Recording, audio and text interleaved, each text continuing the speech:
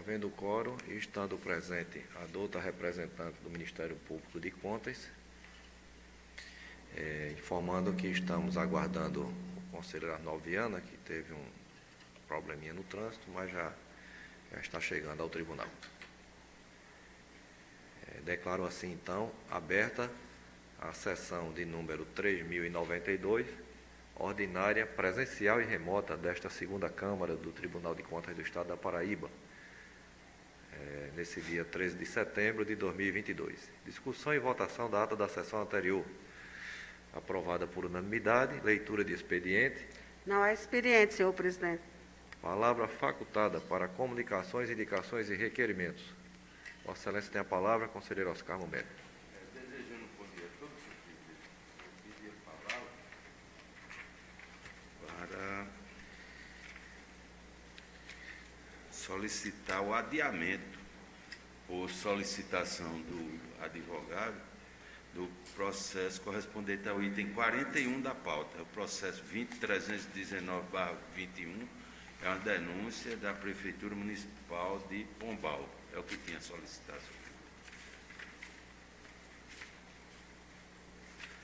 Vossa Excelência já detalhou o processo. Deixa eu só verificar apenas aqui se tem pedido de inversão. É, não tem pedido de inversão. O processo do item 41 está adiado para a próxima sessão. Continua facultada a palavra. Eu também eh, requeiro à Câmara autorizar a retirada de pauta do processo do item 4, é o 04856-20, fazendo a revisão, eh, foi preciso estudar uma questão que está posta lá no processo. É o processo do item 4, é um processo da Secretaria da Administração do Estado. A Câmara, então, retirado de pauta o processo 04856-20. Continua facultada a palavra. Não havendo mais quem queira usar da palavra, vamos, pra, vamos passar aos processos da pauta. O primeiro é de minha relatoria, é o 6356 barra 22.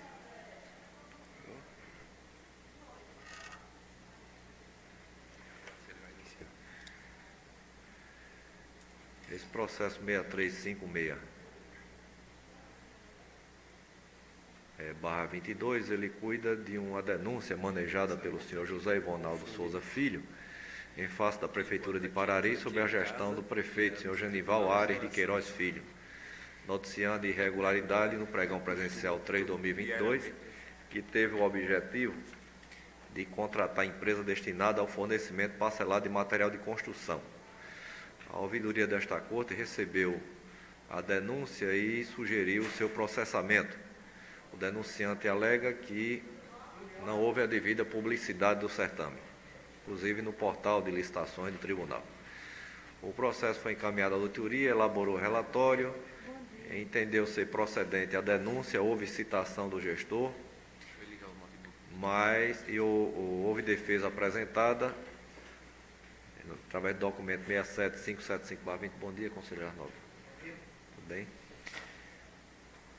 A auditoria identificou que houve, inclusive, o prefeito declarou que foi extinta né, a licitação e concluiu assim: ante exposto, após análise de defesa, entende-se pela procedência da denúncia com sugestão de enfrentamento do mérito. Não obstante, o pregão presencial 3 de 2022 tenha sido posteriormente revogado. Ademais, sugere-se que seja determinado o cancelamento do documento 48981-22. Foi o que disse a auditoria. O Ministério Público, através do Dr. Brato Tibério Luna Camelo, opinou pela procedência da denúncia e aplicação de multa ao gestor. O processo foi agendado para a presente sessão com as intimações de estilo, é o relatório. Tem aí o, papelzinho do. Aí.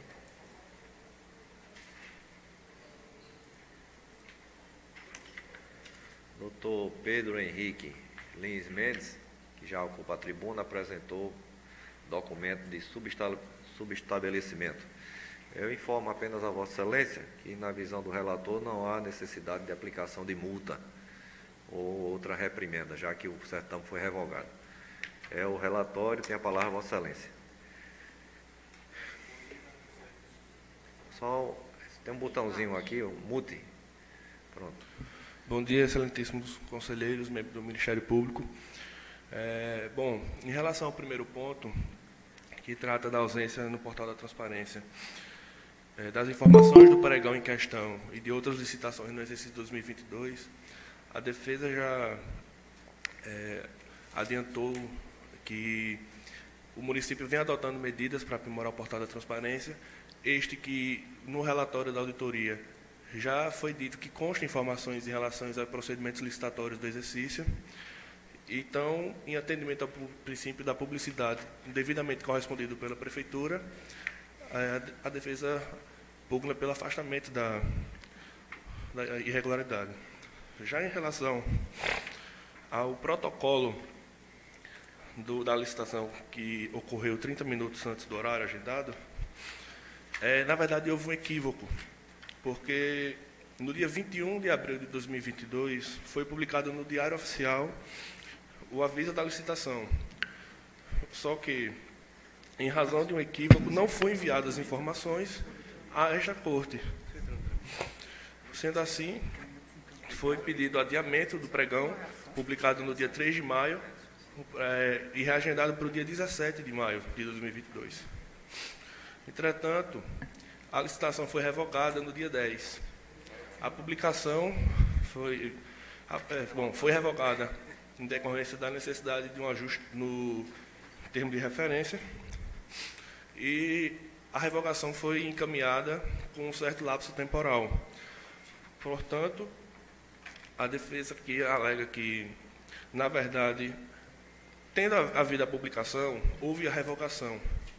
Se houve a revogação, não houve sequer sessão de abertura do, não compare, da licitação, não compareceram os interessados, e tendo sido revogado, não há que se falar de fato em aplicação de multa ou imputação de débito. É, razão, mais uma vez, pela qual a defesa pública pelo afastamento da presente EIVA. Obrigado, doutor. Com a palavra, o Ministério Público de Contas. Bom dia a todos. Eh, no que tange ao eh, processo em pauta, há, como já até adiantado pelo excelentíssimo senhor relator, parecer do Procurador-Geral de Contas, doutor Bradson Tibério Luna Camelo, que eh, se debruçou sobre a matéria as folhas 2265 a 2268 para concluir, ao final, pelo arquivamento dos autos. E, nesse sentido, senhor presidente, senhor relator, também me pronuncio. Embora, é, acredito que já tenha até registrado preocupação da minha parte com essas constantes, é, vamos dizer, decisões administrativas no sentido de constatada né, qualquer não conformidade, proceder-se à revogação ou à anulação do procedimento, da uh, ata de registro de preços, enfim. Há um custo, né? a administração uh, trabalha com custos. E me preocupa muito a temeridade também de, com base num relatório técnico inaugural, assim se proceder. No caso vertente, cuida-se de processo que foi autuado para análise da juridicidade de termos aditivos celebrados ao contrato. Uh, esse, esse, essa é a licitação de Parari. É. é. Sim. Oh, desculpe. Uh, Item 6, exato. E me preocupa muito né, que com a simples colocação de uma nota por parte do órgão técnico, o gestor, às vezes até por sugestão da consultoria e até advocacia uh, pública, promova essa revogação ou, no caso de nulidade, a uh, anulação do certame. ah, por mais das vezes se coloca cancelamento. Né? De modo que, senhor presidente, eu não sei se seria o caso de o nosso tribunal passar nos autos próprios de, de análise de PCA a catalogar, pelo menos, né, esses uh, procedimentos que foram revogados, anulados, entre aspas, é, cancelados, porque é, dizem respeito a, como disse, essencialmente a custos e a, de um lado, por outro, a temeridades. É, retificando o pronunciamento do excelentíssimo senhor Procurador-Geral de Contas, Sua Excelência foi no sentido do conhecimento da invectiva e combinação de uh, multa pessoal ao então uh, responsável, né, ou ao responsável, já que estamos no exercício de 2022. Isso. Certamente ele o fez com base justamente no fato de se tratar de um procedimento recente, como sendo aquele eh, de número pré presencial número 003/2022, de modo que a minha observação parece continuar sendo pertinente, ou seja, para que o tribunal passe a catalogar todos os certames licitatórios e, bem assim, eh, ajustes contratuais, termos aditivos que foram objeto de revogação, anulação ou mesmo, entre aspas, cancelamento, para que se tenha uma ideia ao final do exercício daquilo que foi é, objeto né, de incursão em custos e, de certo modo, até mesmo de é, desperdício de recursos públicos. É como opino. Pois não. Palavra facultada, conselheiro Arnóbio, nós ultrapassamos aquela fase de comunicações, indicações e requerimentos, mas Vossa Excelência fica à vontade se a, a externar. É, Palavra facultada, então ao voto. Bom, aqui não teve nenhum imbróglio, não. Houve um problema da, da divulgação de cadastro no tribunal. O denunciante é, informou ao tribunal, a auditoria fez um relatório, o prefeito foi e revogou o certame. É, súmula do Supremo Tribunal Federal, né, 473 nessa. Os atos nulos são anulados e os inconvenientes são revogados. Ainda tem essa súmula foi o que o prefeito fez, ele tinha até divulgado no, no Diário Oficial, eu coloco aqui as imagens, como Vossa Excelência inclusive já informou, e nessa linha que a nova procuradora é, ventilou, estamos em sintonia, doutora Sheila, porque no voto eu estou dizendo o seguinte, a denúncia merece ser conhecida, porque o cidadão tem legitimidade para tanto, ela era procedente, porque teve um problema de fato no, no, no, portal, né? no portal, na divulgação, na apresentação ao tribunal, mas sem multa, já que o prefeito tomou providência, eu, eu diria que é até um fato comum. Identificou um problema, para quem vai continuar com o processo viciado? Pode ser uma coisa simples, pode ser uma coisa séria, né? Então, revogou, já deve ter feito outro, não tem essa informação no, nos autos, mas o voto do relator é pelo conhecimento, procedência da denúncia, comunicação aos interessados, encaminhar a decisão ao acompanhamento da gestão, uhum. para ficar lá o registro né, do, do, do fato e determinar o arquivamento dos autos somente isso. A segunda Câmara, aprovado o voto do relator por unanimidade. Muito obrigado. Presidente. Pois não. Eu, Doutor, peço... eu, eu só requeiro a Vossa Excelência, é, como apresentou o subestabelecimento aqui em mesa, é, também dar entrada lá no, no, no, protocolo, se for possível. Certo. Pois não? Pode devolver aí, por favor. Pois não, doutor conselheiro Arnaldo, Vossa Excelência tem a palavra eu peço o adiamento dos processos 054 83 barra 17. Qual é o item, conselheiro? É o item 19. E o processo 0 7581 barra 21, item 20. 19 e 20, senhor presidente. Adiamento. Vossa Excelência já reproduziu, é o processo 5483 barra 17 a empresa municipal de urbanização da Borborema, em Campina Grande, né? Adiar para a próxima sessão, ambos. E o 7581-21, Instituto Cachoeirense de Previdência Municipal. Processo o de... 7 tem inversão de pauta. Ah, esse 19 e 20 tem? Ah, obrigado, doutora.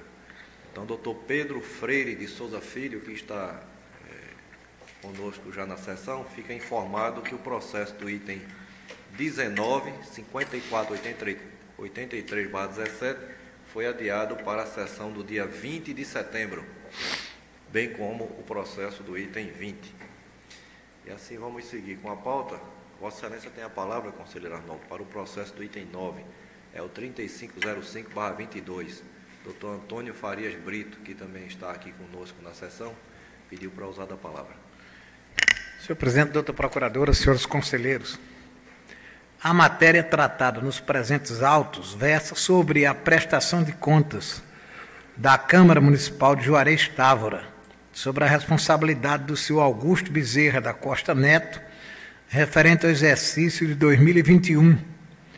A auditoria após exame do feito concluiu as folhas 237 244 não haver, não haver sido constatada qualquer irregularidade o Ministério Público opinou pela regularidade das contas em análise de, de responsabilidade do gestor referenciado. É o relatório, senhor presidente.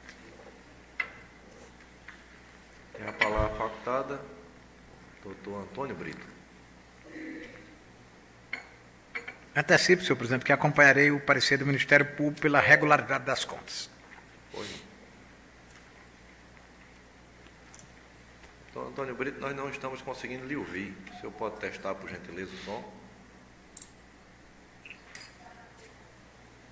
Boa, bom dia a todos. Bom dia. Cumprimentar cumprimentar os senhores e já ouvindo o pronunciamento do relator, apenas agradecer a esse colegiado pelo posicionamento e agradecer também ao Ministério Público por, sua, por seu voto.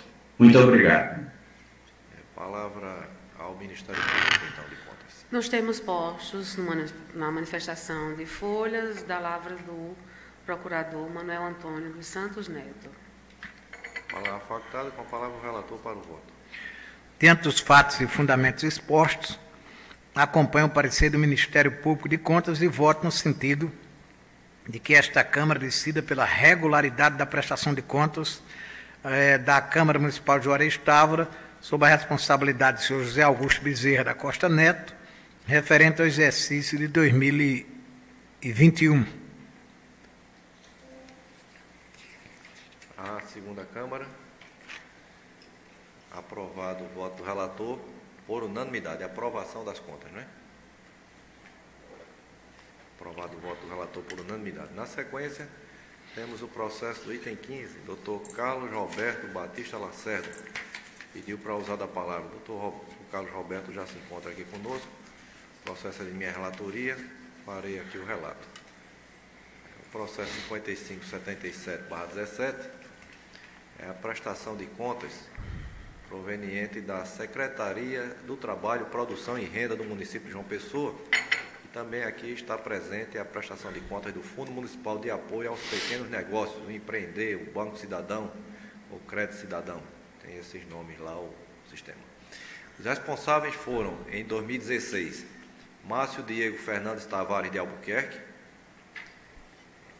no primeiro, até o dia 1 de junho, o senhor Paulo Roberto Fernandes Vieira, de 2 de junho a 21 de agosto, e a senhora Olenka Tagino Maranhão Pedrosa, 22 de agosto a 31 de dezembro.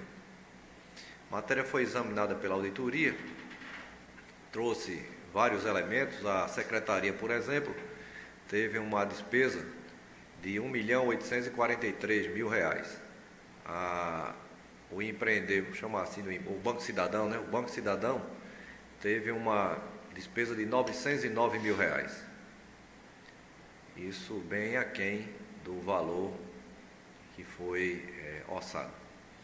E a auditoria traz mais informações sobre a despesa com pessoal, sobre o balanço orçamentário, mas basicamente quando termina seu relatório e emerge as irregularidades, faz essa, essa anotação em relação ao Banco Cidadão. Problema de inadimplência, de registro como despesa extra-orçamentária, quando deveria ser orçamentária, e aquelas anomalias que estão lá no, no relatório, que dizem respeito também à própria gestão, retorno de recursos do Banco Cidadão e assim por diante. Houve a citação dos interessados, eles apresentaram defesa, não mudou muito o cenário das irregularidades.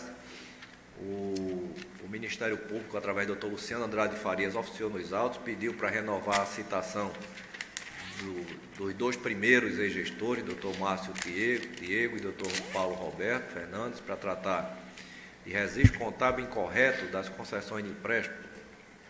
Assim foi feito, é, houve apresentação de defesa, a auditoria reexaminou e praticamente manteve as irregularidades que do relatório inicial. O processo assim retornou ao Ministério Público de Contas e de lá voltou com o parecer naturalmente do mesmo procurador, pugnando.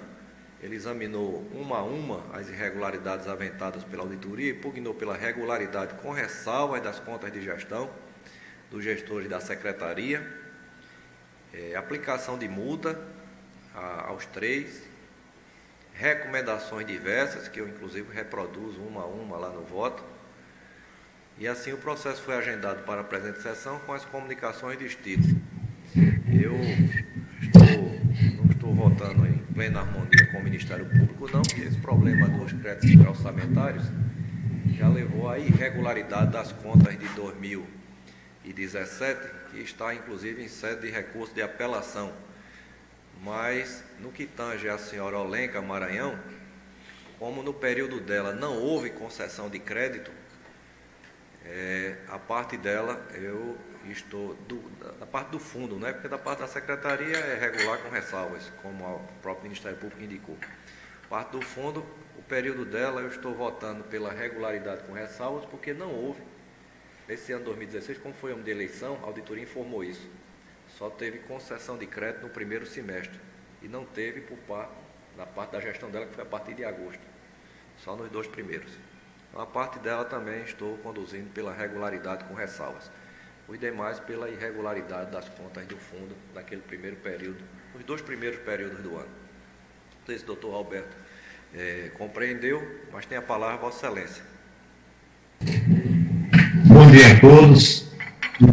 Excelentíssimo senhor presidente da segunda Câmara, senhores conselheiros, procuradora, senhora secretária e demais presentes. Compreendi perfeitamente, senhor presidente, e apenas reitero pela relevação de qualquer possibilidade de aplicação de multa à ex-gestora, tendo em vista o que já foi é, adiantado por Vossa Excelência, o seu período que ocorreu apenas a partir do dia 22 de agosto, e verificamos que é, essas falhas remanescentes que a auditoria aponta diz muito respeito a questões de inconsistências dos registros contábeis, dos balanços patrimoniais é, da Secretaria. Por essa razão, a defesa pública pela não aplicação de multa e agradecendo pela oportunidade. Muito obrigado.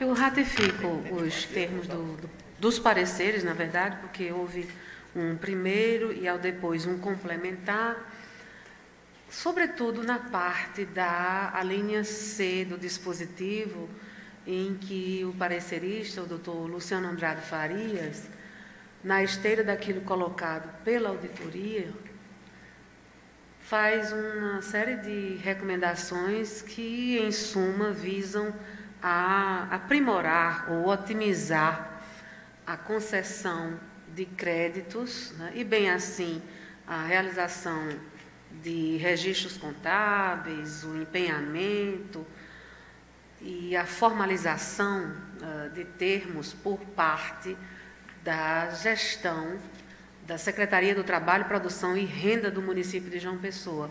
Nesses termos, opino. Palavra facultada para esclarecimentos. Bom, é, como, como já mencionei, essa, o Ministério Público, eu estou reproduzindo inclusive integralmente o parecer do Ministério Público no, no voto, ele analisa caso a caso e em determinado momento atrai recomendação, em determinado momento atrai multa, mas o parecer do Ministério Público, na sua conclusão, foi pela regularidade com ressalvas para tudo, né? tanto para as contas do, da Secretaria como para as contas do, do Fundo do Banco Cidadão. É, estou fazendo como foi feito em 2017, nas contas de 2017, porque a essência desse fundo é, é movimentar recursos né, para chegar ao crédito. Nessa parte aí teve uma série de anomalias que atrairia ressalva, mas internamente a prestação de contas ficou muito prejudicada porque tudo foi registrado como despesa extra-orçamentária. A auditoria já provou e constatou que tem uma rubrica própria, que é para ser despesa orçamentária. Isso, ao meu ver, contamina a prestação de contas, porque é, é uma despesa executada fora do orçamento, que é um recurso municipal e o empréstimo é oferecido pelo município. Então, por consequência dessa formalidade, assim como nas contas de 2017, eu estou votando pela regularidade com ressalvas das contas da Secretaria de Trabalho, Produção e Renda de João Pessoa. E é, a Secretaria foi administrada em 2016 pelo senhor Márcio Diego Fernandes Tavares de Albuquerque, de 1 de janeiro a 1 de junho, pelo senhor Paulo Roberto Fernandes Vieira, de 2 de junho a 21 de, de agosto, e pela senhora Olenca Tagino Maranhão Pedrosa, de 22 de agosto a 31 de dezembro. É, estou votando pela irregularidade do período das contas do Fundo Municipal de Apoio aos Pequenos Negócios de João Pessoa, período em que o fundo foi administrado pelos senhores Márcio Diego Fernandes e Paulo Roberto Fernandes. Justamente 1 de junho, é, que ele pegou o mês de junho também, no, meio de, no mês de junho houve concessão de empréstimo. Como a senhora Olenca Tagino Maranhão Pedrosa só administrou a partir de agosto e não teve essa movimentação extra-orçamentária na concessão dos créditos, por consequência, e no segundo semestre de 2016, que foi o ano eleitoral, não teve concessão de crédito, assim como informou a auditoria, estou votando pela regularidade com ressalvas. Aplicação de multas de 2 mil reais apenas aos dois primeiros gestores, ao seu Márcio Diego Fernandes Tavares e ao seu Paulo Roberto Fernandes, pelo mesmo motivo, Inclusive, estou dizendo, no caso da irregularidade, sobre o aspecto formal, em razão da execução de despesas relativas à concessão de microcrédito pela via extra-orçamentária, quando deveria ocorrer pela via orçamentária, sem imputação de débito por ausência de indicação de dano ao erário. Não houve indicação de dano ao erário, quer pela auditoria, quer pelo Ministério Público de Contas. E as recomendações, estou reproduzindo aqui, apenas colocando no infinitivo, para dar o, o formato aqui do voto, pedir recomendação à atual gestão da Secretaria para buscar uma maior correlação entre os créditos disponibilizados e, o, e aprimorar o planejamento orçamentário, é, melhorar a avaliação de propostas e controle de empréstimos, obstar a concessão de crédito para o mesmo empreendimento a pessoas diversas com caracterização de desvio de finalidade do programa, aprimorar os resíduos contábeis e gerenciais do fundo, coibir a disponibilização de recursos a particulares antes da assinatura do termo de adesão e primar pelo registro das despesas, que aliás foi o que motivou no voto do relator a irregularidade. E informar que a prestação de contas pode ser revisada. É o voto. Conselheira Noviana. Com o relator. Conselheiro Antônio Cláudio. Um voto, Vossa Excelência. Aprovado o voto do relator por unanimidade. Passamos assim ao processo do item seguinte. É o item também de minha relatoria, Secretaria de Finanças de Campina Grande, doutor Caio de Oliveira Cavalcante, é, pediu para usar da palavra também no seguinte, não é, doutor Caio? Eu vou fazer em bloco, então, o relato dos itens 16 e 17. Eu peço autorização à Câmara para fazer em bloco. É o processo 4186-22 e o 4187-22. No primeiro é a prestação de contas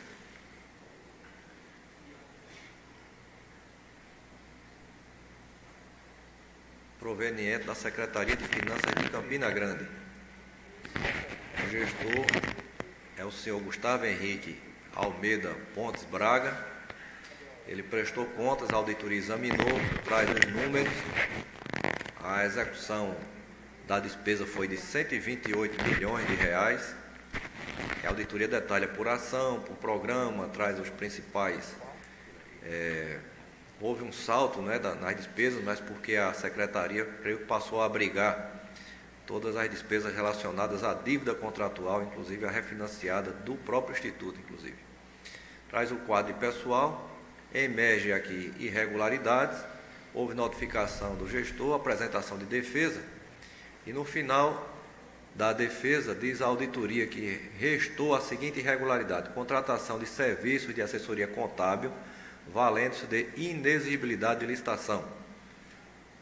Diz a auditoria que é irregular, o Ministério Público, através do doutor Manuel Antônio dos Santos Neto, pugnou pela regularidade com ressalvas e aplicação de multa, com recomendação. No outro processo, é a prestação de contas contas proveniente da Procuradoria-Geral do município de Campina Grande. Aqui o gestor é o senhor Aécio de Souza Melo Filho. Lá na Procuradoria, em 2021, o orçamento permitiu que ela executasse 8 milhões e meio de despesas. Mais uma vez, a auditoria detalha por ação, por fonte. E no final, após examinar todo o material, a auditoria entende que ah, depois de defesa, que o, o, as eivas foram devidamente esclarecidas pelo gestor. Mais uma vez, doutor Manuel Antônio dos Santos Neto, representando o Ministério Público, aqui no caso ele pugna pela regularidade sem qualquer aplicação de sanção. É, o voto do relator nos dois casos é também é, seguindo o segundo pronunciamento ministerial, porque a contratação de contador já é admitida pelo tribunal na sua jurisprudência. É, tem a palavra o doutor Caio Cavalcante.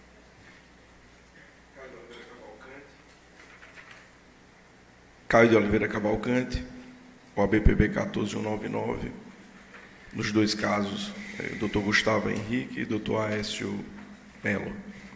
Cumprimentando Vossa Excelência, senhor presidente, cumprimentando os nobres conselheiros, doutor Arnóbio, doutor Antônio Cláudio, doutor Oscar, cumprimentando a digníssima representante do Ministério Público, doutora Sheila, os servidores da casa, a quem cumprimento na pessoa doutora Nilma. Como bem relatado por Vossa Excelência, Vossa Excelência já adiantou o voto e a defesa não vai aqui se alongar, mas apenas para reforçar que essas são as primeiras duas PCAs da gestão do prefeito Bruno Cunha Lima. Né, e duas PCAs que uma delas chega sem nenhuma irregularidade, que é da Procuradoria do Município, e a segunda da Secretaria de Finanças, que em outros momentos é, teve uma série de irregularidades a ser explicada, dessa vez apenas uma, ainda que a Corte já tenha se posicionado sobre a regularidade da contratação dos serviços técnicos da doutora Clay Leitão, a auditoria e o Ministério Público ainda segue a linha de entender, dentro da autonomia que tem, de que não é possível a contratação. Então, só com essas considerações, ressaltando a gestão do prefeito Bruno Cunha Lima, agradeço a participação. Agradecemos a participação de Vossa Excelência. Com a palavra o Ministério Público de Contas. No que tange especificamente ao processo constante do item 16, como sendo aquele de número 04186-22, que trata da prestação de contas né, do uh, senhor Gustavo Henrique Almeida Pontes Braga, à frente da Secretaria no exercício de 2021. Como já colocado por Sua Excelência o relator, há um parecer da lavra do excelentíssimo senhor procurador Manuel Antônio dos Santos Neto, em que eh, Sua Excelência conclui pela regularidade com ressalva, combinação de multa e baixa de recomendação. Ele o fez especificamente no que toca à questão da contratação de serviços uh, de assessoria técnica de natureza contábil junto a Clair e Leitão Contabilidade Pública Limitada, inclusive com SPEC, interpretação da Lei 8666-93, né, que apesar do exercício ser 2022, mas uh, ainda 21, mas, uh, mas mesmo que fosse 22, né, ainda estamos na vacácio legis, ainda é possível, na verdade até março de 2023, lançar mão da 8666-93 para fins de celebração de contratos dessa natureza, prorrogação, enfim. E também o fez com uh, fulcro em uh, decisões tanto do TCU quanto do STJ, por fim, arrimando-se num parecer normativo, o de número 16, barra 2017. Eu vou complicar mais ainda e vou dizer que, da mesma forma que eu me preocupo com a contratação de serviços advocatícios junto ao, uh, vamos dizer, junto à praça, né, para não usar o termo mercado, uh, própria, me preocupa também a contratação desse tipo de serviços quando o município de Campina Grande, doutor relator, sendo da, do conhecimento de todos, conta com uma controladoria geral. E o interessante é que a Controladoria Geral do município de Campina Grande foi criada ainda nos idos de 2002. Depois ela sofreu, eh, por meio também de lei da mesma hierarquia, sendo complementar, sofreu duas alterações grandes por meio da 143, que é de 2019, e da 150, que é de 2020.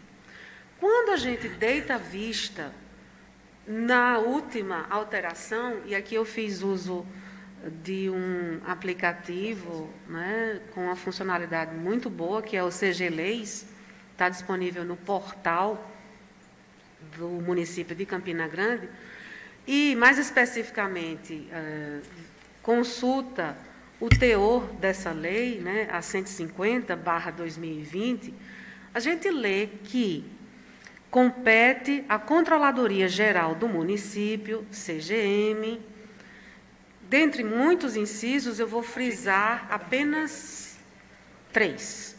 O dois, aliás, o um, assegurar o fiel cumprimento das leis, das normas e dos procedimentos através de ações de auditoria preventiva, de controle e de correição nos órgãos e entidades da administração direta e indireta do município, que tornem eficaz o controle interno. Então, certamente, muito desse trabalho de assessoria e consultoria eh, de natureza técnico-contábil cabem nessa redação do inciso 1 do artigo 5 da Lei Complementar Municipal 150/2020. O 3 também diz: coordenar e executar o controle interno visando exercer a fiscalização do cumprimento das normas de finanças públicas voltadas para a responsabilidade na gestão fiscal. E mais adiante, diz assim: assessorar o Poder Executivo e suas secretarias nas relações com os órgãos responsáveis pelo controle externo, na esteira daquilo colocado pela própria Constituição Federal, acredito que no artigo 75. E, por fim,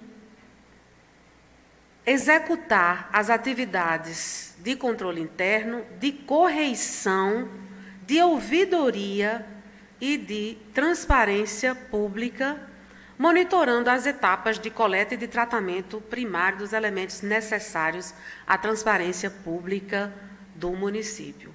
Então, é, a teor daquilo que foi colocado né, por uma lei complementar, eu não atino com a razão porque ainda existem contratos dessa natureza, já que é também sabido e consabido que a Controladoria Geral do município vem cada vez mais ganhando musculatura, né?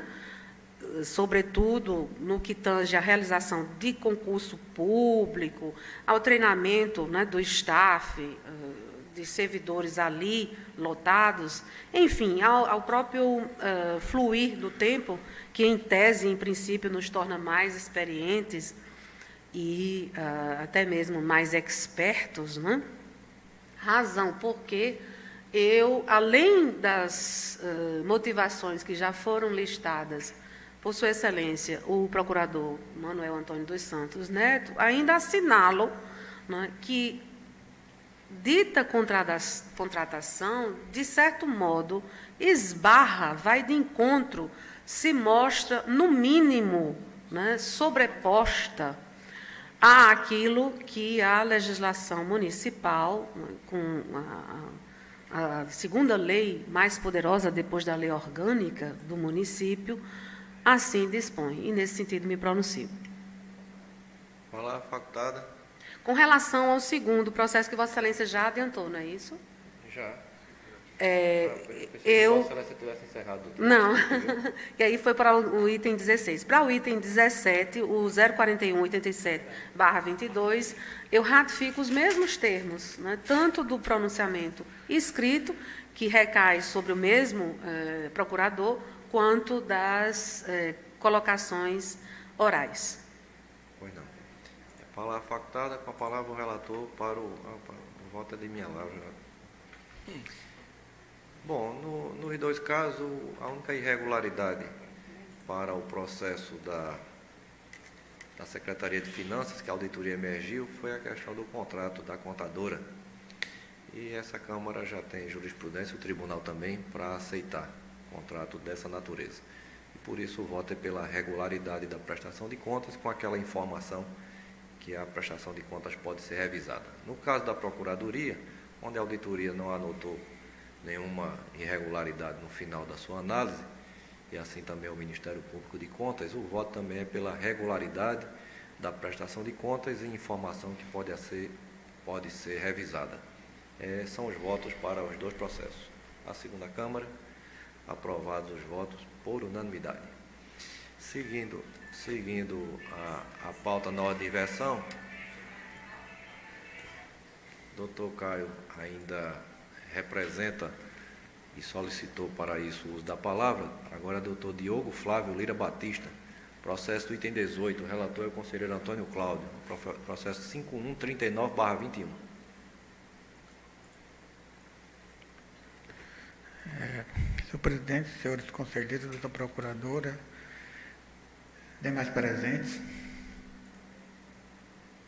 O processo anunciado, Vossa Excelência, presidente, é, trata da prestação de contas da Secretaria da Administração de Campina Grande, exercício 2020, tendo como responsável o senhor Diogo Flávio Lira Batista.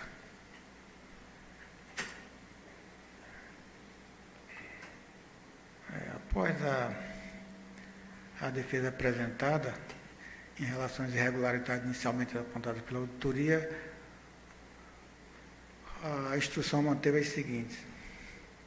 Necessidade de detalhamento e esclarecimento das despesas classificadas no elemento outros, outras despesas variáveis, pessoal civil, bem como apresentar toda, todas eh, essas despesas acompanhadas de documentação comprobatória da regularidade das mesmas. É, não houve apresentação do controle referente às entradas e saídas de materiais do estoque físico do almoxerifado e o uso indevido do Instituto da Contratação Temporária por excepcional interesse público. O Ministério Público emitiu parecer 156222, da palavra do doutor procurador Brad, doutor procurador-geral doutor Brades Tibério Luna Camelo, que pugnou pela regularidade com ressalvas da prestação de contas, aplicação de multa, assinação de prazo ao responsável para encaminhar a documentação faltante ou incompleta reclamada pela auditoria e envio de recomendação. É o relatório informe para a defesa que o o relator vai acompanhar o Ministério Público, exceto quanto à aplicação de multa. Regularidade com ressalvas e recomendação. Quando chegar aí, manda deixar meu. Renovando o bom de acordo, senhor presidente, nesse caso, até para adiantar o tempo, a defesa prescinde. A palavra ao Ministério Público de Contas.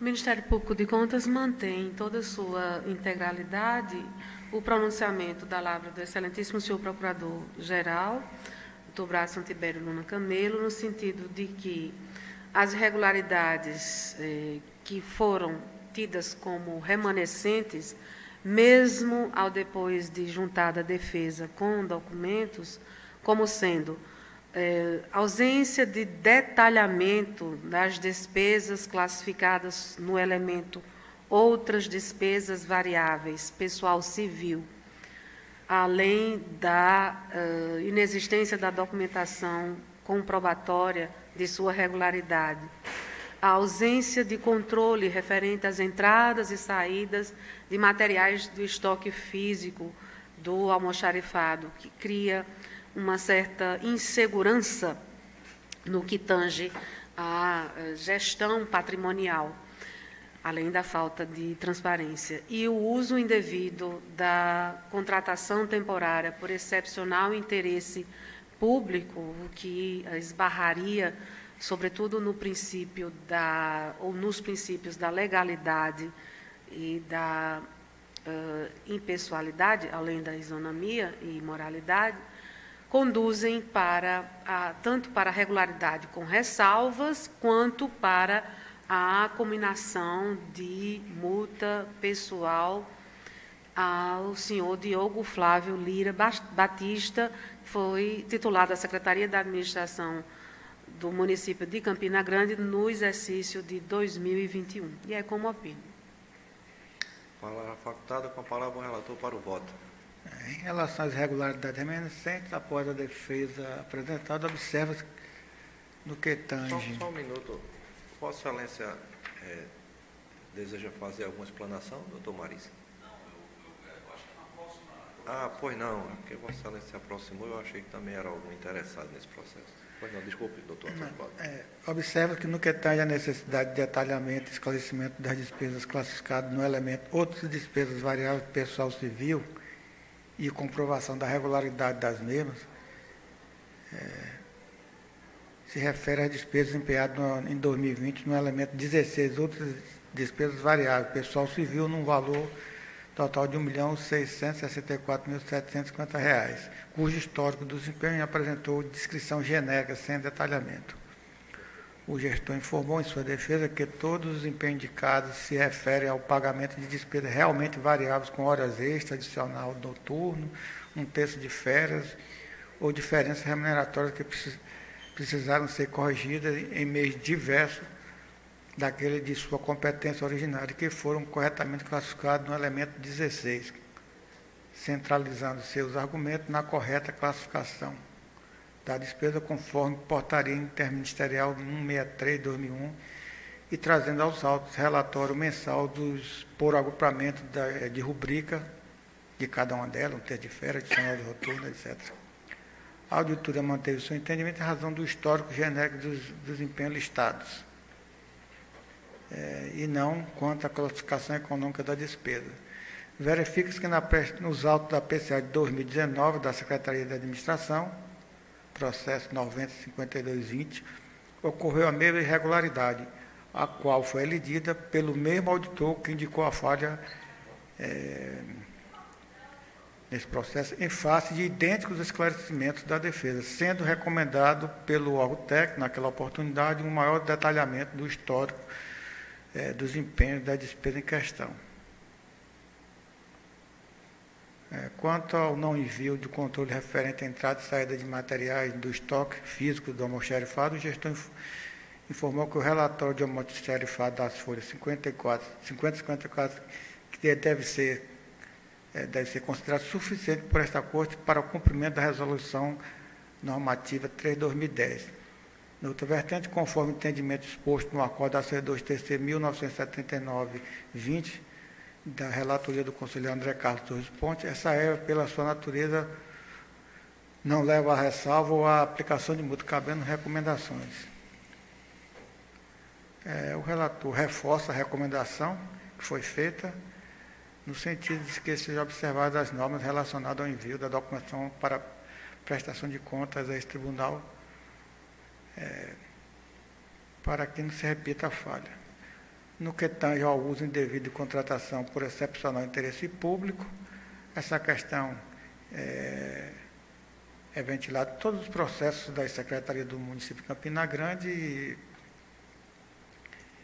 e a recomendação tem sido que o prefeito é, municipal é que tome as providências para resolver essa questão. E, inclusive, é, a questão, essa questão está sendo tratada no, na prestação de contas do Poder Executivo do município de Campina Grande, né, a PCA de 2020.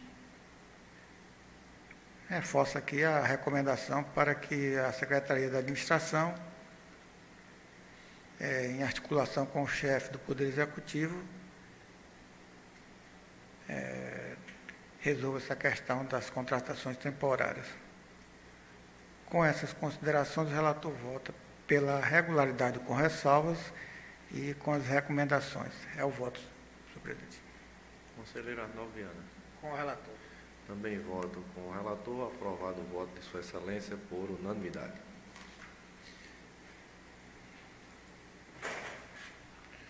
Processo do, do item seguinte é, é, o processo do item 21. Vossa Excelência também é o relator, conselheiro Antônio Cláudio. Processo 7241-20. Agora sim, doutor José Fernandes Maris, é, já está devidamente identificado na ata, é, pretende usar da palavra. Processo anunciado, ele diz respeito à prestação de contas da Agência Municipal de Desenvolvimento de Campina Grande. Exercício é 2019, o responsável é o senhor Nelson Gomes Filho. É, após a defesa apresentada, a auditoria assim se pronunciou. É, pelo translado e tratamento das erros relacionados à alienação de imóveis para os autos do processo 777721, instaurado com um fim específico de apurar eventuais irregularidades ocorridas em razão da alienação de bens imóveis pela agência, que envolve ausência de autorização legislativa, procedimento estatório, avaliação prévia da alienação dos bens imóveis, alienação de bens imóveis por valor excessivamente inferior ao de mercado, ausência de cobrança de acréscimos contratuais, multas, juros e correção monetária referente aos atrasos na liquidação de parcelas decorrentes dos contratos de alienação de bens imóveis e também inconsistência no balanço patrimonial em virtude da ausência de contabilização de créditos a receber decorrentes da alienação de bens imóveis. Quanto às demais é, irregularidades, a auditoria manteve o seguinte: compatibilidade da natureza jurídica da agência em relação ao que consta na lei de criação da entidade, que é a empresa pública, e no registro junto aos órgãos competentes, está como autarquia a ausência de prestação de conta dos fundos vinculados à agência, descumprindo assim a Resolução Normativa 3 de 2010. Embaraça a atividade fiscalizatória e descumprimento da legislação municipal no que diz respeito ao funcionamento dos fundos municipais vinculados à agência, em virtude da inexistência de separação orçamentária contábil, contábil dos recursos financeiros. A ausência de controle efetivo das obrigações assumidas pelos beneficiários junto ao Banco do Povo bem como inexistência de esforço para receber os valores devidos à municipalidade e embaraço à atividade fiscalizatória. Não execução de programas e ações finalísticas do, da agência, funcionando a entidade como um fim em si mesmo. Isso porque a grande maioria dos programas e ações desenvolvidas foram na própria manutenção da agência. Realização de despesas não comprovadas e, ou antieconômicas, despesas cartoriais, no total de R$ 59.237, sem que haja qualquer indicação de imóveis, aquisição de imóveis no exercício. Inconsistência no balanço patrimonial em virtude da ausência de contabilização de créditos a receber decorrente da alienação de bens imóveis e de microcrédito concedido através do Banco do Povo. Realização de despesa com justificativa de dispensa e, e, é, ou inegibilidade de licitação sem amparo na legislação que seria a contratação de serviços contábeis e advocatícios. por fim as recomendações exaradas no relatório inicial a seguir transcritas. Recomendação da senhora Alana Fernandes Dias Carvalho, atual gestora do fundo, tomar conhecimento da situação de irregularidade do registro da natureza jurídica da agência junto aos órgãos competentes, bem como empregar esforços para resolver de forma efetiva a situação. Orientar os servidores que alimentam os SAGs para que, no momento do cadastramento dos empenhos, seja informado o procedimento licitatório correto, bem como classifique as despesas corretamente ao seu Bruno Cunha Lima Branco, atual prefeito, tomar as providências necessárias a fim de regularizar a situação dos servidores contratados por excepcional interesse público, que exercem atividades rotineiras e permanentes que deveriam ser executadas por efetivos. Registro que não existem servidores efetivos na agência. É, sugestão da auditoria, após a, a defesa, que seja julgado irregular a prestação de contas, em razão daqueles fatos já, já informados, imputação de débitos R$ 59.237 pela realização de despesas irregulares, aplicação de multa, é, fixação de prazo ao atual gestor da agência para que regularize o registro perante a Receita Federal do Brasil e faça a prova junto a esse Tribunal de Contas, fixação de prazo atual prefeito de Campina Grande para que providencie estruturação legal do quadro pessoal da agência, promova o concurso público para provimento do quadro pessoal da agência, regularize o quadro pessoal e evite a contratação temporária sem um atendimento dos requisitos constitucionais. Comunique-se ao senhor Nelson Gomes Filho, que no tocante às questões relacionadas à alienação de bens imóveis, a matéria está sendo tratada no processo específico já citado. O Ministério Público, através do parecer do. Procurador-Geral Dr. Brades Tibério Luna Camelo, pugnou pela irregularidade da prestação de contas, aplicação de multa, imputação de débito e recomendação. É o relatório, senhor presidente. Eu, é, a informar a defesa que eu, eu estou votando pela irregularidade da prestação de contas por um motivo aqui, que eu acho que no recurso é, acho que foi a falha da defesa, que não trouxe nenhuma explicação, nenhum documento contra essa questão apontada pela auditoria, que é um pagamento aqui de R$ 59.237 por despesas cartoriais é, sem a comprovação. Na defesa não houve nem qualquer pronunciamento, acho que foi até uma falha da defesa. Então, por esse motivo, o, o voto do relator já antecipando é pela irregularidade das contas com aplicação, com a imputação de débito desse valor, aplicação de multa pelas outras falhas apontadas e recomendação. Tem a palavra facultada, doutor José Fernandes Mari, já devidamente registrado o seu nome na ata, doutor. É só acionar o som aqui, doutor Maurício, por gentileza. Dá um botãozinho aí, pronto. José Fernandes Mariz, OAB 6851, advogado Nelson Gomes Filho. Peguei esse processo já, obviamente, em andamento. Quero registrar perante a Corte que das quatro prestações de contas do senhor Nelson Gomes Filho, duas já foram aprovadas, a de 2017 e a de 2018 e todas, né, todas elas apontavam essas eivas especificamente. ausência de autorização legislativa, quando tinha autorização legislativa, é, contratação por excepcional interesse público, exatamente para abrigar, porque o Aloysio Campos, é bom que se registre, ele não é só um, um Aloysio Campos habitacional, ele é um Aloysio Campos voltado para a indústria, é um, é um Aloysio Campos voltado para o comércio, é um Aloysio Campos voltado também para Tecnópolis, é um Aloysio Campos voltado também para a questão ambiental.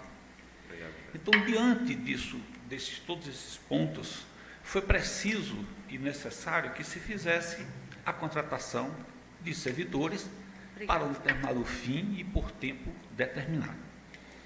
No que diz respeito é, à questão dessa, desses 59 mil reais que Vossa Excelência informa,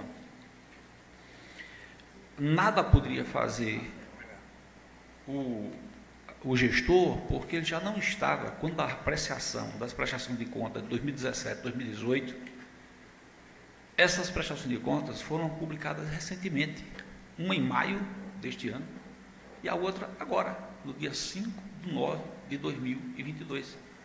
Então, todas essas recomendações apresentadas por essa corte foram absolutamente aplicadas e foram recomendadas, sugeridas que a, que a atual presidente, que inclusive fazia parte também da própria ANDI, antes dela ser é, é transformada em empresa através de lei, porque teve, tem lei, tem os autos do processo, lei, e todos os recursos, sem exceção de todas as contas, todas as contas, elas foram objeto da inspeção especial, instada que foi a Controladoria Geral do município de Campina Grande, pelo relator da inspeção especial, a 077777.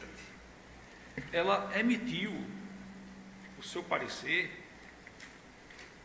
o seu relatório, inclusive na pessoa de um dos bons auditores que por essa corte passou, que foi o doutor Ricardo Wagner, foi auditor dessa corte, hoje é auditor da CGU, Controladoria Geral da União, passou, foi aprovado em concurso público aqui no tribunal, foi aprovado em concurso público na CGU, foi aprovado para o lado do norte, depois pela questão do estágio probatório, viu que o tempo era muito longo, ele fez outro concurso para a própria CGU, passou aqui para Paraíba, e hoje está a serviço de Campina Grande. Emitiu um relatório a pedido do Dr. André Carlos, em que ele, sinteticamente, nas últimas palavras, sendo assim, com superdão dos exames realizados durante o, os trabalhos de auditoria da Controladoria Geral do município de Campina Grande, conclui-se que a destinação dada aos recursos financeiros de alienação dos imóveis do Complexo Aloysio Campos, no período de 1 de 1 de 2015 a 30 de novembro de 2021 estão integralmente adequados ao que disciplina a Lei 5.718 de 2014, especificamente em relação aos incisos 2 e 3. Ou seja, todos os recursos foram aplicados devidamente em passivo de capital, ou seja, de obras e infraestrutura. Então, essa corte já apreciou e já julgou a PCA de 2019, que após algumas idas e vindas e embargos declaratórios, concluiu por dois pontos: julgar regulares com ressalva à prestação de conta da Agência de Desenvolvimento de Campina Grande 2017 sobre a gestão de Nelson Gomes Filho.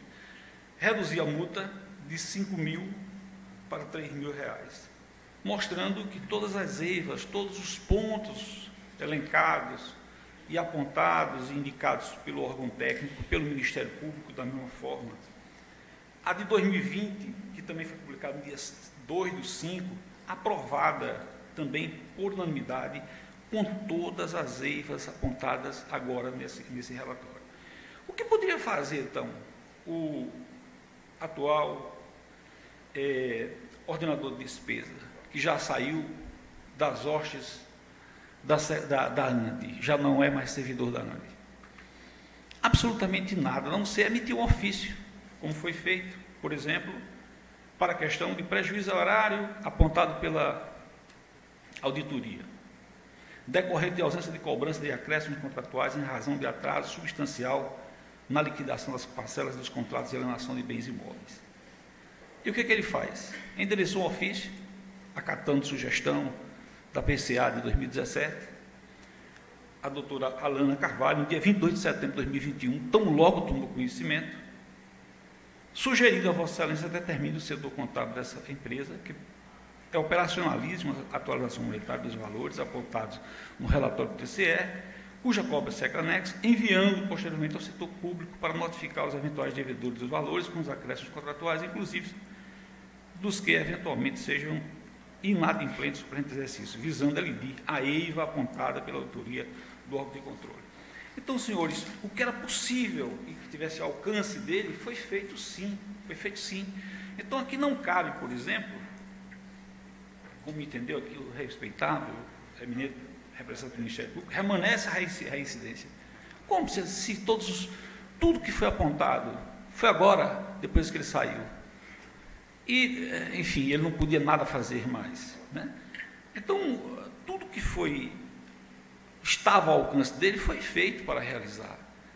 É, tem aqui um relatório da CGM apontando que todos os recursos, mas todos os recursos, teve fins definidos, teve um mapeamento, um rastreamento literal de absolutamente tudo, de todos os pontos apontados pela, pela auditoria, que é alvo da PCA de 2017 e alvo também da PCA de 2020, porque, segundo informação, os erros consistiam, persistiam. Então, a PCA de 2017, volto a me repetir, foi aprovada e agora, recentemente, no dia 5 de novembro de 2022. A PCA 2020, decisão final, saiu no dia 2 do, do 5 de 2022, uma do 5 do 9 e a outra do 5, 2 do 5. É, acompanhamento das contas bancárias do fundos. Isso de forma detalhada se traz na, na, no relatório da CGM de Campina Grande, da Controladoria Geral dos Municípios de Campina Grande. Então, as razões que se fundamenta o parecer do Ministério Público sobre um eventual acórdão, que esse acordo foi modificado, inclusive até o próprio Ministério Público aqui já, já faz uma observação. No tocante à integralidade da incomunicabilidade, da incompatibilidade, da natureza jurídica da ANDE, tendo em vista a divergência do que consta na lei de criação, que já existia, já foi aprovada por essa corte que uma lei vale sim, era sim uma empresa, e aqui já está, o próprio no cadastro, nacional já está dizendo, apontando aqui que ela já é empresa. Então, aqui também fala, ainda que tal EIVA tivesse é, presente no exercício financeiro de referência em 2019, a questão é que formalmente que se, em si só não tem um condão de promover mácula em análise das contas. Acompanhar os termos postos pelo corpo técnico no sentido necessário de prestação de contas. Já não estava mais lá. Isso era 2000, nossa, essas contas aqui foram aprovadas e as recomendações saíram depois de 2020, que foi a última, é a última, é a última é, gestão dele. Então, enfim, todos esses pontos aventados foram alvos e objetos de uma percussiente análise feita pela Controladoria Geral do município de Campina Grande, que apontou de onde saíram os recursos e para onde eles foram alocados. Então, é, simplesmente atirar da, dessa forma, apontando é, vícios formais que podem ser corrigidos, né? aqui não se aponta uma só dano e risco ao erário, aqui não há indício de locupletamento, de malversação de recurso público, de emprego irregular de verbas públicas. Não há absolutamente nada a não ser vícios meramente formais. Vícios, coisas que podem ser sanadas, plenamente sanadas. Então, diante dessas observações, todas constantes, inclusive aqui, o Ministério Público salienta, fala salienta-se, ademais, que tal EIVA vem sendo apontada reiteradamente nos autos da prestação de contas das entidades de exercício financeiro 2015 seguintes, sendo uma das razões para o julgamento pela irregularidade das contas de 2017 do acordo 365.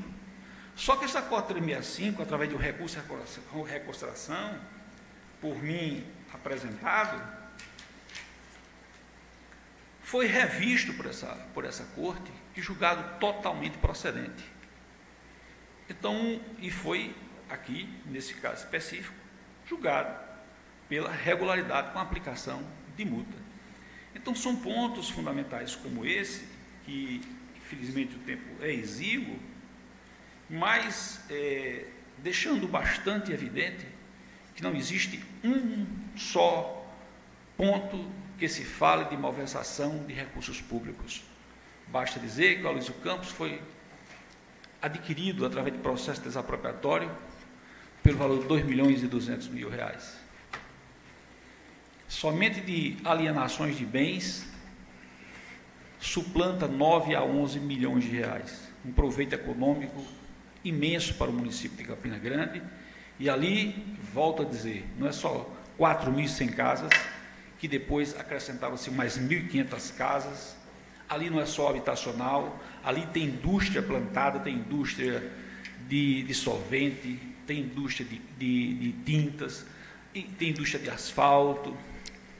No campo de comércio, lá tem um polo de modas devidamente instalado, e esse polo de modas vai ser, com certeza absoluta, tem como base e vai fazer concorrência com Toritama, com Santa Cruz do Capibaribe, vai ser um grande empreendimento para Campina Grande, vai atrair muitas, muitas empregabilidade, emprego e renda para o município.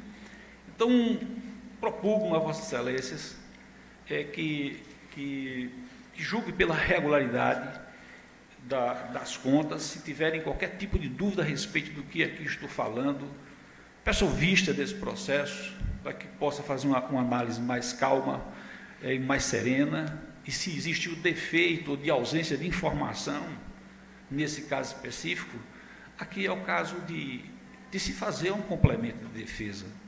Essa corte, é, por diversas vezes, tem conferido essa possibilidade.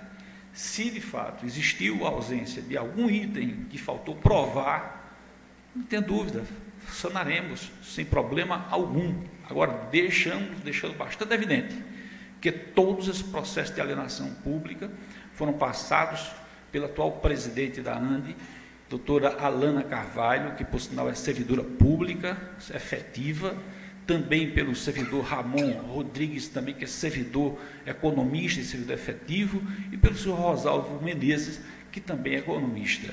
Então, um critério extremamente rigoroso, que todos os recursos arrecadados, todos os recursos arrecadados têm finalidade, tiveram finalidades específicas. Então, peço que se peça vista desses autos, então, se for o caso, até sobrestar a retirada de pauta desse processo, para que a gente possa completar, afinal de contas, aqui não existe é, sequer indícios de malversação de recurso público ou de um desvio de recursos, não, não existe nada disso. Doutor José então, aprovar. Vossa Excelência tem um minuto para concluir. Obrigado, Excelência. Desaprovar por aprovar, lançando mácula em, du, em uma prestação de contas, que já teve das quatro, duas aprovadas, e dessas duas contas aprovadas, as mesmas eivas, os mesmos apontamentos, então seria um venire contra factum próprio. Então, senhores, eu, nesse instante, conclamo a consciência de Vossas Excelências, de justiça, serenidade e tranquilidade para se debruçar sobre esse caso. Não se quer aqui em nenhum instante ilaquear a boa-fé de Vossa Excelência, mas de apresentar a verdade dos fatos que sobrepõem a verdade até formal. Muito obrigado. Agradeço a participação de Vossa Excelência. Passo a palavra ao Ministério Público de Contas. No presente momento, esta Câmara se debruça sobre a prestação de contas anuais do gestor da Agência Municipal do Desenvolvimento de Campina Grande, a AMDE, no exercício de 2019, sob responsabilidade do senhor Nelson Gomes Filho. De fato, o anúncio já, de certa forma, ratifica que a visão do controle externo é maciçamente retrospectiva e não propositiva. A alegação uh, de que as contas foram ulteriormente julgadas regulares, inclusive por meio da uh, insurreição, não tisna nem uh, desvalora as colocações feitas pelo órgão auditor e pelo Ministério Público de Contas à luz dos elementos veiculados nos presentes autos de número 7241/20. Especificamente no que tange à primeira das irregularidades, como sendo aquela que diz respeito à incompatibilidade da natureza jurídica da AMD em relação ao posto pelo uh, normativo é, legal, de fato, há eh, pronunciamento específico do membro do Ministério Público oficiante ah, neste álbum processual eletrônico, no sentido de que a uh, incongruência de per se não impacta né, na presente prestação de contas, ainda que uh, tenha sido sublinhada pela auditoria reiteradamente quando da análise das prestações de contas dos gestores da referida ASIM. E Sua Excelência, o Procurador-Geral, inclusive, as folhas 702, faz um print uh, de um arquivo né, relativo ao CNPJ né, da AMED, em que uh, Sua Excelência entende pelo saneamento, né, dada a atualização dos registros junto à uh, Receita Federal. Mas há outras uh, inconsistências, há outras irregularidades que, de variegada natureza, pelo menos no sentido né, destes dois órgãos técnicos, conduzem à irregularidade macro da presente prestação de contas. Eu uh, colocaria duas delas como as de maior envergadura. Ausência de controle efetivo das obrigações assumidas pelos beneficiários junto ao Banco do Povo, assim como inexistência de esforços para receber valores devidos à municipalidade, ou seja, o velho problema dos uh, programas de concessão de renda. Há uma sede muito grande de apaziguamento né, das demandas sociais, também nesta área econômica, mas, por outro lado, até por força da eh, ausência de conjugação de esforços com a Procuradoria, que Vossa Excelência um dia chefiou, há um certo olvidar dos créditos devidos à municipalidade. Como diz o vulgo há séculos, esses empréstimos vão todos para a Caixa das Almas, né? ou quase todos. Por quê? Porque já há uma carência que é maior do que todos os outros empréstimos, sobretudo se levado em consideração as taxas, o tempo, é? Ah, a, a própria, vamos dizer, natureza de subsídio, muito mais do que empréstimo, desses valores em relação à rede bancária regular ou oficial.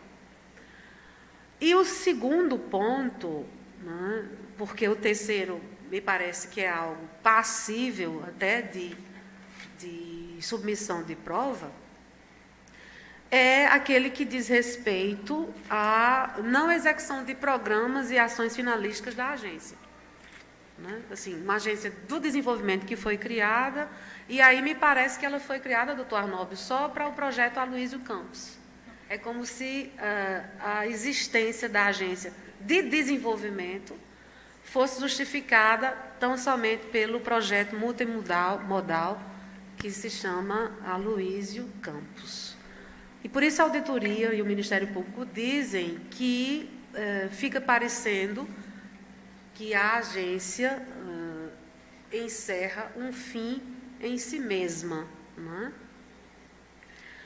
Com relação ao valor que foi até destacado por Sua Excelência o relator, que diz respeito à realização de despesas não comprovadas e ou antieconômicas no valor de R$ 59.237,67, deitando vista nos pronunciamentos né, pretéritos do órgão técnico, se chega ao primeiro relatório né? e aí especificamente a folha 257, item 4.1.2.3, denominado realização de despesas não comprovadas e ou antieconômicas, há um entendimento mais aclarado né, do que consiste a EIVA.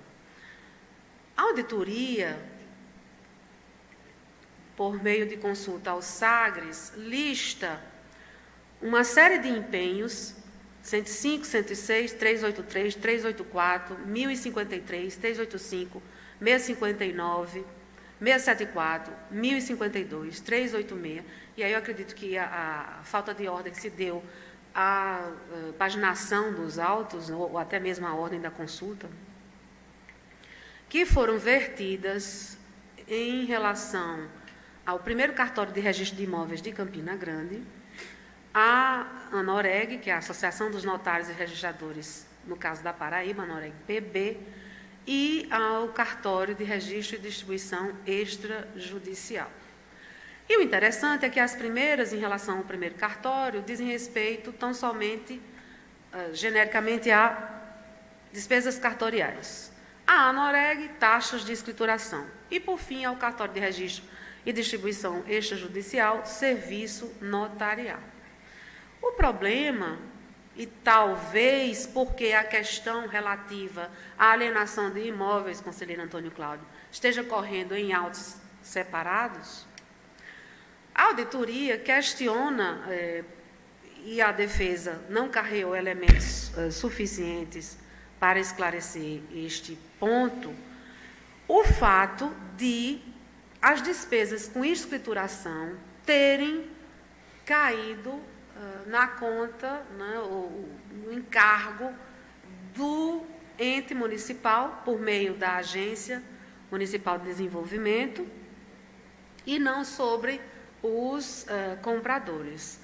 E uh, o, então, continuou, eu acredito, ou não, porque parece-me que houve uma mudança entre o primeiro, não é isso? O primeiro relatório, isso, o então uh, oficiante, na condição de membro da auditoria, né, integrante da auditoria, colocou uma uh, disposição do direito civil no que tange à responsabilidade e uh, despesas dessa natureza na conta do empregador, ou do, do comprador, melhor dizendo. E nesse aspecto, uh, eu me recordo até de, de, na verdade, essa lição do, do Código Civil vem do direito tributário.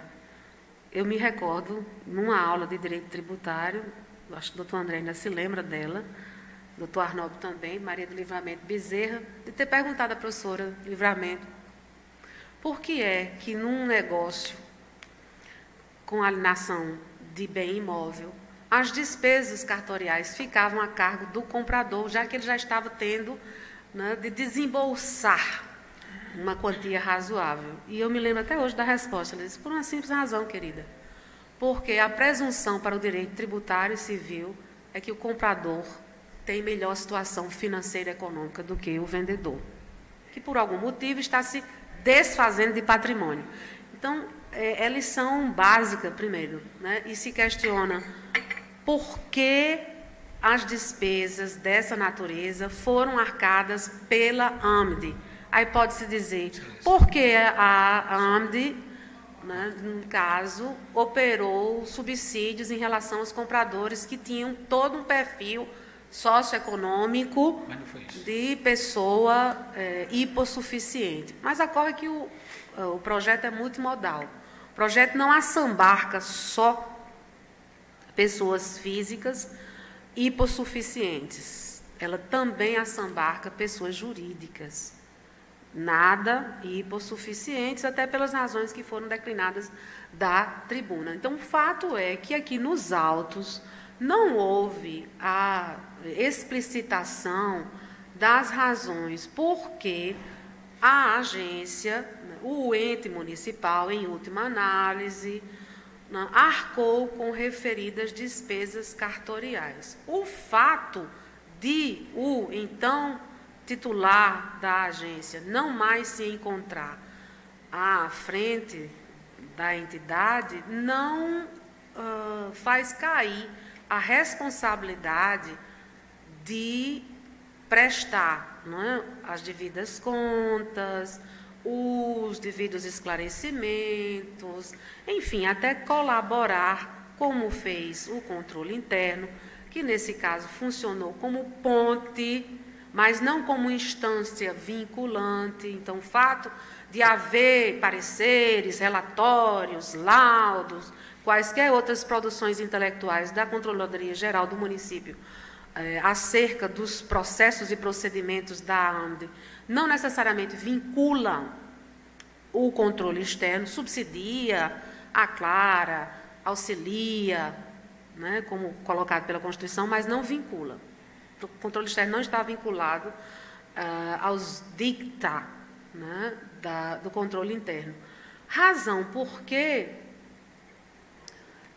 conclui exatamente nos termos do parecerista, né, uh, o excelentíssimo senhor procurador-geral, no sentido da irregularidade das presentes contas de 2019 da AMD, sob a responsabilidade do senhor Nelson Gomes uh, Filho, combinação de multa, imputação de débito ao citado gestor, ainda que ulteriormente, por meio de recursos, se esclareça a miúde a questão do pagamento de taxas que, em princípio, não tocariam ao ente municipal e baixa de recomendações à atual gestão. É como opino. Excelência, questão só fática, um minuto, serei muito um minuto, breve. doutor. De, de um minuto eu, eu farei a observação. A primeira é que eu fui procurador-geral do município de Campina Grande. A procuradoria não alcançava, em nenhuma hipótese, as descentralizadas, as empresas descentralizadas, ou seja, as autarquias, as empresas públicas que tinham seu corpo técnico próprio. Esse é um ponto. Aí, a assessoria jurídica, se lá da ANDE, que, que era inclusive, eu, se eu não me recordo aqui, mas eu acho que a doutora Alana era uma das componentes da, da assessoria jurídica, ainda também não fez, ainda, é possível ser feito essa, essa, essa observação, essa cobrança e tudo mais. Esse é um ponto. O segundo, e aí eu, eu encerraria a minha questão fática, é no que diz respeito à questão do pagamento de emolumentos cartorários, doutor Cláudio. Isso decorre, obviamente, não, isso decorre, de, obviamente, da transferência de domínio do município de Campina Grande através de autorizativa à ANDI. Se a contadoria não apresentou as informações, não é caso absolutamente de se, ou então se conceder um prazo especificamente para que se apresente. Mas o fato é que essas despesas foram de cartórios e não teve nenhuma completação, nenhuma atitude de avançar em recursos públicos. Doutor Mariz, em proveito agradecemos a participação de Vossa Excelência. Acho que o fato já, já foi bem esclarecido, né? O resumo da prestação de contas é essa despesa do cartório que o relator já deu notícia. É, a palavra está facultada, então, para esclarecimentos. Vossa Excelência tem a palavra para o voto.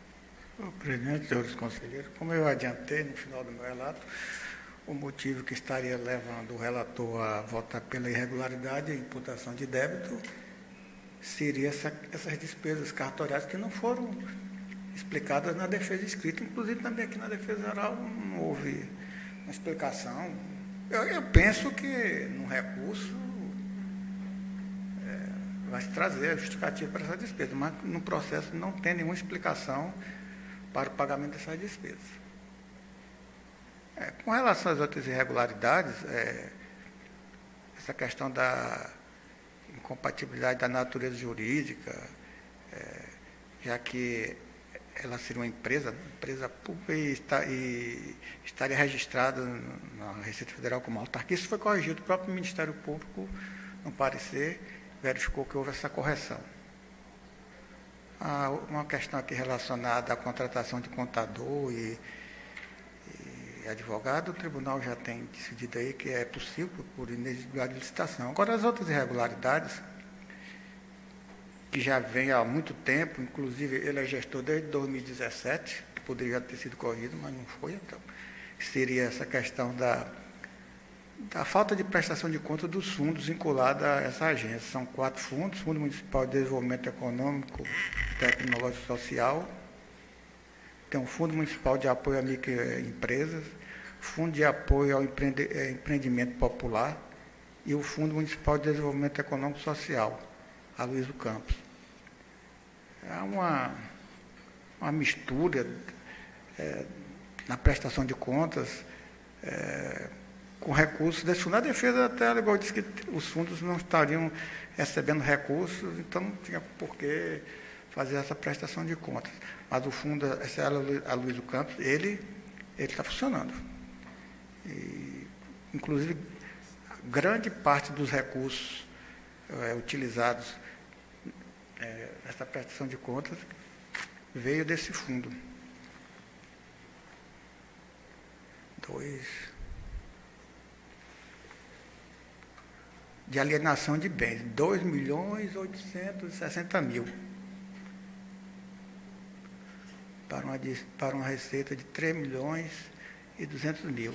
Inclusive, a própria auditoria fala que é um de outra, outra irregularidade aqui, é que ah, quase a, a receita desse fundo é para pagamento de despesas para manutenção dessa agência. Então, essa, essa irregularidade já vem há muito tempo, que é a falta de prestação de contas. Se algum desses fundos não tem movimento, que se indique é, que não foi prestado, que não foi prestado porque não tinha movimentação de, de recursos.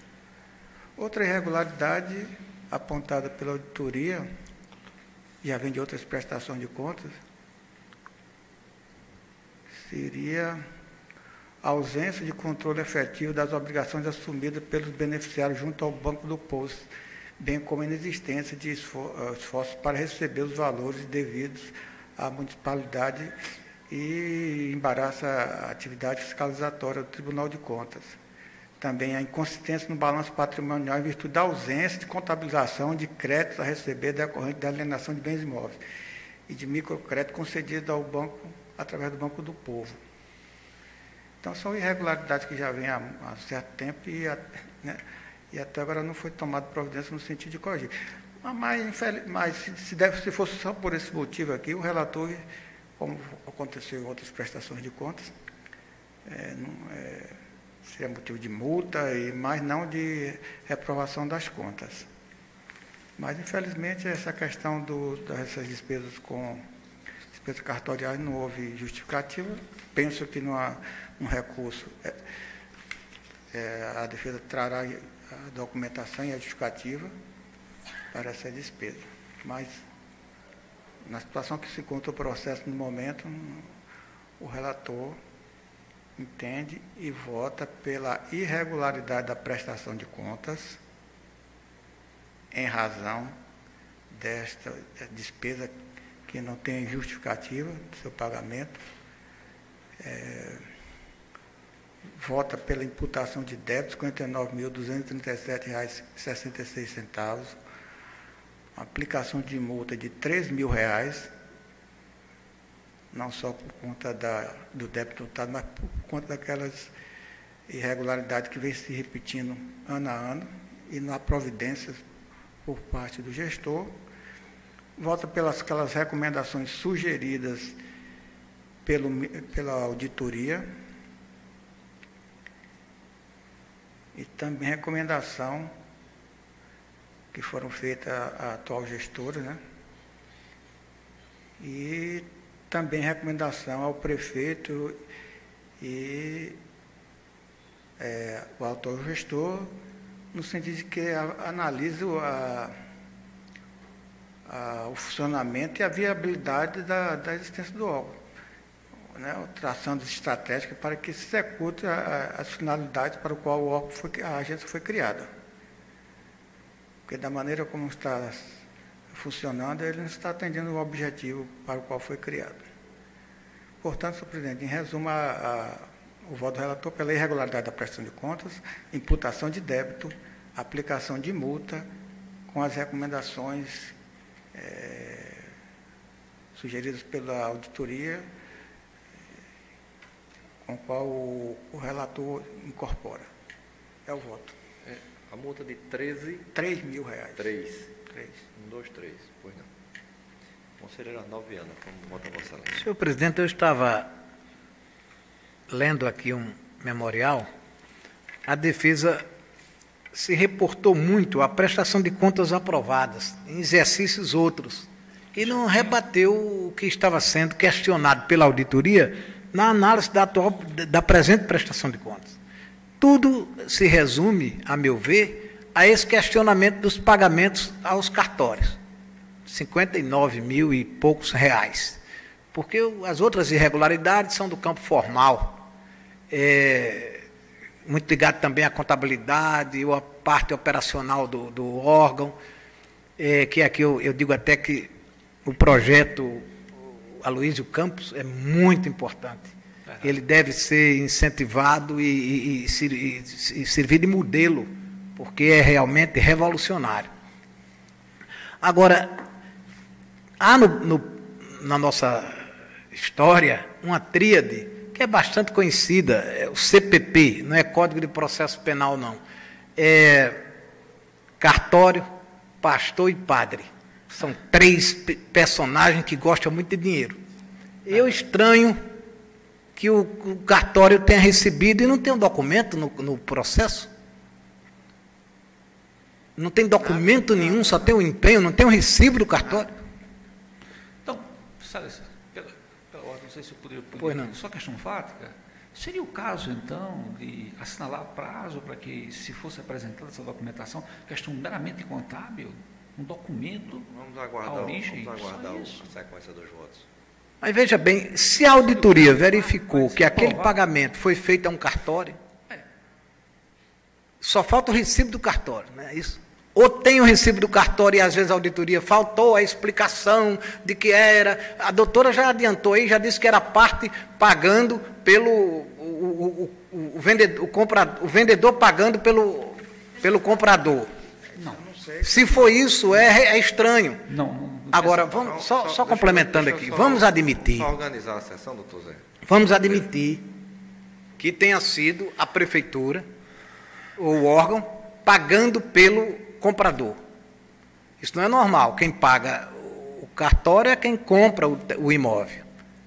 Agora, se houvesse, vamos admitir, um, uma norma de, de, de, especificando que aquele programa ele quer dar tantos incentivos que, inclusive, é, a parte do, do, cartório, do, do cartório será pago pela, pelo órgão, aí abrangeria o, a, a, a, o pagamento mas não tem também. É, de forma que eu acho muito fácil de resolver a questão. No recurso de reconsideração, Vossa Excelência poderá. Ou então a concessão de prazo. Um, eu vou colocar em, em, votação a preliminar de Vossa Excelência. Pois bem, é, Vossa Excelência, no, no, caso for uma preliminar, Vossa Excelência pode até se antecipar. Eu, Não, eu vou. Eu vou é, o, o advogado da tribuna. Hum ele pede um prazo para apresentar documentos. Ah, o meu papel aqui é conduzir a sessão. Pois não. Né? Se utilizou da, da, sua prerrogativa de questão de ordem ou questão de fato e está pedindo um prazo para apresentar essa documentação dos 59 mil ou o recolhimento do valor, que é uma previsão da lei orgânica do tribunal, que há 30 anos está lá. Então, Vossa Excelência está pedindo, está requerendo em preliminar, que o tribunal conceda ou a apresentação de documento num prazo ou o recolhimento. Escuto o relator, que é o, meu papel aqui nesta sessão, é escutar o relator sobre a preliminar. Eu, eu sou contra a preliminar porque na defesa nem houve pronunciamento sobre isso. Não houve.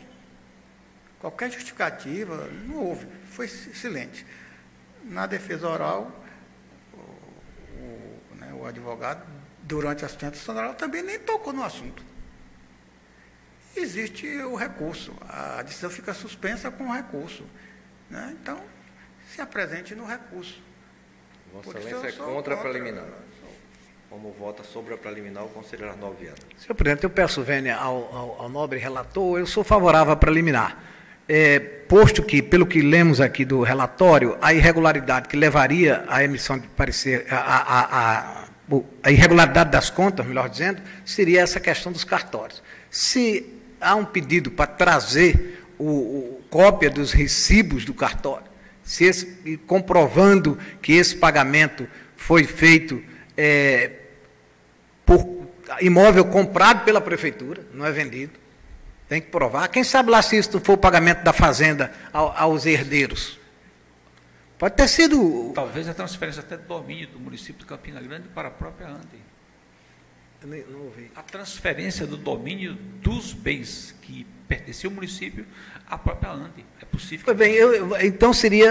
Eu sou favorável a, a preliminar e Vossa Excelência trará é, os recibos, cópia dos recibos do primeiro cartório referente ao empenho 105, referente ao empenho 106, referente ao empenho 387, referente ao empenho 384 e 1053. Esses são os empenhos principais. O resto é da Anoreg, tem também 385 e 359. O resto é de 60 reais inexpressivo. Pois bem, senhor presidente, eu sou favorável, pedindo vênia ao nobre relator. Vossa Excelência está lendo o quadro de folha 257. Perfeitamente. É, onde a auditoria diz, conforme dados constantes no Sagres, verificou-se a execução de despesas cartoriais junto ao primeiro cartório de registro de imóveis de Campina Grande e à Associação dos Notários de Registradores da Paraíba, em que a descrição dos empenhos faz alusão ao complexo habitacional Aloysio Campos. Abaixo segue a relação. Vossa já leu a relação e ela continua. Ocorre que, ao analisar o balanço orçamentário enviado pelo gestor, não se verificou a realização de quaisquer despesas com aquisição de imóveis. Muito pelo contrário, observou-se receitas com alienação desse tipo de bem. A lei federal tal, o Código Civil, estabelece que o seu artigo 490, que a despesa de escritura e registro ficam a cargo do comprador, razão pela qual faço necessário que o gestor apresente esclarecimentos a respeito de, dos empenhos listados acima, sob pena de incorrer na irregularidade. Então, na, na defesa que foi apresentada, de fato não há esclarecimento sobre essa questão que o advogado pede o prazo. Eu creio que é, é uma prestação de contas milionária, né, de muitos recursos, em que é, o tribunal tem precedente de conceder esse tipo de prazo para recolher os valores, ou, no caso, demonstrar eu também eu vou pedir bem ao relator e dirigir de Sua Excelência e acolher esse prazo, porque uma irregularidade numa prestação de contas, embora a gente diga aqui que o tribunal julga contas, mas tem um reflexo na vida cotidiana de qualquer cidadão. É, como houve o pedido da tribuna, eu também acolho com base na lei orgânica, acho que o artigo 12 da lei orgânica, que há 30 anos está lá, que reproduziu a lei orgânica do Tribunal de Contas da União, permite o. Aí as alternativas são ou comprova ou recolhe o valor devido que está sendo impugnado. E indago a Câmara qual seria o prazo, então, razoável, já que a maioria venceu a preliminar. Cinco prazo. dias, eu acho, que, eu acho que é suficiente. Então, cinco dias. O, relator, o, o, relator concorda com o prazo de cinco dias, já que houve a, a preliminar foi vencida. É, a minha situação é conduzir a sessão. E a sessão houve ó, suscitado uma preliminar e a Câmara aprovou. Então vamos agora estabelecer o prazo, cinco dias. Se todos concordam, então no prazo de cinco dias, hoje é dia 13, venceria então dia, dia 18, que é um domingo, então até o dia 19, a segunda-feira, o gestor da ANDE tem o prazo para apresentar os comprovantes da despesa ou o recolhimento do valor impugnado de 59 mil reais, dos, dos R$ 59.237,66. Fica deferida a preliminar. É, orienta a secretária a lavrar a certidão que a Câmara aprovou a preliminar nesses termos de deferir a requerimento... Só, só, um, só um detalhe, senhor presidente. A auditoria diz que não verificou a aquisição de imóveis por parte da Prefeitura no exercício. Pode, que o, pode ser que o imóvel tenha sido adquirido no exercício anterior e foram pagos agora, Luiz. Embora a cartório seja muito até mais cobrador. Além, um programa desse, o que é que tem a prefeitura pagar o registro imobiliário, mesmo de quem comprou? Se, se a- tiver, se a tiver, empresa- a empresa vai para lá, ela vai, ela vai com subsídio. não, Brasília fez muito isso. Brasília para se instalar, Juscelino é, fez muitos benefícios. Agora é, é preciso estar descrito anteriormente no, no, no, no- no- na- no- Bom, então cabe a, cabe a, a preliminar foi deferida, tem Por prazo até segunda-feira, A maioria. por maioria, então fica na certidão que, de acordo com o artigo 12 da Lei Orgânica do Tribunal de Contas, foi deferida a preliminar eh, requerida pelo advogado do gestor, senhor Nelson Gomes de Filho. senhor Gomes Filho, a Câmara, por maioria, contra o voto do relator, diferiu a preliminar para que a documentação relacionada à despesa de R$ 59.237,66 fosse apresentada no prazo de cinco dias ou o valor impugnado recolhido. O prazo vence no dia 19 de setembro de 2022. Peça-se a certidão, caminhe-se aos autos do processo. Então, encerrada, encerrada essa, a, encerrado a apreciação desse processo, vamos ao seguinte. O seguinte, quem pediu para usar da palavra foi doutor, doutora Vanessa Cabral Batista Soares. O relator é o conselheiro Oscar Mamed, processo 5336-22, vem do DR. Senhor presidente, senhores conse- conselheiros, doutora procuradora, processo 5336-22 trata da licitação na modalidade tomada de preço número 1 2021, objetivando a contratação de empresa de engenharia especializada para a execução de obra referente à recuperação do pátio interno do Porto de Cabedelo. Bem, após defesa apresentada, a auditoria emitiu o relatório e se extrai do, do relatório da auditoria o seguinte entendimento em relação às falhas remanescentes, que houve ausência de documentos relativos a diversas, a diversas fases da licitação. A defesa alega que, considerando tratar-se de análise de licitação na modalidade de tomada de preço, o envio dos documentos complementares da licitação restringir-se-á a certames selecionados pela Diretoria de Auditoria e Fiscalização para atendimento em 15 dias, a contar da publicação da, eh, de comunicação no Diário Eletrônico, conforme dispõe a Resolução Normativa RNTC número 9 de 2016. A unidade técnica argumenta que o gestor partiu de uma premissa equivocada na interpretação da resolução normativa e, no presente caso, a auditoria, após análise inicial do procedimento, entendeu ser necessário e imprescindível o encaminhamento da documentação discriminada no item 1 do relatório, não podendo o jurisdicionado discri, discricionariamente é, furtar-se do envio dos documentos requisitados, sob pena de dificultar a análise integral da tomada de preço. Bem, outra questão foi a ausência de registro de despesas no SAGRES, dos pagamentos decorrentes de contratação de serviço. O defendente informa que a obra em questão já foi concluída, conforme se extrai dos dados registrados junto ao portal da transparência, em que aponta congruência entre o total de despesa e o que já foi pago. É, após consulta, a auditoria verificou que tais registros não se fazem constar no SAGS. Quanto a essa questão, senhor presidente, é, inclusive, tanto a auditoria como o Ministério Público levaram em consideração a licitação é, tomada de preço número 1 de 2022, mas na realidade o processo trata de uma licitação de 2021. Então, o Ministério Público de Contas emitiu parecer no qual, ao final, opina pela irregularidade do procedimento de tomada de preço número 1 de 2022 e do contrato dela decorrente, é, aplicação de multa e recomendações à autoridade responsável.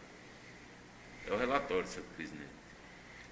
Tem a palavra a Procuradoria Jurídica do DR, através de doutora Vanessa Cabral Batista Soares. Pois não. Só um minuto, Bom, doutora. bom. Só, só um minuto, doutora. O relator quer lhe dar uma informação. Para facilitar a sustentação oral da nota advogada, é, quanto à realização da obra, realmente é, é, essa questão trata-se de uma licitação de 2021. A auditoria caminhou nesse sentido e o, o Ministério, tam- o Ministério Público também foi nessa, nessa levada. Mas, é, realmente, as despesas estão registradas no SAGS. Ocorre que, notificado, o gestor não encaminhou a documentação da licitação questionada. Então, a questão está na, na documentação que não foi encaminhada. Pois não. Tem a palavra vossa doutora. Pois não. É, Vanessa Cabral Batista Soares, OAB PB 16076. Cumprimentar essa igreja Câmara, o nobre conselheiro, doutor Oscar Mambelli, representante do Ministério Público e demais membros. É, quanto à ausência de documentos, eu vou enfatizar, doutor Oscar, que é, em momento algum a auditoria abriu é, prazo solicitando a complementação disso. Se trata de uma tomada de preço e o valor dela foi de R$ 591.523,19, portanto, abaixo do valor estabelecido na resolução normativa é, desse tribunal, a número 9 de 2016, que estipula um, um piso de 650 mil reais para daí poder exigir a documentação. Então, quando se enviou essa, essa tomada de preço, não foi exigido documento algum, tanto é que o comprovante de, de protocolo de entrega do, da licitação não consta lá que a gente não enviou, porque se a gente não tivesse enviado, estaria lá uma, uma planilhazinha com não, não. é, o documento de abertura, não, é, reserva orçamentária, não, e não tem isso. Tanto é que só foi é, é, solicitado as informações não se solicitou em momento algum envio de documento, nem a posteriori se abriu qualquer prazo solicitando essa complementação. Você pode percorrer o processo todo aqui, de baixo a cima, só vem é, os achados de autoria e logo após o relatório inicial para a gente já fazer a defesa do porquê não enviamos os documentos. E a nossa defesa foi no sentido de que não enviamos porque a resolução estabelece esse piso. Se a, a licitação era de 591 mil, não se abriu o campo para colocar os documentos, os documentos não foram enviados. Agora, em momento algum, o DR se furtou de enviar a documentação. Se for solicitado, nós enviaremos. Mas não foi. Portanto, eu, eu, eu vou enfatizar de que, é, em momento algum, se solicitou e se abriu prazo para a gente poder enviar. Devendo, portanto, ser relevada a manutenção da regularidade e da sempre regular, porque a gente cumpriu com tudo que tinha de, de, de fazer. Nós eh, informamos a licitação, ela foi analisada de forma, vamos dizer assim, eh, excessiva, porque a exigência não, não tem encanto algum de se enviar eh, a documentação toda solicitada. A resolução não disciplina assim, dessa forma.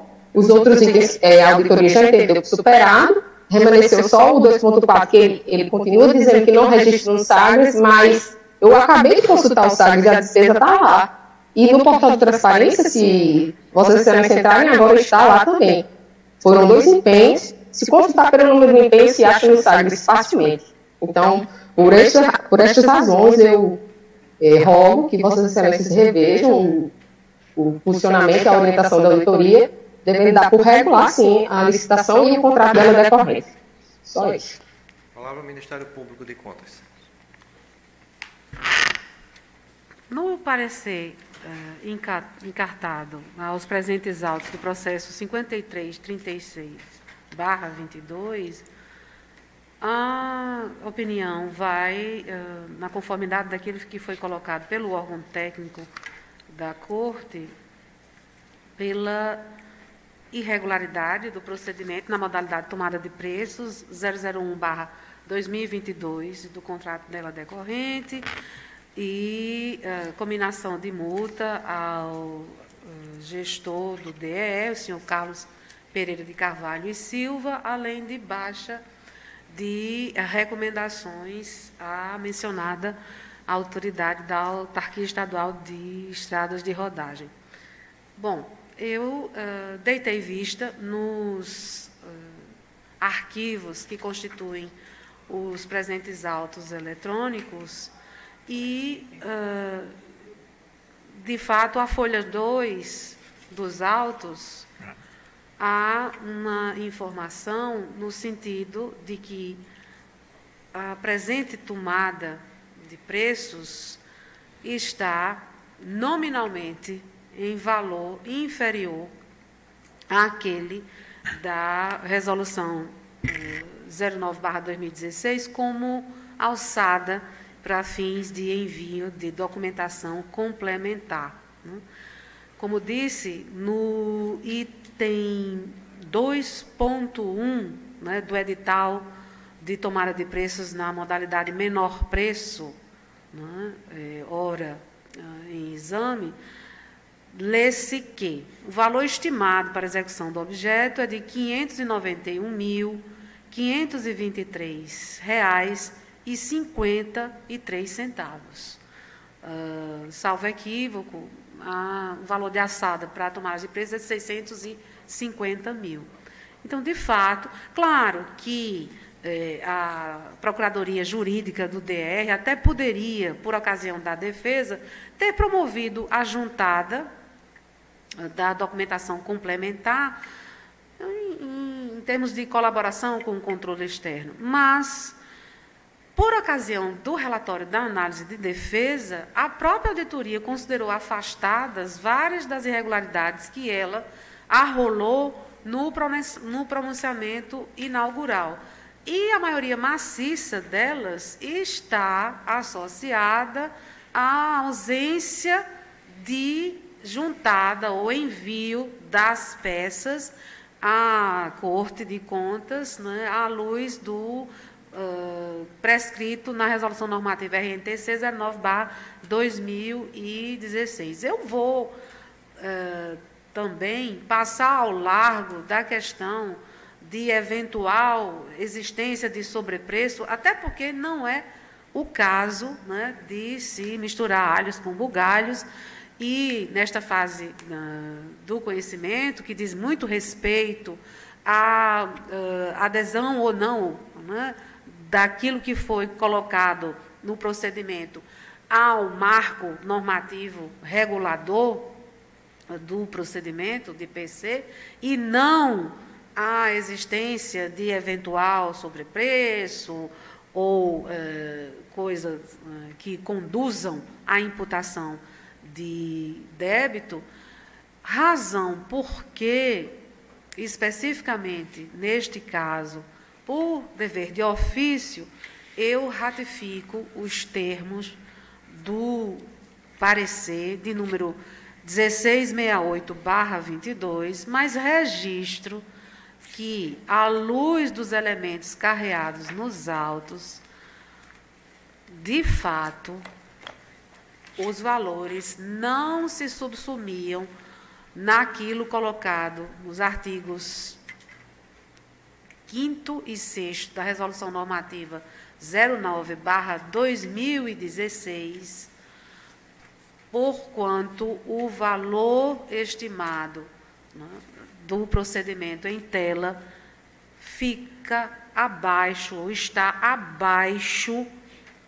daquele que foi estabelecido na mencionada resolução.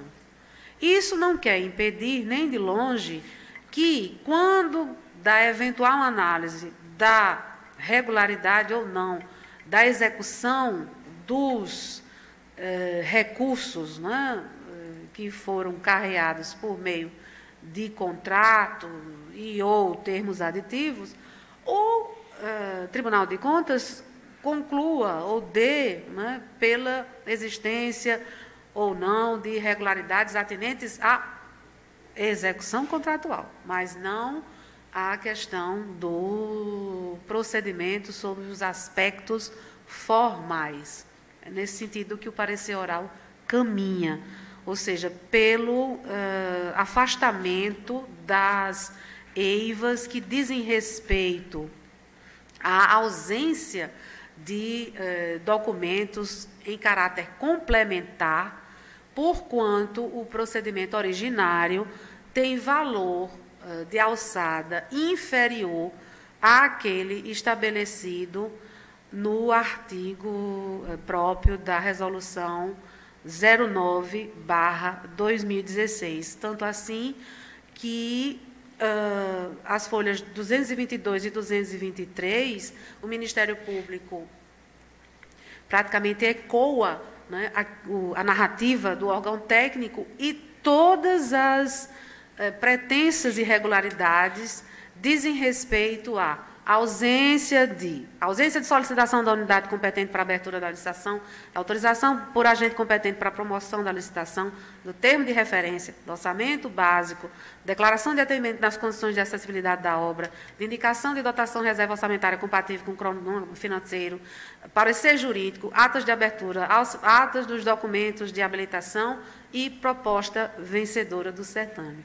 Todas elas podem ser capituladas como é, ausência de documentação complementar, que eu repito, só é cabível quando o valor de alçada baixado em normativo próprio por este tribunal é atingido ou superado.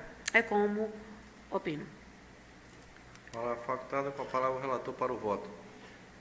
Bem, senhor presidente, a auditoria, desde o relatório inicial, que discrimina toda a documentação que deveria ser encaminhada.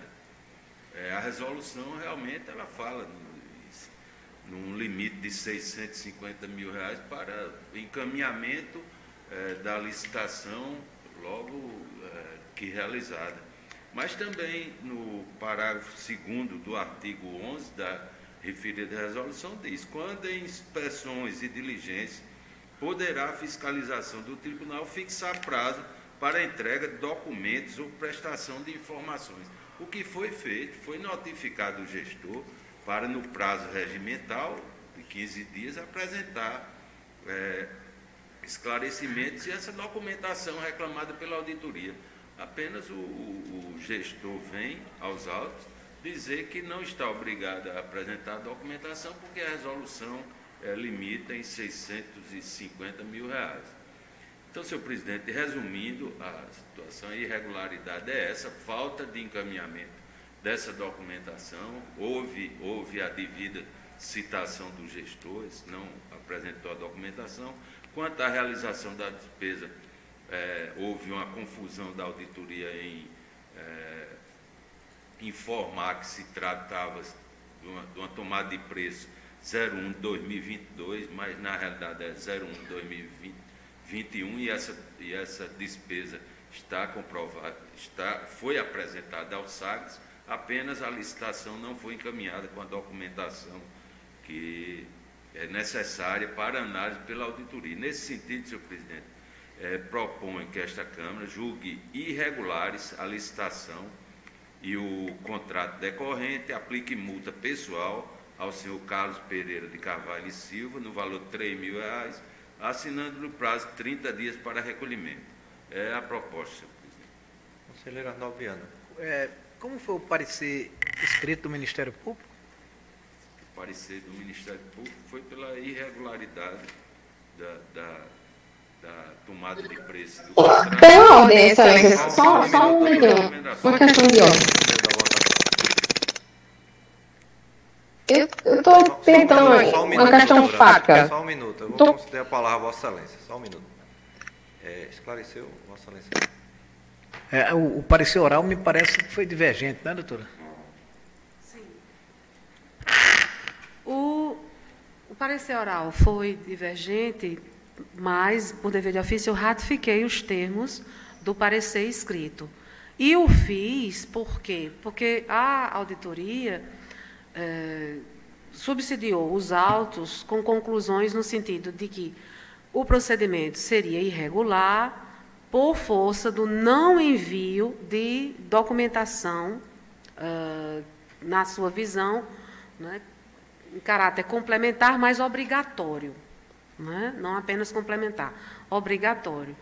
E uh, eu entendi que de fato, né, o que está estabelecido na resolução normativa 09/2016 é que o valor de alçada são 650 mil reais. Então, o uh, apanhado dos elementos processuais que foi colocado à disposição da auditoria está de acordo com a resolução 09/2016. Quando do primeiro relatório inicial, a auditoria já rolou essa ausência de vários documentos e na defesa, o procurador jurídico do DER eh, faz remissão à resolução e diz: olha, uh, nós não enviamos porque a resolução 09/2016 não estabelece como obrigatório esse envio, já que o procedimento ficou abaixo dos 650 mil reais. Como eu disse quando falei, né, há pouco, isso não impediria a defesa de, por ocasião de sua manifestação, vindo aos autos, provê-los com a documentação reclamada pela auditoria, até por uma questão de colaboração com o controle externo. E aí, por isso que eu não pedi pela irregularidade do procedimento e nem combinação de multa. Se formos para aplicar um grão de sal e o princípio da equidade processual, então é o caso agora de se conceder prazo. Né? Por quê? Porque está-se na, está na iminência de julgar-se irregular um procedimento né, que está mal instruído. Está mal instruído, inclusive por falha por parte da defesa, que foi cauta, não foi cauta. Já nós entendemos, doutor. Vou, vou conduzir a sessão agora. Você se levantar um preliminar para conceder um prazo ao DR para apresentar os documentos. Precisamente, excelência. Com a palavra o relator. É, eu também esperava que a, a defesa fizesse isso. Não apresentou nenhum documento. Não, não, apresentou o documento. Mas a doutora foi diligente Sim, como exato, defensora da lei e da cidadania. Não, agora eu entendo Estamos que todos a defesa, a defesa poderia ter levantado esse aspecto, como agora há pouco já julgamos um, um processo que foi concedido prazo o advogado. Vossa Excelência concorda com a preliminar? É, eu preliminar do Ministério da, Público. Da advogada, se, se há, há, há essa, essa possibilidade de concessão de prazo para encaminhamento dessa documentação. A, o Ministério Público levantou a preliminar para assinar um prazo para o DR apresentar essa documentação que está faltando. O relator quer ouvir Vossa Excelência, doutora Vanessa, pelo DR. Sob concorda, pena de a conta ser considerada irregular. Concorda com a preliminar? Não, com certeza. Mas eu, eu enfatizo. Já, em momento algum se abrir prazo para a gente juntar. Ele só mandou se pronunciar, já declarando irregular. Já, dizendo que era irregular por não ter mandado. Nós já ouvimos Vossa Excelência. Eu acho que o som está um pouco. Claro que concordo. Com a palavra o relator para o voto. Então, pro, proposta, para a proposta, proponho desculpa. que seja assinado o prazo de 15 dias para, como estabelece a resolução, para encaminhamento dessa documentação. Conselheiro Arnaldo Viana, como vota Vossa Excelência? cata a proposta do Ministério Público. preliminar e deu prazo de 30 de acordo, 15 dias. 15. É, como vota o conselheiro Antônio Cláudio? O relator. É, eu voto também com o relator e utilizando aqui as palavras da doutora Sheila, colocar um ingredientezinho nessa, nessa discussão, salta aos olhos é que esse procedimento ele é classificado na matriz de risco como risco baixo. Qual foi a intenção disso aí? Para examinar um procedimento formal de licitação. Era muito melhor ter ido lá no Porto de Cabedelo examinado a obra. Muito mais eficiente. Ao trabalho que dá, examinar a licitação de risco baixo para pedir papel. Mas vamos em frente, né, doutor Arnaldo? E a obra, e a obra ninguém viu, não, se foi feito ou não. Aqui, aqui há, o privilégio de, da análise de licitação e o, e o é. abandono do análise do contrato. Pois Quando é. o contrato é. É a partir do contrato que o recurso público começa a, a, a correr. Então, para fechar esse, esse, processo, a Câmara acatou a preliminar suscitada pelo Ministério Público e deferiu vai deferir por resolução, não é isso? Por resolução. O prazo de 15 dias ao DR para apresentar a documentação que a auditoria reclama, a partir da publicação da decisão. Vamos em frente. Agradecendo a participação da doutora Vanessa. Relator, me permite um pequeno adendo, até porque são muitos os que assistem à nossa sessão, doutor André, depois dela. Né? É, a assistência é baixa no curso, mas depois é alta. Não sei se Vossa Excelência já constatou isso.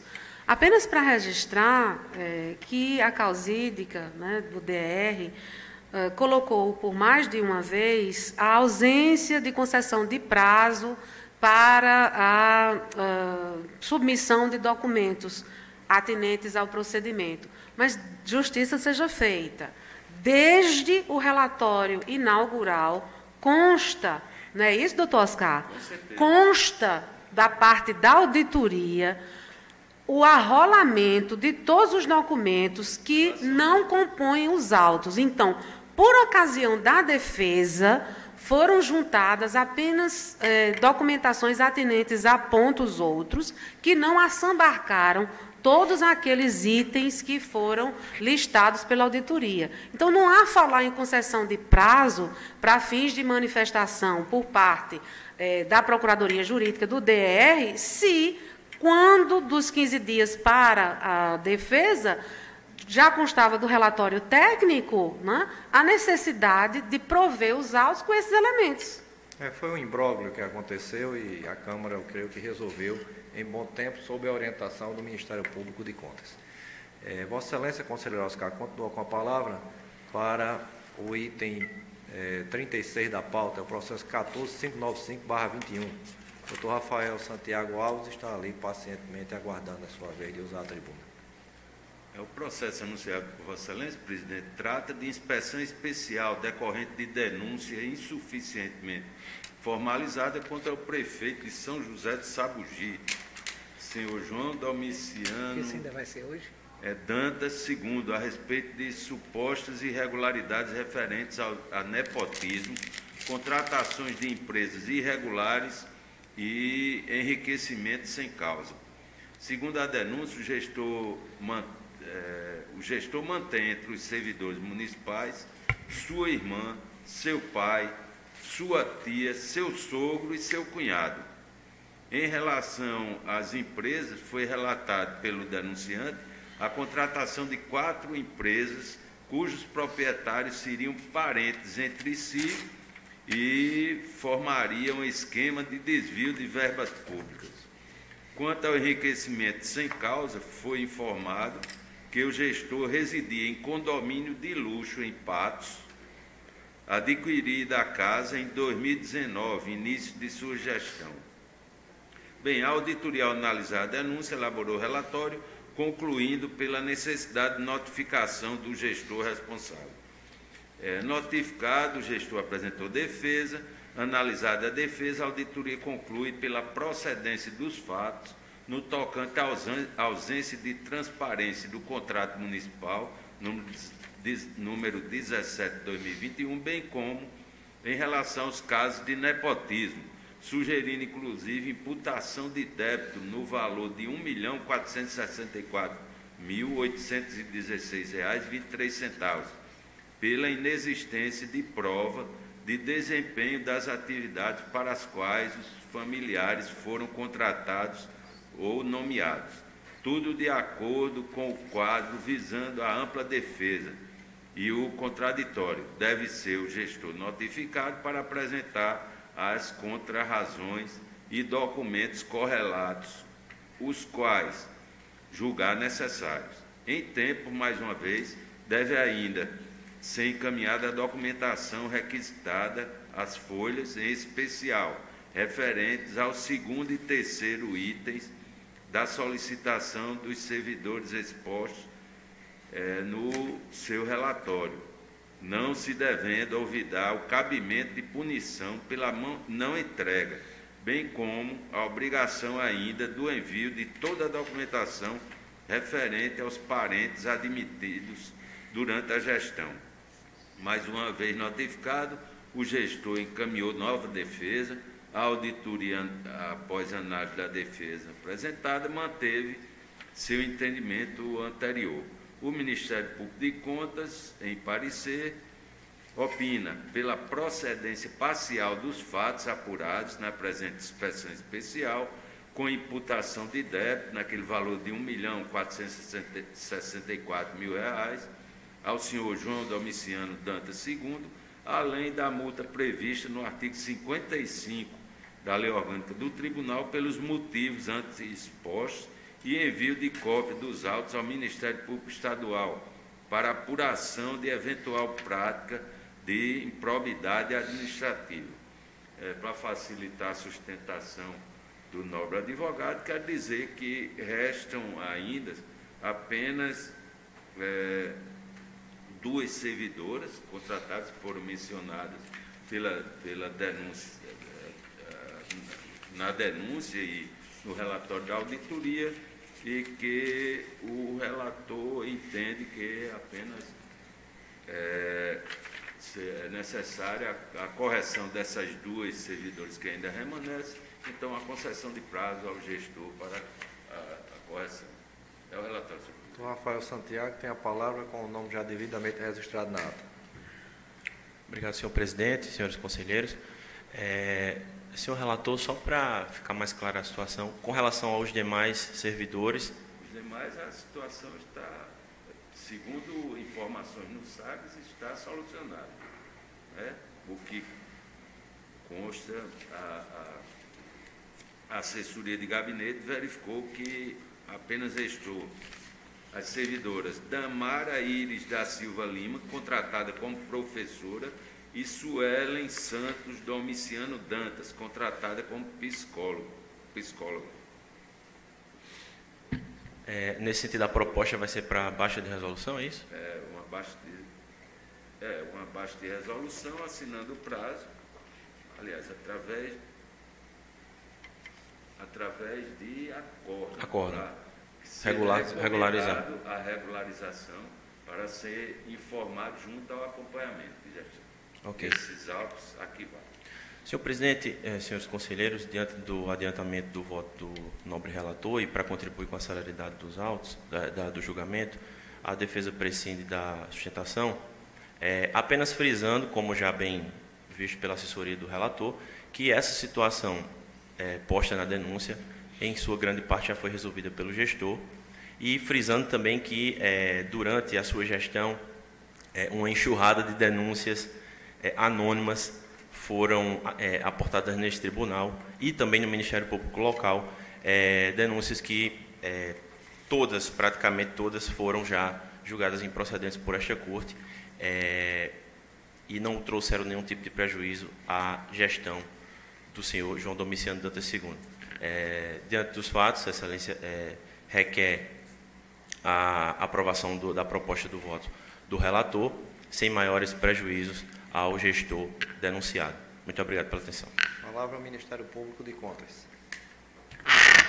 O Ministério Público de Contas eh, se manifestou por escrito, por intermédio do procurador Luciano Andrade Farias, no sentido já resumido da eh, procedência, em parte, dos fatos eh, carreados né, em denúncia né, apócrifa que foi processada como inspeção especial de gestão de pessoal e, é, ao final, por ter concluído pela contratação tanto de empresas quanto de pessoas físicas né, que estão no, no círculo né, da parentalidade consanguínea, pugnou pela imputação de débito, né, uma monta razoabilíssima, uh, que tem basicamente uh, seu fundo, sua razão de ser, um, uma espécie até de desestímulo à prática do nepotismo, que é coibida também né, pela súmula vinculante número 13, né, além da Constituição, desde o seu nascedouro, né, lá, nos idos de 5 de outubro de 88 e é, mais proximamente pela, pelo STF por meio de súmula vinculante, que vincula inclusive órgãos de controle, né, além dos órgãos administrativos e judiciais, no sentido da vedação à contratação e, em última análise, ao benefício né, material, seja ele patrimonial, fiscal, tributário, financeiro, uh, subsidiário, é? de uh, parentes do gestor. E, bem assim, envio de cópia dos autos ao Ministério Público eh, Estadual para prática, para apuração de indícios né, fortes de eventual prática de improbidade administrativa. Sua Excelência, o parecerista, inclusive, fala na possibilidade de combinação da multa do artigo 55 da LOTSE, que é aquela que diz respeito a, em existindo dano, ser combinado, ser combinada multa né, em valor uh, idêntico àquele do prejuízo.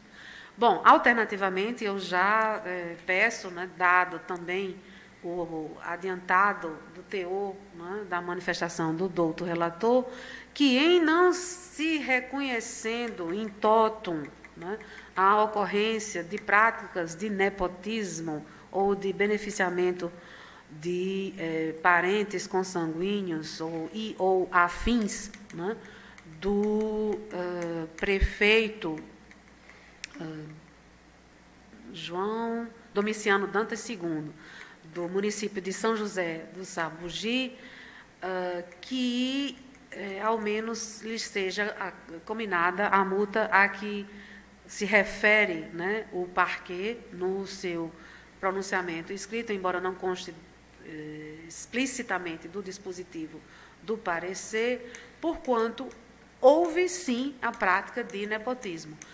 Tanto assim que o Sagres, né, ao depois de consultado, revelou a alteração de status.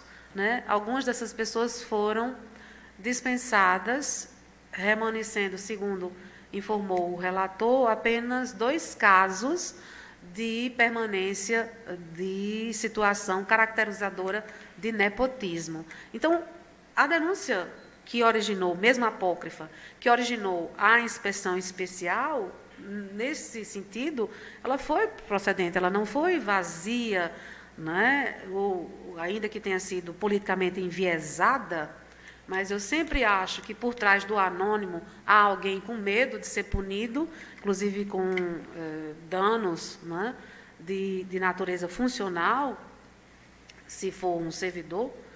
Né, e, eh, particularmente, entendo que o fato de ter havido alteração do status do liame que eh, existia entre esses parentes do senhor João do Messiano Dantas II e a alteração né, a posteriori só corroboram a uh, pertinência daquilo que foi colocado e concluído, tanto pelo órgão técnico quanto pelo órgão ministerial. Razão por que uh, ratifico os termos do parecer, até uh, relembro que a primeira Câmara desta, Câmara, desta Corte tem vários julgados imputando débito, né, em casos de, de nepotismo, e em não sendo acolhido né, o pleito do Ministério Público no sentido do, da uh, procedência, que eu não colocaria como procedência parcial, mas como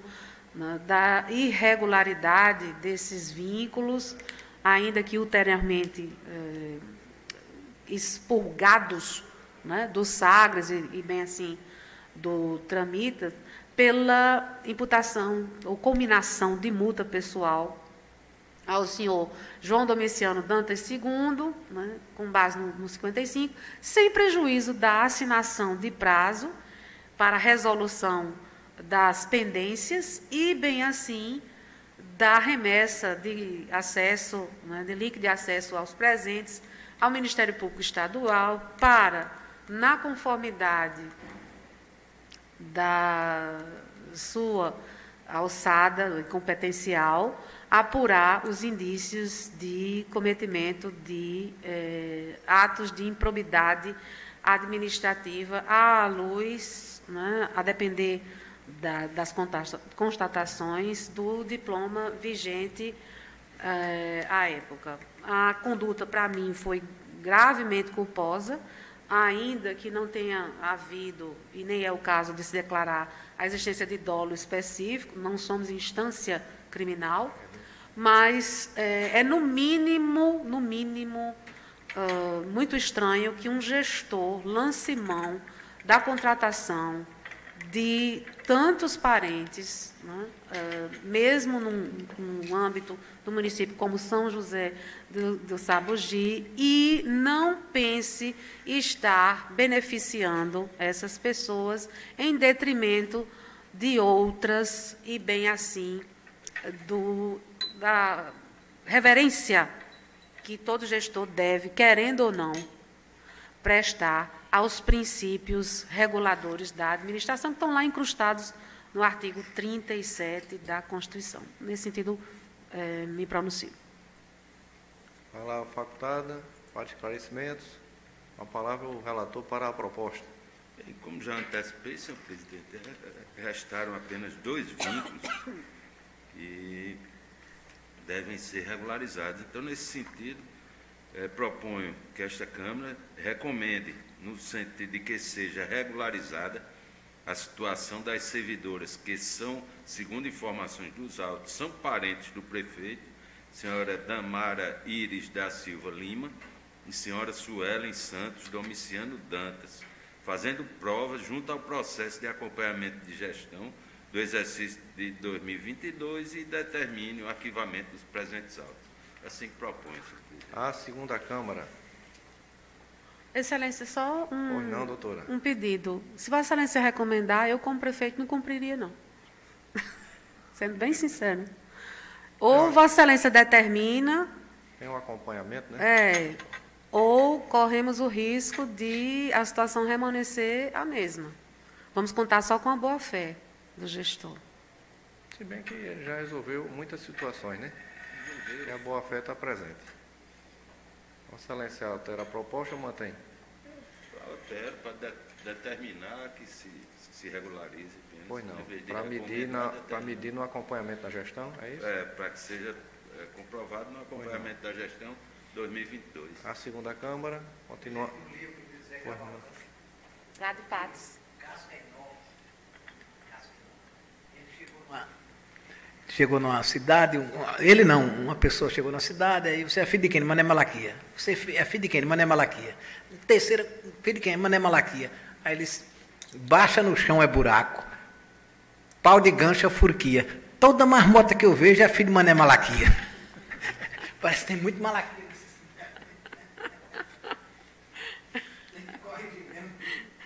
É. Animoso, né? Colocou a mãe, a tia, genro, sobrinho. Antigamente se fazia muito isso, ninguém dava nem fé. Hoje ainda bem que tem a transparência, né? Vamos seguir. Muito bom. Agora a palavra vai ao conselheiro é, Antônio Cláudio Silva Santos para o relato do item 37, é o 5995-21, vem de Nova Palmeira. Doutor Ravi Vasconcelos da Silva Matos pediu para usar da palavra. Palmeira, né?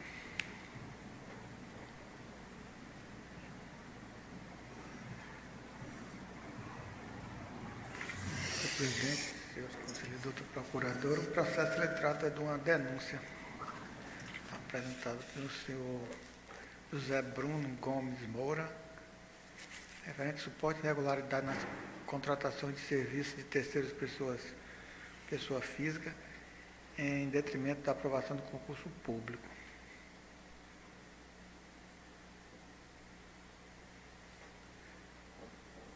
É, a auditoria analisando a denúncia, informa inicialmente que essa denúncia ela envolve é, exercício de 2017 a 2019. No tocante caso aqui, estamos a, a, analisando a denúncia referente ao exercício de 2017. E a auditoria, em seu relatório, após a análise da denúncia, fez as seguintes considerações. Considerando o elevado gasto com outros serviços de terceira pessoa física, 36, foi crescente quando comparado com o exercício anterior considerando que parte desses gastos foi com pagamento aos médicos, pedreiros, vigilantes, auxiliares de serviços gerais, limpeza de prédios e de áreas técnico, fisioterapeuta, digitador, auxiliar de consultório dentário, assistente médico, nutricionista, farmacêutico, enfermeira, dentre outros, sendo que esta categoria presta serviço contínuo, caracterizando atividade de fins, de fins da administração, portanto, deveriam ser contratadas através do concurso público.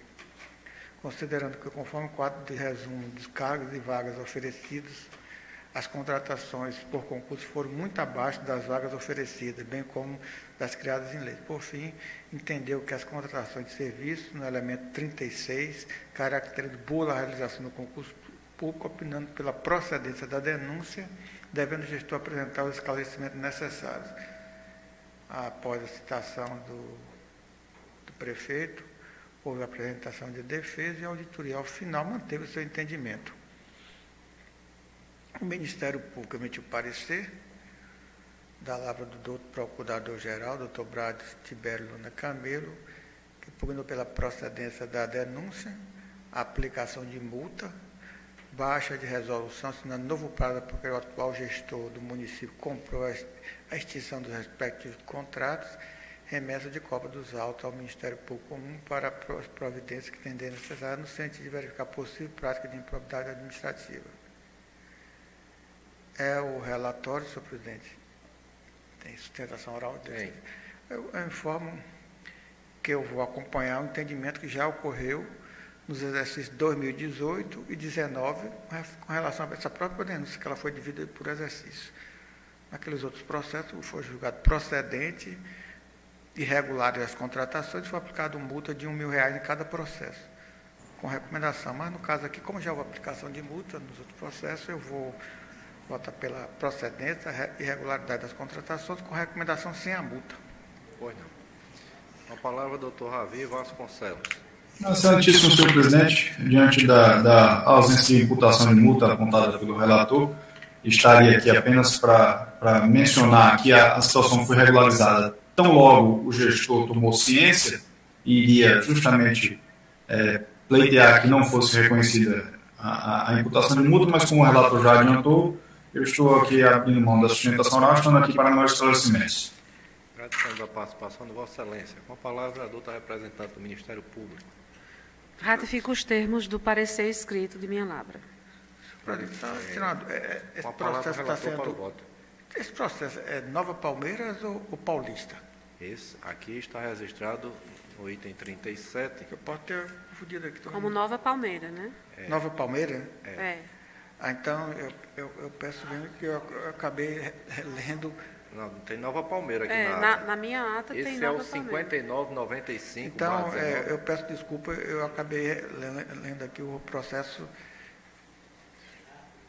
18. Qual é, qual é o item desse? Esse é de Paulista, é? Esse é o item 38. É, 38. Mas a, o caso é esse? Eu estou lendo esse processo. Eu acho que eu confundi. Mas tem alguma dúvida sobre o fato? Porque pode, pode já votar nesse.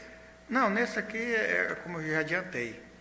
Pois não, então, Vossa Excelência vota pela irregularidade. Irregularidade, é, procedência da denúncia, irregularidade das contratações, sem aplicar a multa, porque já houve aplicação de multa nos outros processos. No de Paulista. No de é, Paulista. Pois não, então a segunda Câmara Aprovado o voto do relator por unanimidade. Doutor Ravi, por gentileza. Peço é, desculpa, é, porque aquela denúncia aqui são muitos processos. Agora, acabei... agora sim, o de Nova Palmeira, o 5995 19. Vossa Excelência terá novamente 95. a oportunidade de se manifestar, doutor Ravi. O item 38 já foi. Já era? Tá bom. Nova Palmeira. Então vamos aqui corrigir o procedimento. Doutora Camila, tem alguma, alguma manifestação em relação ao item 38? Vossa Excelência pediu, de Paulista.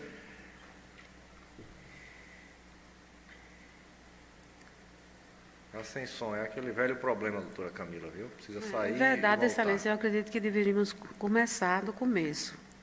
Pois não. Então, o relator tem a palavra para o item 37. Vamos aqui apagar o julgamento da, é denúncia de Paulista. O processo aqui é esse. às vezes não vê nem o número aqui, porque é tanto processo. 5995 barra 19.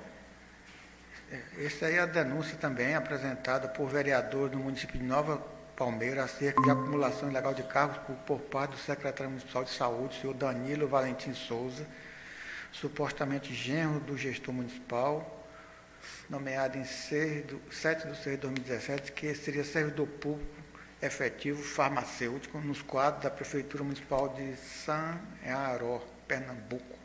Além disso, há contradição nos dados lançados pelo, no SAGRE em relação à Secretaria de Saúde, tendo em vista que o seu Danilo Valentim Souza estaria vinculado à unidade orçamentária Gabinete do Prefeito, recebendo salário similar aos demais secretários municipais. A auditoria faz análise é, e conclui, com base na, nas informações que ela obteve, pela procedência da, da denúncia. Houve a, a notificação do interessado, apresentou defesa, informando que, apresentando a portaria de exoneração 26 de 2019, que foi analisada pela auditoria, é, que manteve seu entendimento, uma vez que a tal portaria já foi analisada com a elaboração do relatório inicial. O Ministério Público, chamado pronunciamento o parecer 46122, da lauda da procuradora aqui presente, pugnando pela procedência da denúncia, aplicação de multa, é, recomendação, representação de ofício ao Ministério Público Estadual é o relatório. Eu vou adiantar aqui para a defesa é, que essa portaria também foi apresentada em outro processo, do exercício 2018, e foi aceito pela auditoria que considerou sanada a irregularidade. Então, é, eu vou votar pela procedência com recomendação, sem aplicação de multa e sem encaminhamento ao Ministério Público Estadual. Senhor presidente, já me adiantando. Né? A palavra do doutor Ravi. Já me adiantando, é, reitero o que disse na, na menção anterior, estando aqui para meus esclarecimentos, abro mão da sustentação oral. Pois não. Palavra ao Ministério Público de Contas.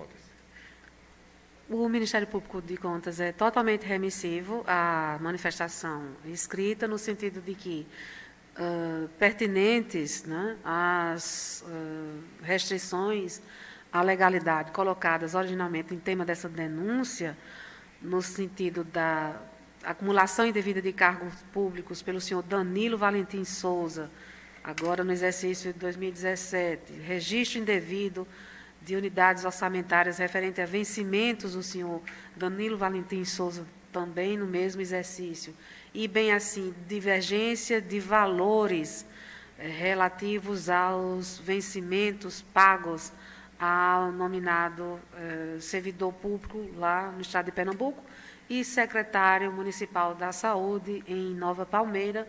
É o caso de se dar pela procedência né, da invectiva, além do conhecimento, por óbvio, né, combinação de multa ao uh, prefeito, à época, o senhor Ailton Gomes de Medeiros, recomendação ao atual, né, foi reconduzido, aliás, ao cargo, sem prejuízo da representação de ofício ao Ministério Público Estadual, porquanto o fato de ter se operado na prática, na realidade, a dispensa ou exoneração, melhor dizendo, do senhor Danilo Valentim Souza, não quis significar a inexistência de indício forte de ato de improbidade administrativa, cuja uh, apuração toca aquela instituição essencial à justiça. Então, nestes termos, me pronuncio também oralmente. A palavra facultada, com a palavra o relator para o voto.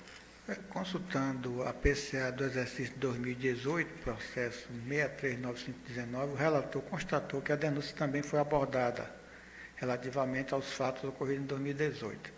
Naquele processo, a defesa apresentou a portaria de exoneração do servidor, que fez com que a auditoria acolhesse os argumentos apresentados e considerar, é, sanada a irregularidade. Portanto, para manter a coerência da decisão, o relator vota no sentido de que esta Câmara considere procedente a denúncia com as recomendações sugeridas pelo Ministério Público, comunicando essa decisão aos interessados. É o voto. A segunda Câmara, aprovado o voto por unanimidade. Agora sim, convido a doutora Camila Alves a adentrar a sala. Testar o som, doutora Camila, por gentileza. Estou sendo ouvida, excelência? É melhor, é melhor Vossa Excelência deixar, já deixar ligado, viu, para não ter problema na hora da sua Estou sendo ouvida agora? Está, está sim. Estamos Obrigada. ouvindo Vossa Excelência. Tem a palavra o relator, agora para o item 38, é o, agora sim, aquele 18, 945, barra 21. Pronto. Que também é uma denúncia apresentada ao Tribunal professor José Bruno Gomes Moura, sobre suporte e irregularidade nas contratações de serviços terceiros, pessoa física, em detrimento do aprovado em concurso público. A auditoria, ao analisar a denúncia, assim, assim se pronunciou. Considerando o elevado gasto com outros serviços de terceira pessoa física, foi crescente quanto comparado ao exercício anterior, considerando que parte dos gastos foi com pagamento de médico, pedreiro, vigilante, auxiliar de serviços gerais, de limpeza de prédio, farmacêutico, digitador, etc., é, sendo que essas categorias prestam serviço contínuo, caracterizando atividades fins da administração, portanto, deve ser contratado através do concurso público. Considerando que, conforme o quadro do resumo dos cargos e vagas oferecidos, as contratações por concurso foram muito abaixo das vagas oferecidas, bem como as criadas por lei. Por fim, entendeu que as contratações no elemento 36, caracteriza o bus a realização do concurso, opinando pela procedência da denúncia, devendo o gestor apresentar os esclarecimentos. Houve apresentação de defesa e a auditoria, ao final, manteve o seu entendimento pela é, procedência da denúncia, irregularidade nas contratações e o Ministério Público se pronunciou em, em parecer da do Procurador-Geral pela procedência da denúncia, aplicação de multa, baixa de resolução, sendo novo prazo para o atual gestor do município de Paulista, comprova a extinção dos respectivos contratos e remessa de cópia dos autos ao Ministério Público para se poder entender cabíveis. É o relatório, como já disse o presidente, eu vou votar pela procedência da denúncia irregularidade das contratações, da mesma maneira que aconteceu nos processos dos exercícios de 2018 e 2019. Naqueles processos, houve aplicação de multa de mil reais ao gestor, com as recomendações. No caso aqui, já que houve aplicação de multa nos processos, o relator vai votar sem aplicação de multa. Tem a palavra facultada a doutora Camila Alves. É, excelências, Bom dia, né? como já adiantado pelo relator e até para corroborar com a celeridade da sessão, que já está chegando próximo ao meio-dia, venho apenas ratificar as informações que já colacionamos na defesa e ainda no memorial de alegações finais encaminhadas a Vossas Excelências, pedindo ao cabo que seja é, improcedente, mas que se for considerado procedente, que não seja aplicado multa nem encaminhado ao Ministério Público, uma vez que foram encartadas diversas medidas adotadas pelo gestor, bem como a PCA do exercício de 2017, que é o que está sendo analisado, não fora apontada né, naquela PCA este item, uma vez que não existia um alto índice de contratados, né, um número girava em torno de 30 poucos contratados naquele exercício. Então, esta é a razão para que a defesa venha ratificar as alegações já postas para que não seja aplicada penalidade nem enviada ao Ministério Público Comum estes autos. Obrigada. Ministério Público de Contas. Então, neste caso, houve, doutor relator, de fato, uh, por um, procedência na alegação de que houve uh, julgamento prévio da matéria em sede de autos de PCA? Não, houve em, em, outros processos, porque a denúncia foi dividida por exercício. Uhum. Os, né, processos foram por exercício. E em dois, 2018 e 2019, a decisão foi como eu informei, pela procedência da denúncia e irregularidade das contratações. É, aqui é o exercício de 2017. Mas essas combinações de multa, elas se Naqueles deram... processos foram, foram aplicados mil, mil reais. Se deram em processos que não de PCA, não é isso? É, isso. Provavelmente processos similares aos... Ah, esse aqui, porque né? foi dividido por exercício. Sim. É uma coisa que a gente tem de rever, né? Porque senão o mesmo fato reverbera em vários exercícios. Esse aí né? todo ano está na prestação de contas. Né? E aí a gente fica ah, combinando multa ah, por um, um- um fato que tem, vamos dizer, repetições, e aí alega a, a coisa julgada formal e material. Então é complexo, porque, veja, eh, o que é que a gente está dizendo? o acordo, né? É, gente- o que a gente está dizendo aqui é que porque a matéria aconteceu em exercícios outros e ali foi combinada multa, eh, não há se falar em combinação de novel multa em respeito a eh, coisa julgada formal e material. Esse exercício implica dizer, por uma questão de eh, raciocínio lógico, que vamos imaginar que eh, um determinado gestor municipal, em todos os exercícios de sua gestão, imaginemos só quatro, né? que ele não tenha sido reeleito, não tenha procurado a reeleição, enfim. Eh, e aí, se um determinado fato, como a contratação ah, desvirtuada, né, do Instituto da eh, Contratação por Excepcional Interesse Público, tem acontecido no primeiro exercício do mandato, imaginemos, né, nos outros três exercícios, se essas contratações aconteceram também, o tribunal estaria impedido de combinar a multa, porque já combinou no que toca ao primeiro dos quatro anos do eh, mandato. Eu discordo absolutamente desse raciocínio, até porque não se trata de uma irregularidade, né, mas, na verdade, de, to, de, de nova irregularidade. Quando ela acontece em vários exercícios, é como se eh, houvesse né, o nascimento, por assim dizer, de uma nova EVA. Então, nesse sentido, eu ratifico em toda a sua extensão o eh, parecer da lavra do Procurador-Geral do Ministério Público de Contas, no sentido do conhecimento, procedência da denúncia analisada, combinação de multa pessoal, por quanto o exercício em causa, né, como sendo aquele de 2017, não está assambarcado naqueles de 2018 e 2019, né, em relação aos quais este tribunal ah, já combinou multa, porque o princípio da vedação do desrespeito à coisa julgada material e formal aconteceria se e somente se estivéssemos julgando agora né, a denúncia de 2018, ou, ou, aliás, o exercício, melhor dizendo, né, de 2018 e de 2019, e ah, combinássemos uma segunda multa. Seria a multa sobre multa, quase usura, que é vedado né, pelo ordenamento jurídico pátrio. Mas não é o caso. Estamos julgando as repercussões né, no ordenamento jurídico pátrio, sobretudo eh, em face de norma constitucional, desses atos de contratação de serviços de terceiros, pessoas físicas, em exercício em eh, destaque como sendo 2017. Então, ratifico os termos do parecer escrito de número 264-2022. Palavra facultada. Com a palavra o relator para o voto.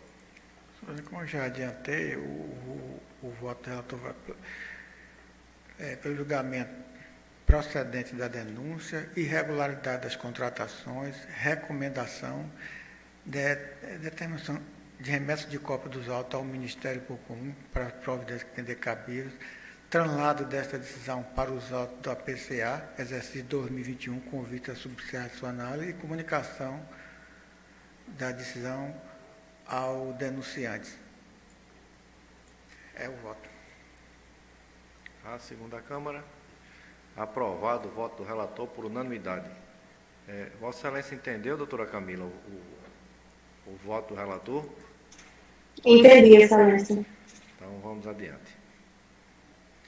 O processo seguinte também é da relatoria de Vossa Excelência, conselheiro Antônio Cláudio, é o 1061-22, doutor Luiz Felipe Fernandes Carneiro da Cunha. Pediu para usar da palavra, mas me parece que ele não está conosco na sala, não é isso, doutora Neumann? 40. É o item 40, processo 1061-22.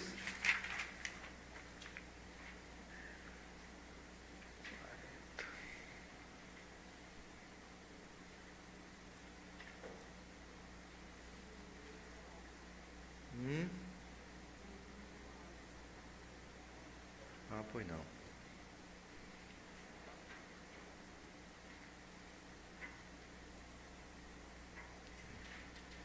Enquanto o conselheiro abre o processo, no item 67, a doutora Camila também havia pedido o uso da palavra, mas Deve. fez a observação que é só para constar sua participação no registro da ata. Eu já autorizo a secretária a fazer essa menção no processo 1364-20. Pronto, 1061.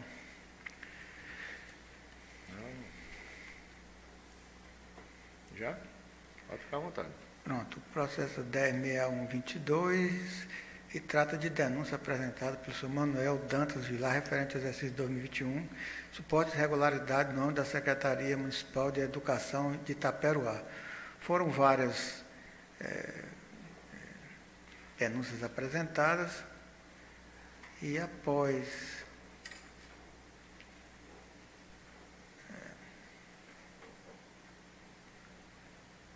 apresentação de defesa,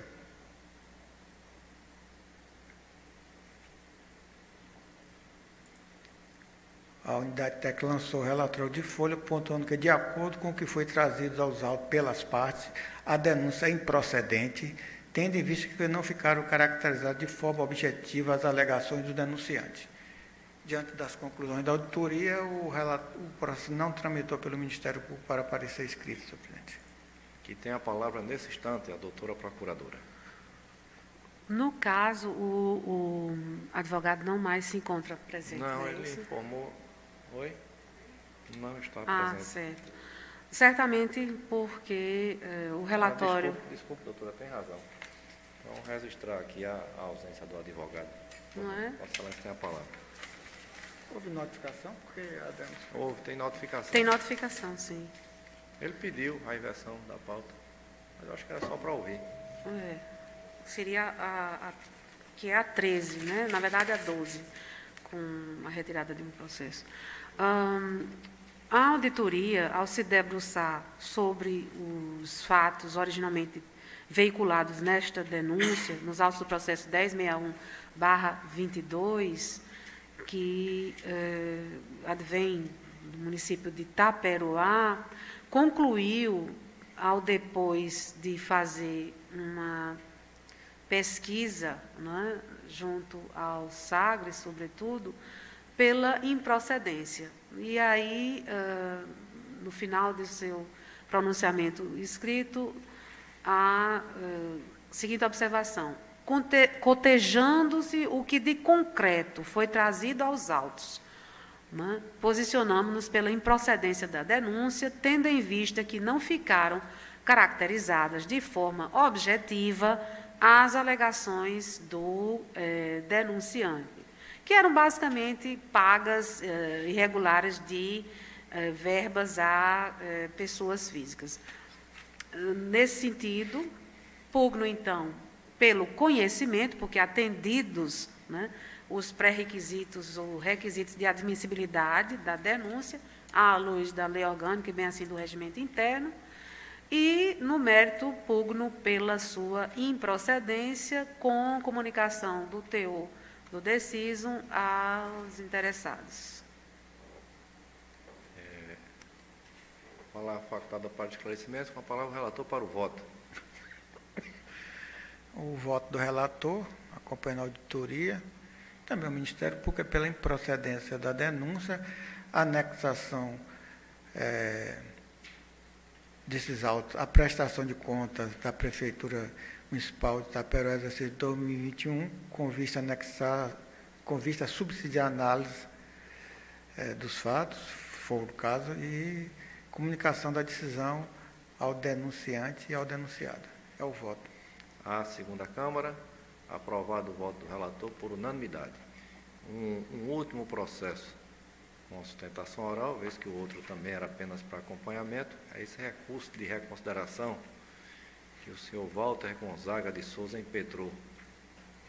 Esse recurso de reconsideração é o processo 20.640-19. Ah, houve uma denúncia, a auditoria apurou e comprovou que o senhor Walter Gonzaga de Souza, ex-presidente da Câmara de Nova Olinda, acumulou durante um certo tempo cargo de um cargo administrativo na Cagepa. E ele havia inclusive pedido o afastamento, mas recebeu as duas remunerações e no processo da denúncia ele não provou que havia exercido qualquer trabalho na Cagepa, embora tenha recebido as duas remunerações. Isso levou a Câmara a julgar procedente a denúncia, imputar débito de 241 mil reais, aplicar multa de 10 mil reais, determinar, determinar a direção da CAGE para abertura de procedimento administrativo, comunicar a decisão. Bom, tem uma série de decisões aqui que não tem a ver com o recurso. O recurso foi impetrado pelo senhor Walter é, Gonzaga de Souza para justamente desconstituir o débito e a multa.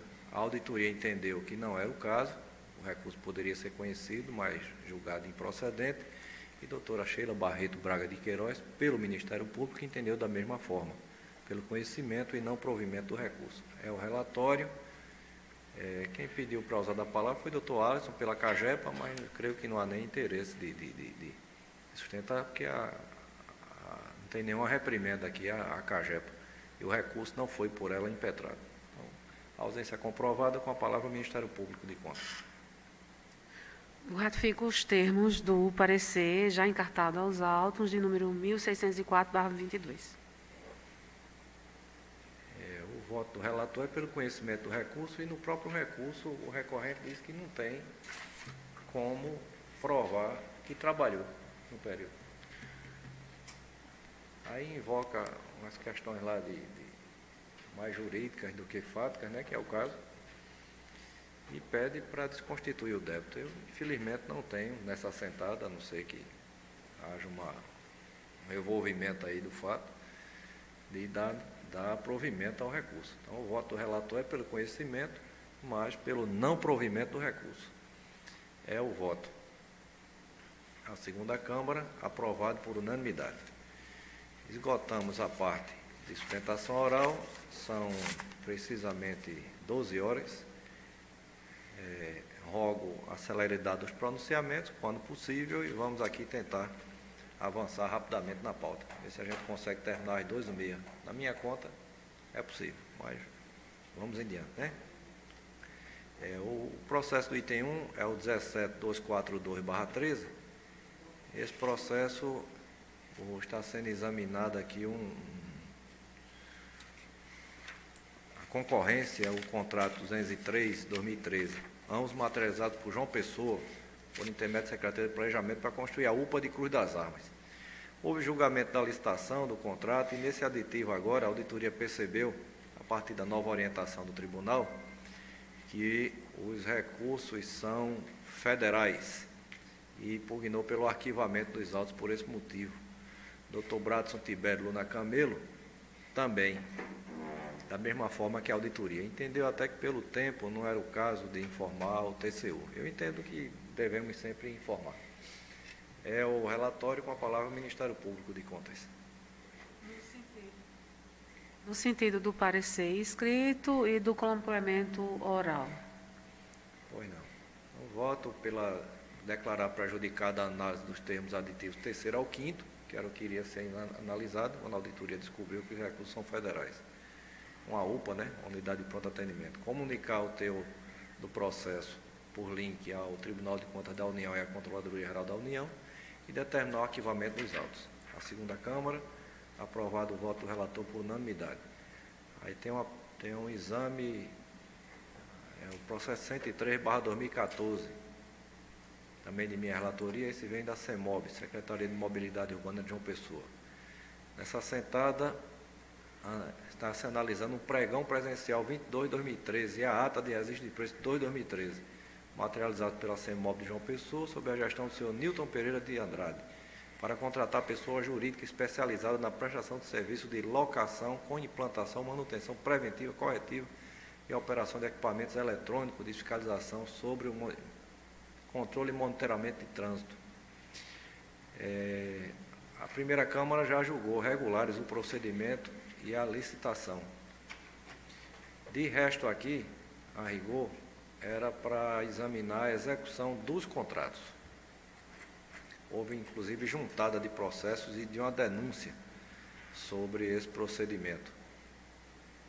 Isso tudo foi compilado pela auditoria, que concluiu seu relato da seguinte forma, dizendo que os contratos foram executados sem sobressalto, são dois contratos, o contrato 4913 e o 5013, e a denúncia é improcedente. O Ministério Público de Contas atuou nos autos e assim entendeu, doutora Elvira Samara Pereira de Oliveira. Não parece uma, acho que foi, foi uma cota, não foi uma cota. É, à luz das conclusões da auditoria Alpinas, porque se considerem sanadas as pendências constantes nos autos, com seu consequente arquivamento. É, Sua Excelência não mencionou a denúncia, que a auditoria disse que é improcedente.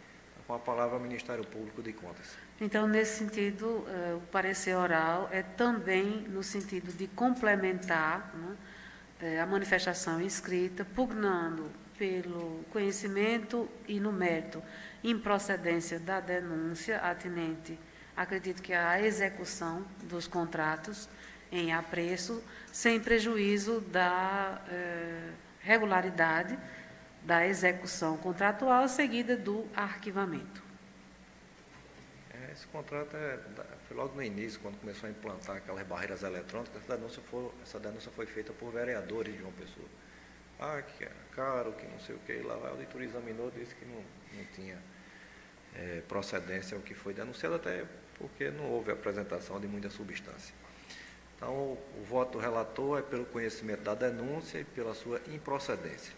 Quanto aos contratos, é pela regularidade da execução, é, o, o, que foi determinado pela primeira Câmara, e determinar o arquivamento dos autos e comunicar aos interessados. É o voto. A segunda Câmara, aprovado o voto do relator por unanimidade.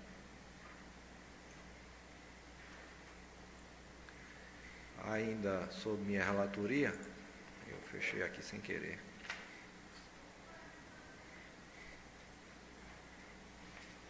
Sob minha relatoria, depois da CEMOB, vem um ata de registro de preços de Bahia, processo 14569-17.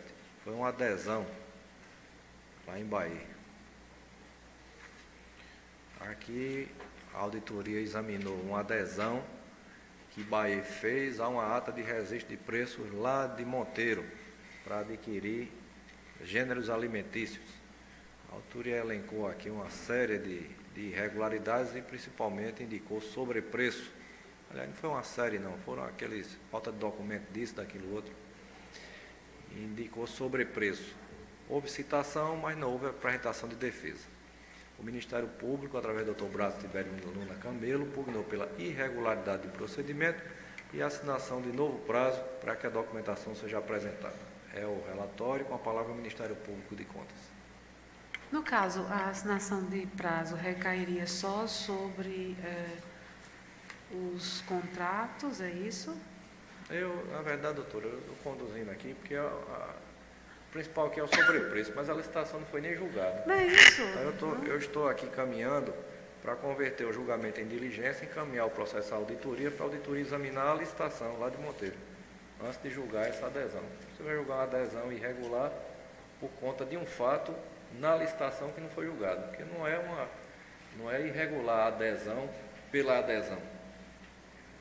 Está sendo aqui conduzida a irregularidade da adesão, principalmente por conta de uma suposta é, presença de sobrepreço. Que tem que ser verificado lá na origem, né? É, tem que julgar a licitação de Monteiro, para ver se de fato teve sobrepreço mesmo, porque o sobrepreço é no edital, né, nem na aquisição.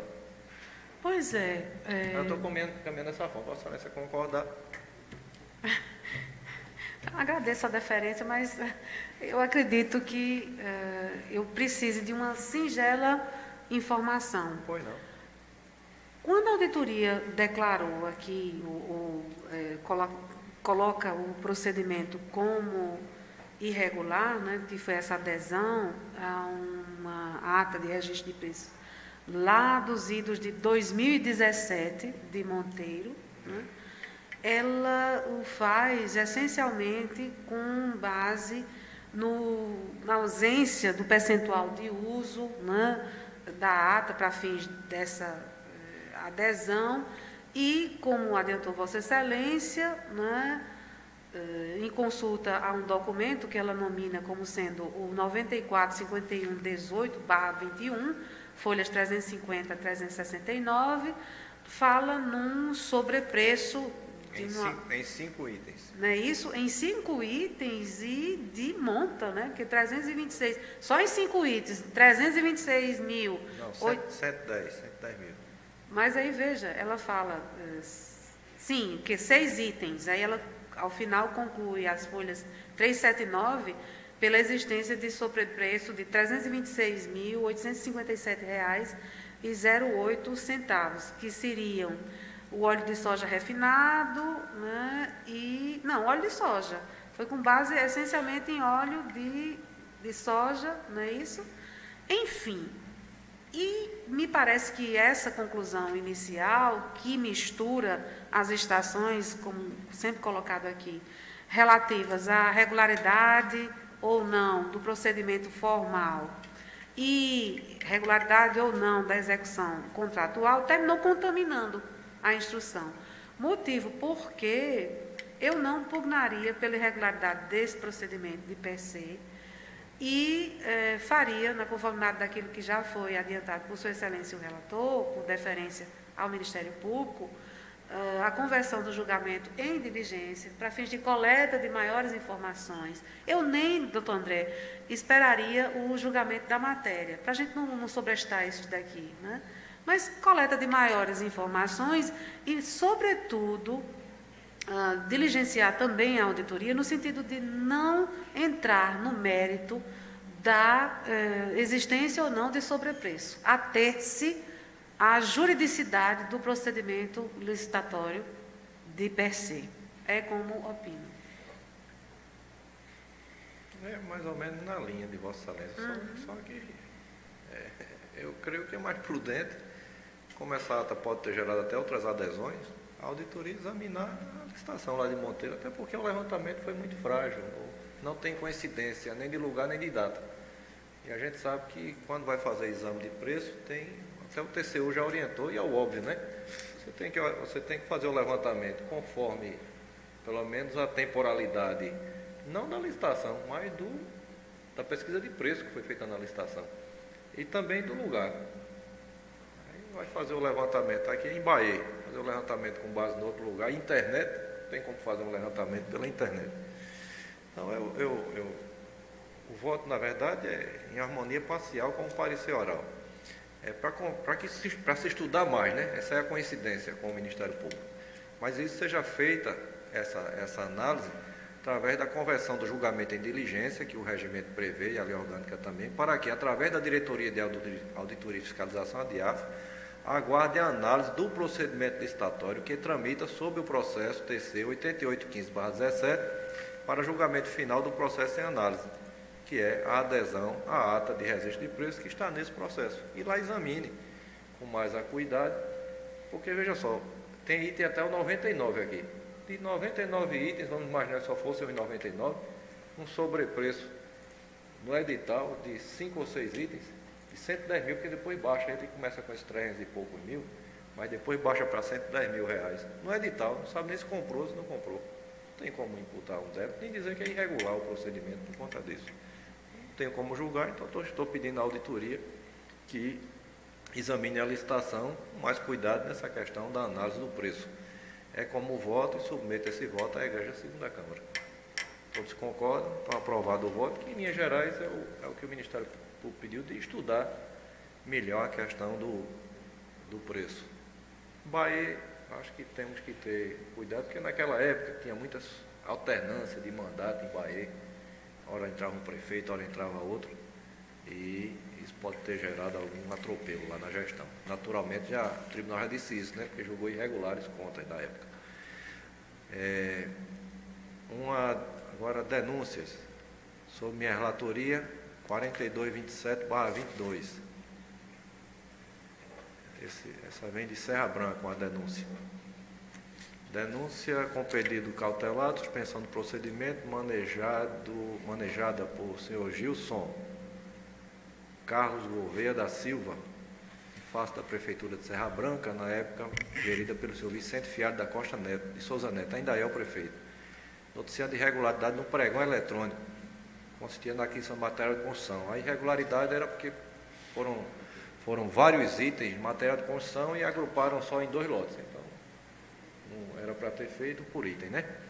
A auditoria desse que a, a, a denúncia era procedente, houve a citação, houve inclusive a emissão de cautelar, eu estava de férias, o presidente emitiu a cautelar como requerida pela auditoria. Emitiu a cautelar, o, houve apresentação de defesa, ele revogou a licitação. O Ministério Público, através do Dr. Bratos, atuou nos autos e requeriu aplicação de multa e baixa de resolução com assinação de prazo para apresentação de documentos e informações solicitados pelo órgão de instrução e consubstanciado na decisão singular DS2TC 522. Eu informo que a licitação foi revogada. Foi feita até outra. Aí tiraram o vício e três empresas ganharam a licitação. É um relatório, com a palavra do Ministério Público de Contas. Excelência, essa informação consta dos autos? Não, tem no SAGS. Tem no Tramita. Sim, é, mas ela não consta dos autos, não é isso? Do, de que foi feita a outra? Sim, de que esse procedimento foi revogado Ele... e que é, foi promovida nova não, essa tem, é como eu firmei o orçamento, tem no tramita. Sim, mas a pergunta é, consta destes autos de processo? Não, eu já respondi a Vossa Excelência. Pois é, então, uh, nesse sentido, eu ratifico em toda a sua extensão né, os, uh, as conclusões, né, os pontos carreados na cota de folhas 60 a 63. Por quê? Porque se trata de denúncia com pedido de medida cautelar que foi uh, baixada por meio de decisão singular, né, subscrita pelo presidente na condição de plantonista, né, Vossa Excelência avisou, está em gosto de férias regulares à época, e o gestor não se deu ao trabalho né, de comparecer aos autos. Então, não vejo razão para que, tomando-se eh, por empréstimo informação que consta em sistema de dados e informações deste tribunal, mas não consta dos autos de rever aquilo que foi concluído uh, pelo excelentíssimo senhor Procurador-Geral do Ministério Público de Contas, no sentido de que, em tendo se mostrado o senhor Vicente Fialho de Souza Neto inerte em face daquilo determinado no bojo da decisão singular DS2-TC 0005-22, seja-lhe combinada a multa sem prejuízo da eh, baixa de acórdão, né, já que a resolução não se presta a combinação de gravame pecuniário, para que ele, vindo por mãos próprias ou de terceiros regularmente habilitados aos autos, ora em julgamento, né, informe, inclusive, a uh, revogação e ou anulação, extirpação, enfim, né, do ordenamento jurídico de Serra Branca no exercício de 2002 do pregão presencial número 00017 barra 2022. É como opino. Não, palavra facultada é o documento é bom, é o mesmo documento né, da licitação 27604-22, ele em junho de 2022 é, cadastrou o cancelamento da licitação. Essas pesquisas são feitas no sistema normalmente e na internet até mesmo para é, formar juízo de valor, emitir parecer, isso se faz normalmente. Mas é nessa linha, Vossa Excelência, estou dispensando de tudo não, é na linha que Vossa Excelência é, traçou. É, havia irregularidade, o tribunal detectou, emitiu cautelar, mandou suspender, ele suspendeu e fez outra licitação que a auditoria examina lá se vai ser preciso, é, é, digamos assim, examinar essa nova licitação. Mas para essa aqui, o voto do relator é para referendar a medida cautelar que foi concedida, né, que não foi referendada até então, conhecer da denúncia e julgá-la procedente, porque o fato foi confirmado, recomendar que a gestão municipal evite a ocorrência de, de fatos dessa natureza, encaminhar a cópia da presente decisão à auditoria para que avalie a necessidade de exame do pregão presencial 24 de 2022, que foi o que sucedeu esse, sem aquele vício que foi verificado nessa denúncia, expedir comunicação aos interessados e determinar o arquivamento dos atos. Só não estou aplicando a multa, que foi sugerida pelo, é, pelo Ministério Público, é porque houve a providência do gestor dos autos. É o, é o voto. A segunda Câmara, aprovado por unanimidade o voto. Ainda minha relatoria agora, Prefeitura de Parari. Processo. Não, sete. Esse Mato foi- Grosso. É porque eu fechei o arquivo e apagou tudo que eu tinha anotado. Uhum. O número Agora, o sete. Item 7, né? O 6619, Mato Grosso. Em Mato Grosso, é, aconteceu um fato semelhante em que houve é, uma denúncia sobre também licitação. Aliás, sobre aquisição de medicamentos. Alguém denunciou que pegou aquele painel de medicamentos e disse, prefeito está comprando sem indicação do lote. A auditoria identificou o fato é, e deu pela procedência. Doutor Luciano Andrade Farias pugnou pela procedência da denúncia e recomendação ao prefeito, ao município de Mato Grosso. É o relatório com a palavra do Ministério Público de Contas. É o parecer. O fato está devidamente confirmado, já houve inclusive análise em outros autos, é, prestação de contas, isso acontece normalmente, então voto pela procedência da denúncia, recomendação à atual gestão, comunicação aos interessados e arquivamento dos autos. É o voto. A segunda Câmara, aprovado por unanimidade o voto do relator. Qual, qual era a irregularidade? Era... É aquele painel de medicamentos que o tribunal criou com a Universidade Federal, quando emite a nota fiscal do medicamento, aí indica se está próximo do vencimento, vencido, muito próximo e sem indicação do lote. Sei. Então alguém pegou aquele painel e disse, olha, o prefeito está comprando medicamento Sem fora das regras do SUS, sem, sem a indicação nota fiscal vir com lote. O proce- O fato é procedente, é, mas é, não estou aplicando multas seguindo a recomendação do Ministério Público.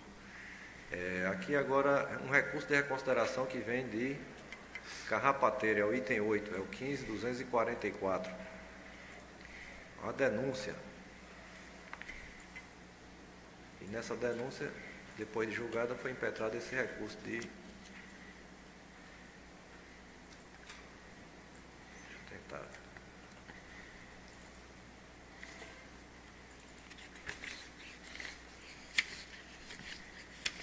É, a prefeita de Carrapateira, Marineidia da Silva Pereira, entrou com recurso é, decorrência de decisão desta Câmara em sede de análise de denúncia. A denúncia foi julgada procedente com aplicação de multa de 3 mil reais, encaminhamento à auditoria e ao Ministério Público, bem como comunicação aos interessados. Era uma denúncia de concessão de gratificação, de, de verbas remuneratórias e até nepotismo. E a- o denunciante dizia que era com fins eleitorais. Como o Tribunal de Contas não tem competência para examinar essa questão eleitoral, confirmou a- os pagamentos eh, de verbas remuneratórias e o, o- o nepotismo, e somente na decisão colocou lá necessidade de comunicar ao Ministério Público Eleitoral. Bom, do recurso, a auditoria concordou em parte, com som- dos cinco itens, concordou com apenas um, que foi a concessão indiscriminada e sem qualquer critério de vantagem a título de gratificação. Dr. Bradson Tibério Luna Camelo oficiou nos autos e pugnou pelo conhecimento e improcedência do recurso de reconsideração. É o relatório. A palavra do outro representante do Ministério Público. Senhor relator, presidente, me parece que há uma pequena discrepância no que tange ao mérito, porque é, seria o caso, já que a própria auditoria reconheceu a elisão de uma das irregularidades que eh, conduziram ao uh, julgamento da matéria na conformidade colocada nos autos, de dar pela procedência parcial, ainda que no, no restante a situação remaneça, fático juridicamente falando, rigorosamente a mesma. Tem razão, Vossa Excelência. Né? Então, eu opino pelo conhecimento da invectiva e no mérito, aliás, do recurso, e no mérito pela procedência parcial da insurreição, preservando-se, entretanto, a uh, decisão recorrida como sendo o acordo AC2TC 2193-20, no que tange, inclusive, ao valor da multa de R$ mil reais por conta da elisão de apenas uma das irregularidades que deram aso àquele aresto na forma originalmente posta. Pois não, é nessa linha, doutora. Eu só estou reconhecendo que também a questão do nepotismo não ficou bem esclarecido, não ficou bem esclarecida na defesa, lá, mas agora foi esclarecida. Era o marido dela que era secretário municipal de infraestrutura. Mesmo assim, exonerou, perdeu o marido, doutor, dispensou o marido da Secretaria de Infraestrutura. Não, dispensou o agente político, o marido não. Então, da secretaria, né? Então, estou reconhecendo também que essa questão, ela, ela não era caso de nepotismo, porque não tem aquele estudo, se, porque quando é municipal tem que ter um estudo mais aprofundado, né? Se a pessoa tem condições ou não. Isso não foi feito no processo, eu não tenho como afirmar que havia nepotismo. Eu, assim, na linha do Ministério Público, estou votando pelo conhecimento do recurso e pelo provimento parcial para afastar as máculas relativas ao nepotismo e a discrepância entre categoria funcional da mesma classe, a exemplo de auxiliar, recebendo salários diferentes. Estou afastando essas duas, esses dois itens, são cinco ao todo, estou afastando dois. Mas mantendo a multa e mantendo a, a procedência lá da denúncia. É o voto. A segunda Câmara, aprovado o voto do relator por unanimidade. Às nove anos, eu tenho a palavra para o item 10. 10, né? 10 é meu. É, Antônio Cláudio. Processo. Perdi, já foi a nova. Já, Hein? Já foi, é porque eu, eu, eu, fechei o arquivo sem querer e perdi aqui o controle da pauta. Eu ainda tenho um, né? Agora é o item 10 É, do é o conselheiro 10, Antônio né? Cláudio. Já foi. Esse 9 já foi. Foi. Desculpe. Nada. Item 10, 11 na sequência. É o... Se não houver problema com o Ministério Público, porque tem pareceres aí divergentes sobre o mesmo fato, eu posso relatar em conjunto aqui 10, 11, 12, 13 e 14. Fica à vontade. Algum problema? Como é a sua narrativa? O primeiro do item 10 é da Câmara de Prestação de Conta da Câmara Municipal de Quixaba. É o 34, 27 e 22. Nesse processo, a única irregularidade que permaneceu após a defesa foi a remuneração dos vereadores em desconformidade com a Constituição Federal. É, isso porque houve alteração da remuneração no exercício, mas ela obedeceu à Lei Municipal 392-16. E o tribunal já tem entendido né, que, mesmo havendo alteração durante o exercício, mas respeitando o que foi estabelecido na lei, não há irregularidade. O parecer do Ministério Público nesse processo foi da lavra do procurador Luciano Andrade Farias, pugnou pela regularidade com ressalva e recomendação. No outro processo seguinte, que é da Câmara Municipal de São José do Bonfim, exercício 2021, a irregularidade foi essa questão também da remuneração dos, dos vereadores,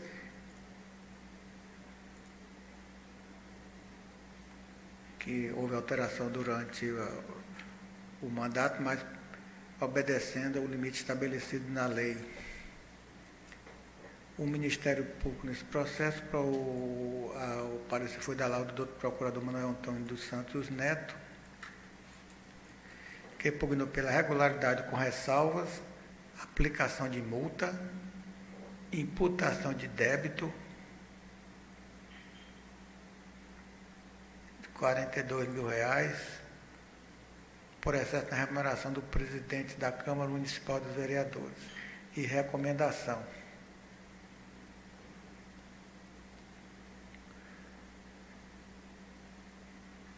Informo que a lei municipal estabeleceu para os vereadores R$ mil reais e para o presidente R$ mil. No exercício, os vereadores perceberam R$ 2.900 e o presidente 5.800. No processo é, da Câmara Municipal de Passagem, a irregularidade remanescente também de respeito à remuneração dos vereadores em desconformidade com a Constituição Federal.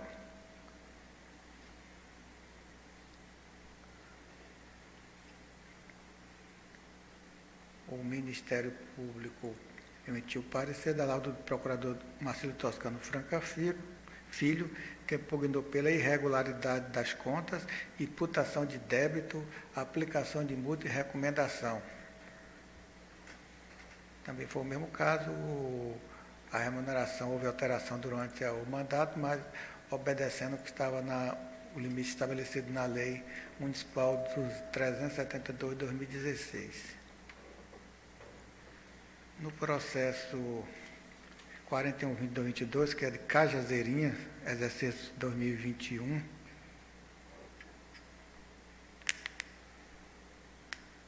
também no caso aqui, a, foi apenas o presidente da Câmara Municipal, que recebeu em desconformidade com, a, com o disposto no artigo 29.6 6 da Constituição Federal. A auditoria manteve a irregularidade com excesso de R$ 2.968,80, que teria ultrapassado o limite do presidente eh, da, eh, da Assembleia Legislativa. A, o Ministério Público se pronunciou em parecer da lado do Procurador-Geral, Dr. Braz Tibério Luna Camelo, Camelo, que pugnou pela irregularidade da prestação de contas, aplicação de multa e recomendação. No caso aqui, houve até uma falha da auditoria que ela tomou como parâmetro, acho um equívoco aqui, o, a remuneração do ministro, só que foi aquela de 33 mil reais. Mas houve uma atualização para 39 mil e o que estava previsto pelo presidente da, presidente da Assembleia era R$ 37.983 e o limite, tomando como base o presidente da Assembleia, seria R$ 91.159,20 e o presidente da Câmara percebeu R$ 84 mil. Então não houve esse excesso é, indicado pela auditoria. Aí o último processo que é da Câmara Municipal de Imaculada, exercício 2021. É, a irregularidade anotada foi o não recolhimento de obrigações patronais, R$ 9.259, mas com a defesa apresentada, ela foi regularizada. No outro pronunciamento por escrito do Ministério Público. É o, são os relatórios, simplesmente. Tem a palavra a da procuradora. Pois bem, no que tange aos processos arrolados dos itens 10 a 13, que, foram objeto de prévio parecer ministerial por três colegas distintos né, do parque especializado, sem prejuízo da ratificação dos termos uh, desses pronunciamentos né, individualizados, e, é, sem qualquer desdouro às conclusões, né, que foram, por sua vez, motivadas né, e se encontram todas dentro da razoável interpretação das normas constitucionais, os ratifico sem, entretanto, uh, deixar de destacar a jurisprudência desta Corte, de ambas as câmaras, né, no sentido contrário àquele apontado em cada um dos processos. Ou seja, reconhece-se né, de que não é, é, consentâneo com a melhor das técnicas, a, né, a flutuação de valores né, remuneratórios ao longo da legislatura, mas uh, se sopesa né, uh, com um grão de sal, no sentido de que, uma vez não ultrapassado o valor né, histórico ou nominal que foi colocado pela legislação regedora, seja decreto legislativo, resolução ou lei estricto senso, não há se falar em uh, irregularidade, imputação de débito ou cominação uh, de multa. Para os membros do Ministério Público, do Antônio Cláudio, existe um princípio chamado de independência. Né? Então, é ele que veicula, motiva e robustece essa autonomia de pensamento, inclusive. Para Vossas Excelências, na condição de magistrados de contas, existe o princípio, que alguns dizem que não é princípio, e sim uma regra né, da processualística civil e penal, da colegialidade. Né? Ainda que Vossas Excelências disponham de entendimentos particulares sobre determinadas matérias, mas a colegialidade, ou seja, a composição, que nada mais é do que essa organização e disposição de um todo, né? Faz com que se dobrem àquilo que constitui jurisprudência ou pensamento majoritário sobre determinada matéria. Este bem o caso. Razão porque o parecer oral no sentido da regularidade, quando muito com ressalva, sem combinação de multa pessoal, seguido do arquivamento. Para o processo do item 14, que é o 3692-22, na esteira do que foi colocado pela auditoria, pela regularidade das contas do gestor da Câmara Municipal de Imaculada no exercício 2021, senhor Elisman Quirino Anastácio. Palavra factada, com a palavra o relator para o voto. Presidente, eu voto pela regularidade de todas as prestações de contas é, das câmaras aqui relatadas, é, acompanhando o entendimento dessa Câmara naquela, naqueles processos que, em que o excesso apontado pela auditoria, na realidade, não ocorreu porque obedeceu o, o valor estabelecido na, na, nas legislações é, dessas câmaras municipais. Portanto, a, o, o, voto é pela regularidade de todas as prestações de contas. Deixando registrado que no processo de imaculada eu vou colocar aqui o, o entendimento do Ministério Público que não tem parecer escrito. Pois não. A segunda Câmara. Aprovado o voto do relator por unanimidade, o conselheiro Oscar Mamed tem a palavra para o item 22, processo 3821-16. O processo anunciado por Vossa Excelência, 3821-16, é, prestação de contas do Consórcio Intermunicipal de Saúde do Cariri Oriental, sob a responsabilidade do senhor Luiz Aires Cavalcante, referente ao exercício 2015. A auditoria, após análise do que contém os autos, inclusive defesa, apresentada pelo gestor, concluiu pela regularidade das contas. Da mesma forma, o Ministério Público de Contas pugna pela regularidade com recomendação. É o relatório. Com a palavra ao Ministério Público de Contas. Com parecer escrito. Palavra ao relator para a proposta. A proposta de SAM é pela regularidade da prestação de contas com recomendações à atual administração do referido consórcio. É a proposta. A segunda Câmara, aprovado o voto do relator por unanimidade. Processo 7094 para 22 é de minha relatoria. Esse examina um aditivo a um contrato celebrado pelo Fundo Municipal de Saúde Campina Grande para contratar material de informática. A, a auditoria entendeu pela regularidade do aditivo, o Ministério Público, através do Dr. Luciano Andrade Farias, também pela regularidade do aditivo, juntada ao processo 911-22, que é o da licitação original. É o relatório com a palavra do Ministério Público de Contas. É o parecer. Voto em harmonia com o parecer ministerial pela regularidade do aditivo e anexação ao processo 911-22.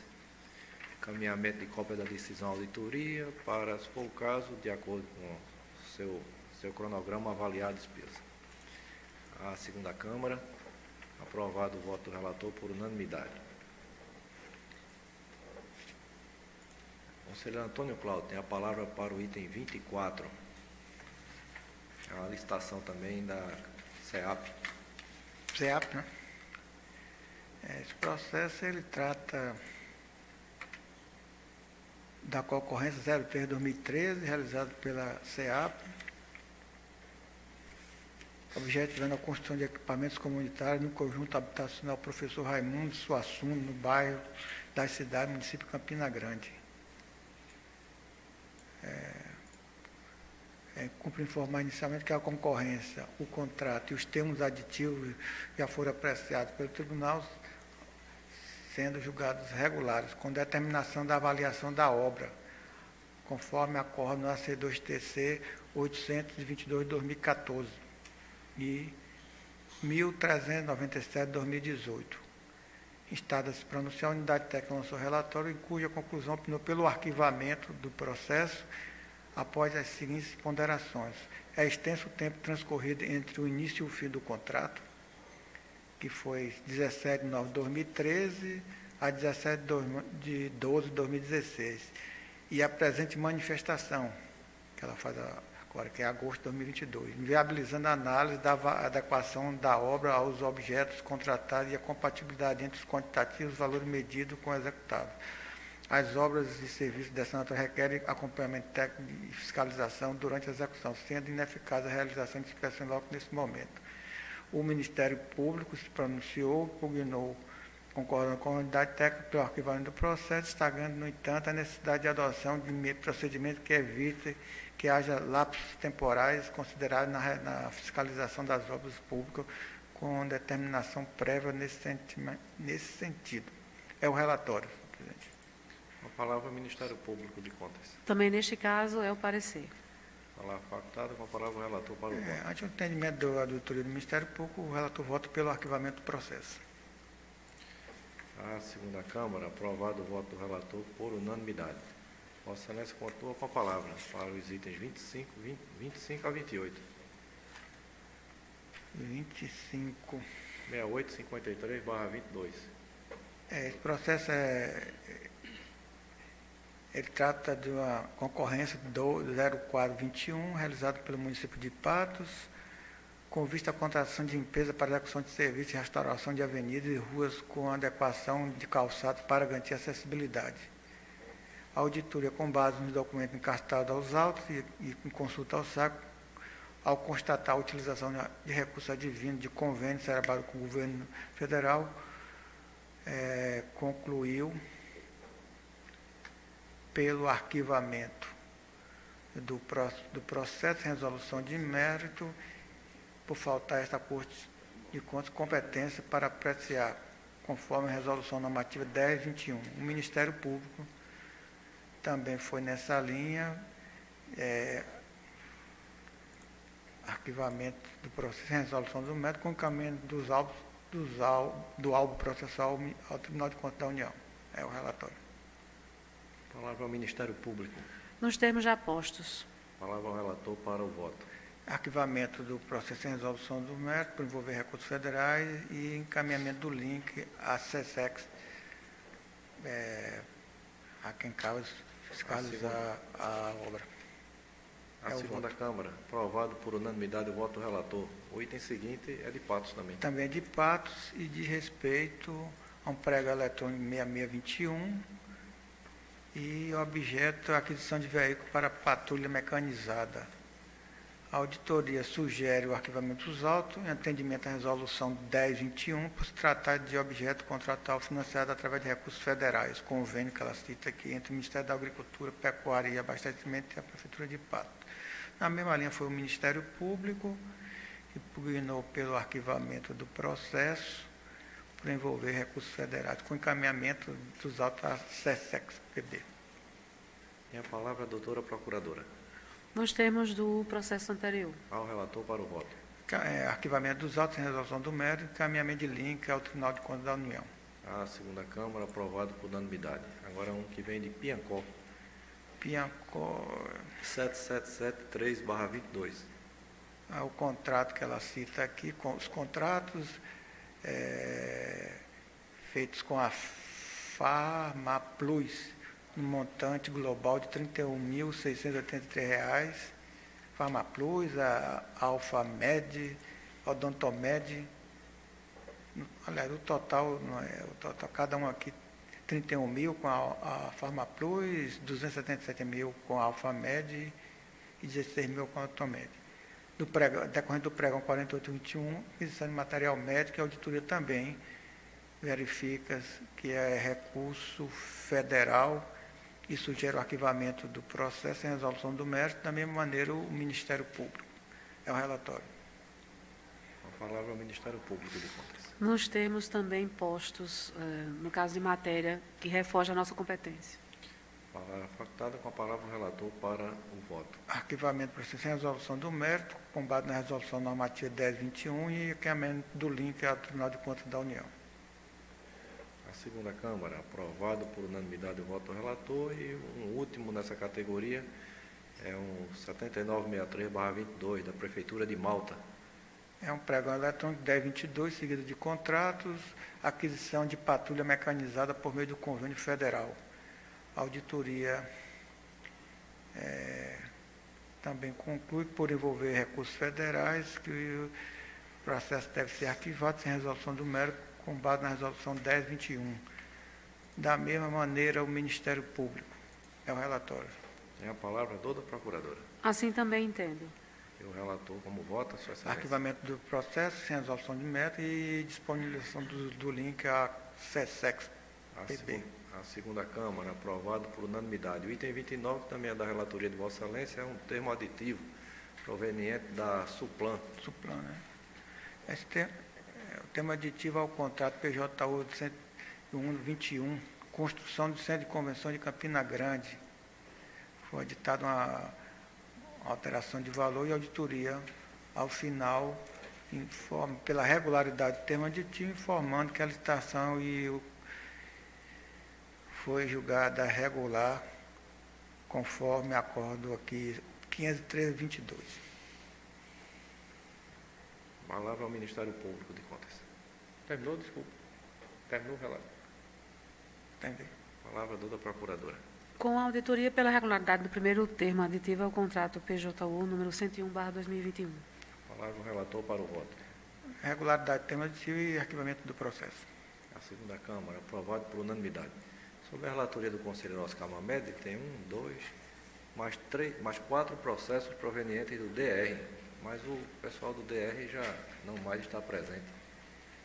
Excelência tem a palavra, se quiser relatar em bloco, em bloco fique à vontade. Eu vou relatar em bloco, senhor presidente. Tentarei resumir ao máximo, justamente dado o adiantado da hora. É, é, não, mas porque a, a, questão aqui, ela é, ela é. Fica à vontade. Inclusive até existe parecer, mas vou resumir bastante. Trata-se de li, licitações, é, modalidade de concorrência, contratos para execução de, de obras de pavimentação em rodovias, todos os quatro processos. E a auditoria aponta neles é, as, praticamente as mesmas, as mesmas falhas. A fase externa do procedimento foi realizada sem a participação dos interessados, sem a permissão de acesso público. A licitação não foi processada e julgada em ato público.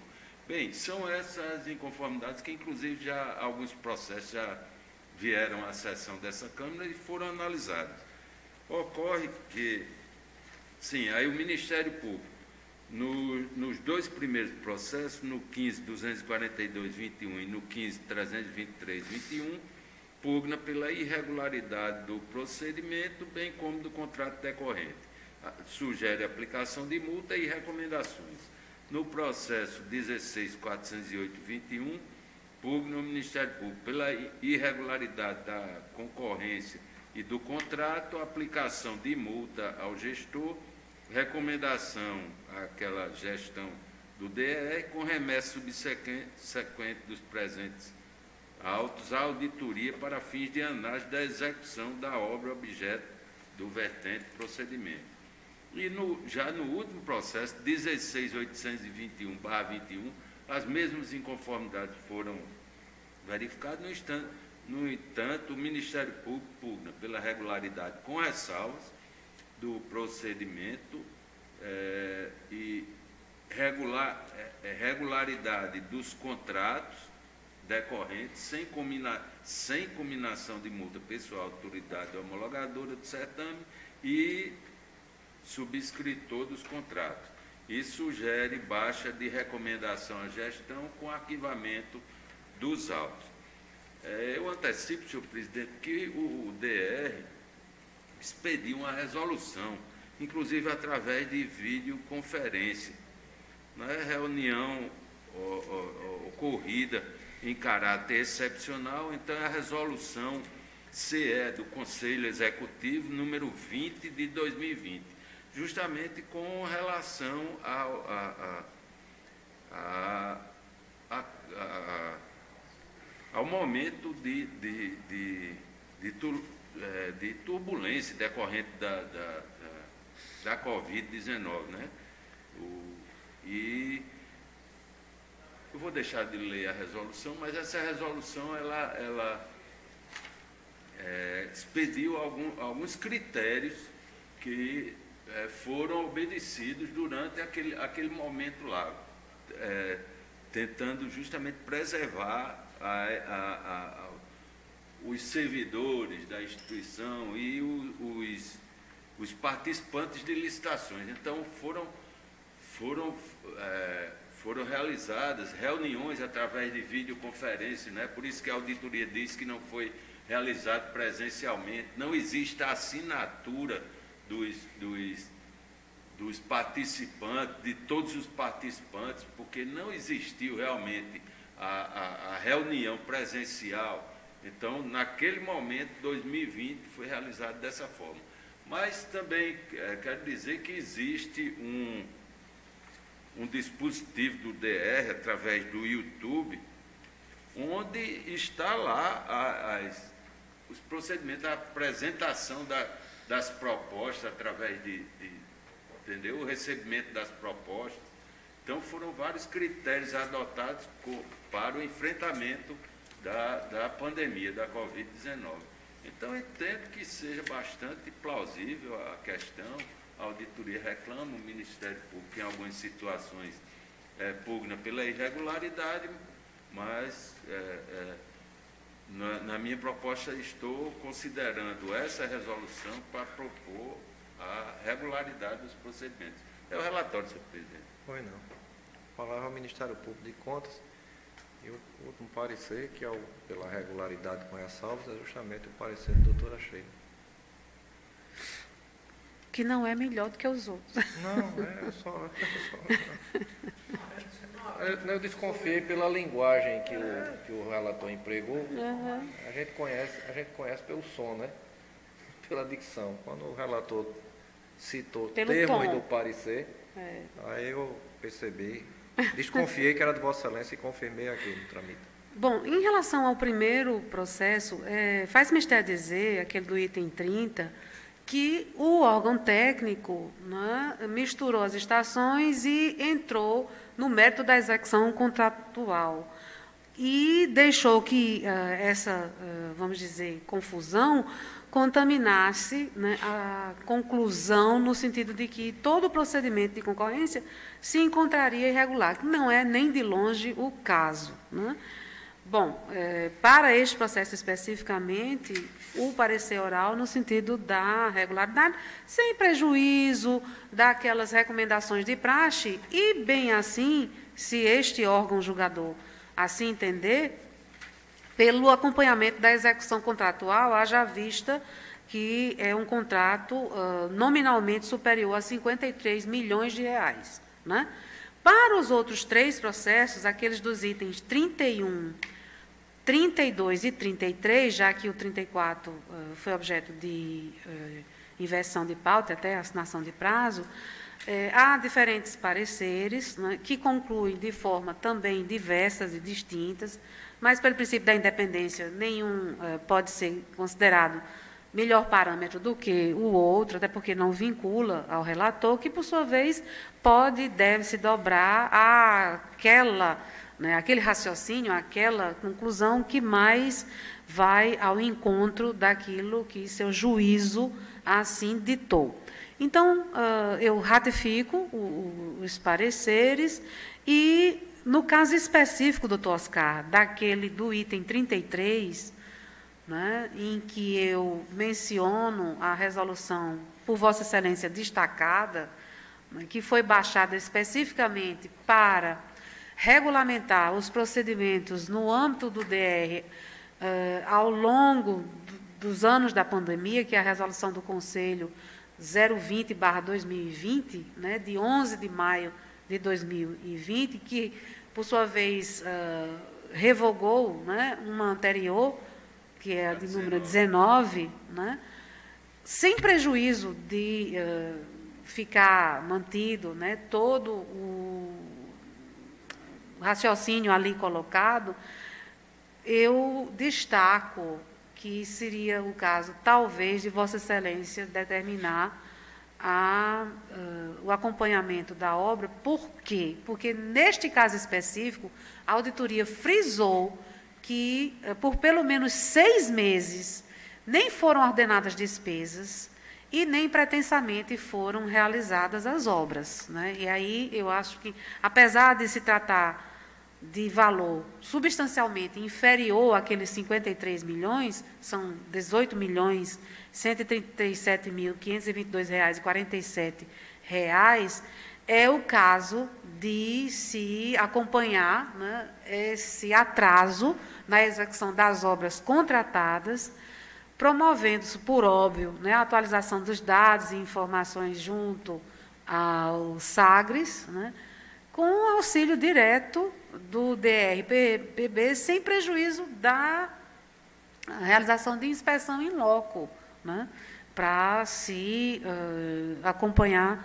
fotograficamente, além das planilhas e demais documentos, notas de empenho, etc, etc, etc, mas se acompanhar se a obra foi finalizada, foi entregue na conformidade daquilo originalmente contratado. Então, é como destaco. Fala, facultada palavra o relator para a proposta. Presidente, eu perguntaria, o DR tem processo de acompanhamento de gestão?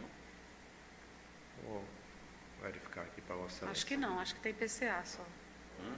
Acho que tem PCA só. Só PCA. Então, você pode adiantar enquanto eu... Não, a proposta é, é pela, pela regularidade de todos os procedimentos, né? É, e agora estou determinando a auditoria que em todos eles verifica a execução dos contratos. E arquiva, agora no caso, se não existe o acompanhamento de gestão, uhum. tem que ser em cada um desses processos uhum. a verificação da, da, da execução contratual. Por isso que eu. Não, não tem não. Mas a Câmara pode determinar.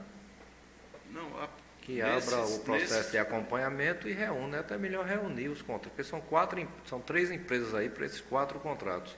Só uma tem só uma, que é a, essa aqui que eu estava olhando, essa Luiz, né? Construtora Luiz Costa, e ela tem esse contrato de 53 e um de 18. Só aí são 70 milhões, o que justifica um acompanhamento da gestão. Mas aí reunir e, e a responsabilização individualizada. pode ter sido é. em, em, vários exercícios. Isso. Mas, mas, aí no acompanhamento não se parte do princípio que há irregularidade. É para ir lá e ver a obra, né? Mas se, se tiver houver, alguma, aí abre uma inspeção. Não, aí esses, vai. Esses, esses processos ah, já existem. 21, isso. Né? não. Barra 21. Então eu acho que a gente poderia, nesse processo mesmo, fazer. Perfeito. Eu estava eu tava, eu tava caminhando por aí, pelo acompanhamento da gestão. Mas visto que pode ser é, execução em vários exercícios. Então, como ficou, a, como é, ficou a proposta de vocês? Pela regularidade dos procedimentos, licitação e contrato, né? É, encaminhamento dos autos à auditoria para verificação da, da execução contratual e, e com recomendações à gestão também, inclusive sugerida pelo Ministério Público, pelo Parque, pela, auditoria. Em todos eles. Então, a segunda, eles. a segunda Câmara, aprovado o voto do relator por unanimidade. O importante é que se verifique a, a despesa, né? independentemente da forma mais eficaz, como já suscitou Sua Excelência.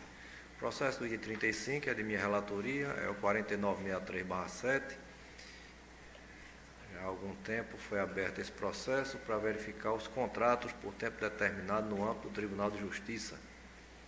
A Câmara, inclusive, julgou regulares as contratações depois de uma instrução processual através do acórdão 2028-08 e continuou com a sequência do processo por eh, pendências, renovação de contratos, mas agora no último relatório a auditoria verificou que não tem mais contratos por tempo determinado no TJ e sugeriu o arquivamento dos autos.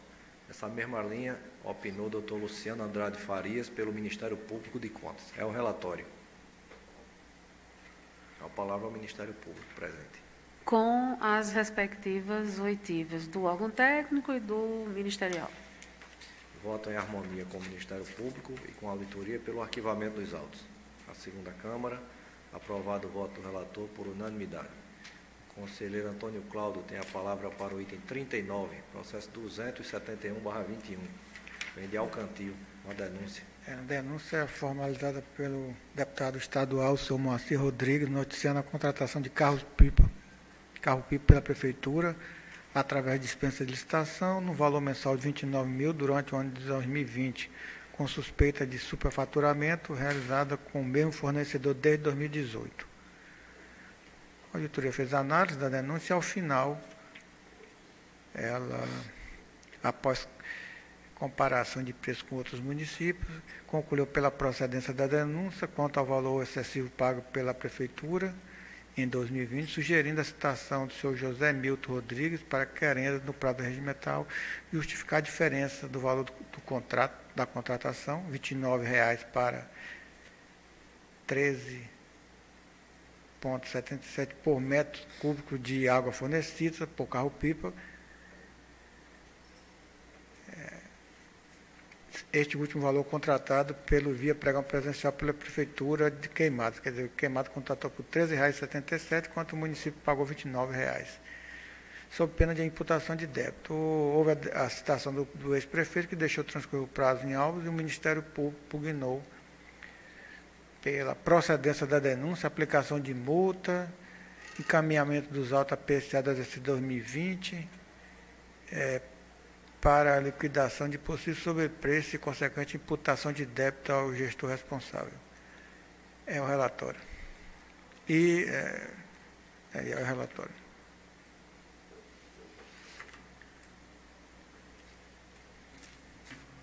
A palavra ao Ministério Público de Contas. É também o parecer encartado as folhas 43 a 46 dos autos. A palavra, a palavra facultada com a palavra relator para o voto. Consultando a PCA de 2020, o relator constatou que a sugestão do Ministério Público quanto ao encaminhamento dos autos à PCA para liquidação de possível sobrepreço e consequente imputação de débito ao gestor já se encontra contemplada, pois na lista de irregularidade constatada se encontra o item 16.10 que trata da matéria aqui abordada, inclusive havendo a conclu na conclusão, por ausência de defesa, a sugestão de imputação de débito de R$ 164.378 o referido processo se encontra na prova de permissão de parecer.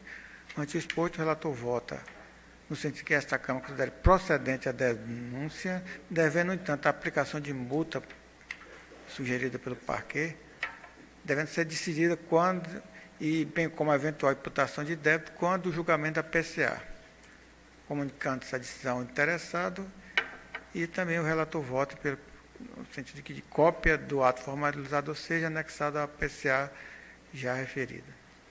É o voto. Na segunda Câmara, aprovado o voto do relator por unanimidade. Entramos agora em atos de pessoal. Sob minha relatoria, os itens 42 a 52 são aposentadorias e pensões. No item 44, a auditoria eh, impugnou o valor do benefício, porque entendeu que deveria ele estar limitado ao valor da remuneração do cargo. O Ministério Público, através do Dr. Luciano Andrade Farias, solicitou a concessão de prazo para corrigir o valor. No item 45, a auditoria eh, exigiu que o Instituto apresentasse um questionário onde o beneficiário declarasse que não acumula eh, aposentadorias, benefícios, etc. Essa é a última impugnação. O Ministério Público, através do Dr. Luciano Andrade Farias, também solicitou a fixação de prazo para apresentar esse documento. Dos demais, quer na análise de defesa, quer no relatório inicial, a auditoria deu pela legalidade dos benefícios e esses últimos não tramitaram pelo Ministério Público de Contas. É o relatório com a palavra da outra procuradora. Para os referidos atos de pessoal, quando houve manifestação ministerial por escrito, eu as ratifico. Quando, eh, em sentido contrário, não houve, mas tão somente por parte do órgão técnico, já se dá indicação da legalidade na instrução inaugural, assim eh, seja declarada com concessão do competente respectivo registro e arquivamento. Palavra facultada. Nos processos que destaquei, o do item 44, a auditoria utiliza aquele parágrafo 2 do artigo 40 para dizer que o valor do benefício não pode ultrapassar a remuneração do cargo. O benefício é de R$ 1.900. É aquela discussão já antiga, foi aposentado pelo artigo 40, o, o, que vale é o salário de contribuição. Até o parágrafo 2 do artigo 40 foi revogado pela emenda constitucional 103. Né? E o, a impugnação do item 45 é que a auditoria exige um documento que o tribunal não exige em sua portaria. Ela se baseia até numa portaria do INSS para exigir esse documento. Eu estou dizendo que a solução da DIAF é pedir ao presidente que altere a portaria.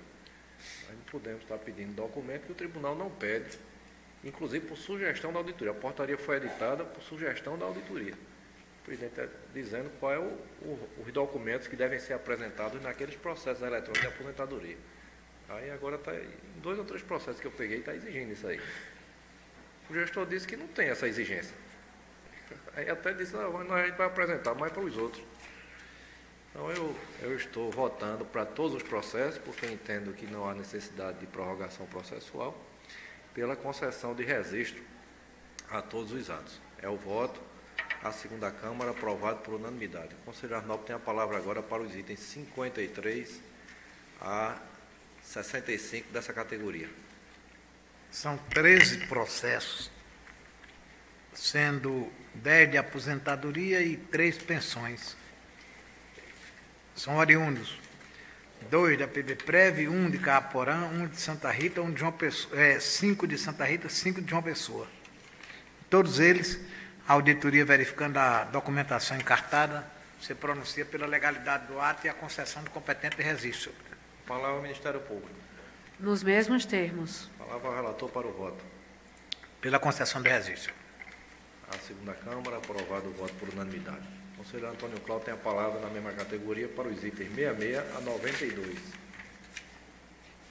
90. 98, né?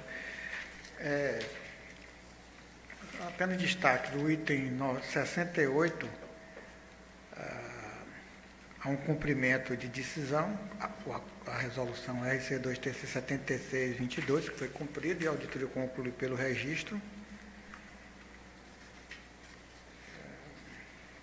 No item 85, há um pedido de assinação de prazo, já que a auditoria apontou consistência, no, solicitou informação, mas o, o gestor do Instituto de Água Branca não se pronunciou e o Ministério Público, por apelação de prazo. Nos demais processos, a auditoria já se pronunciou pela legalidade dos atos e concessão de registro.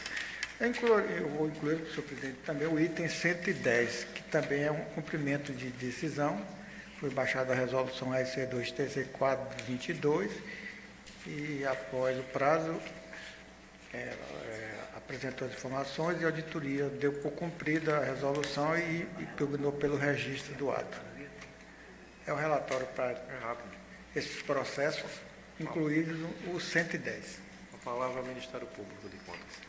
Incluído o 110, eh, o pronunciamento oral é remissivo ao inscrito seja quando houve pronunciamento apenas do órgão técnico, seja quando uh, houve manifestação do órgão ministerial, incluindo-se, por evidente hipótese de assinação de prazo para prover, quando for o caso, os autos dos elementos reclamados pela unidade técnica.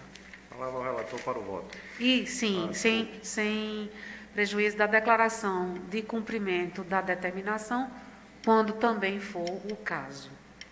Agora sim, palavra ao relator para o voto. É, cumprimento das, das resoluções referente ao item 68 e 110, com registro.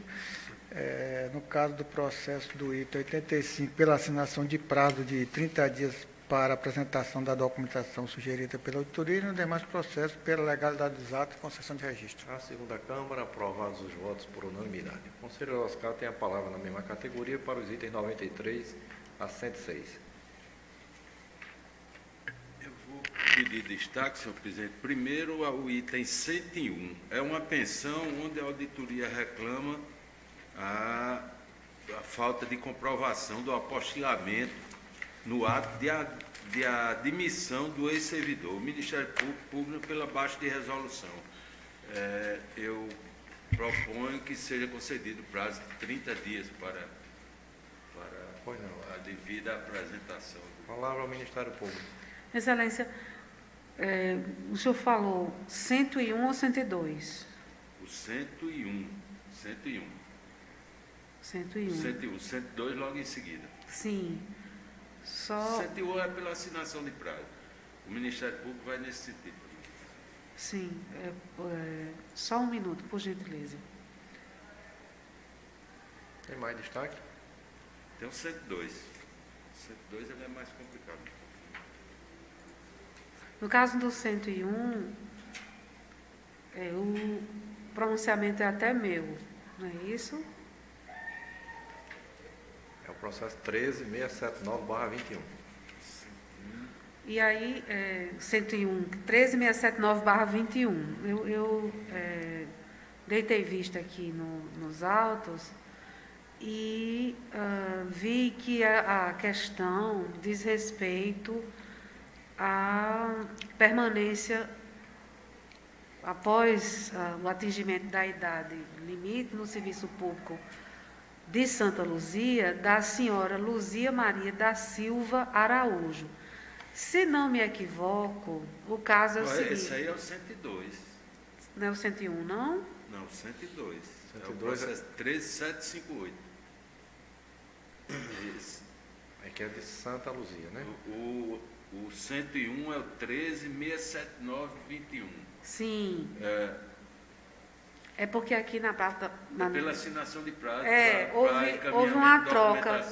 Houve uma troca do, do parecer que me induziu a, a erro.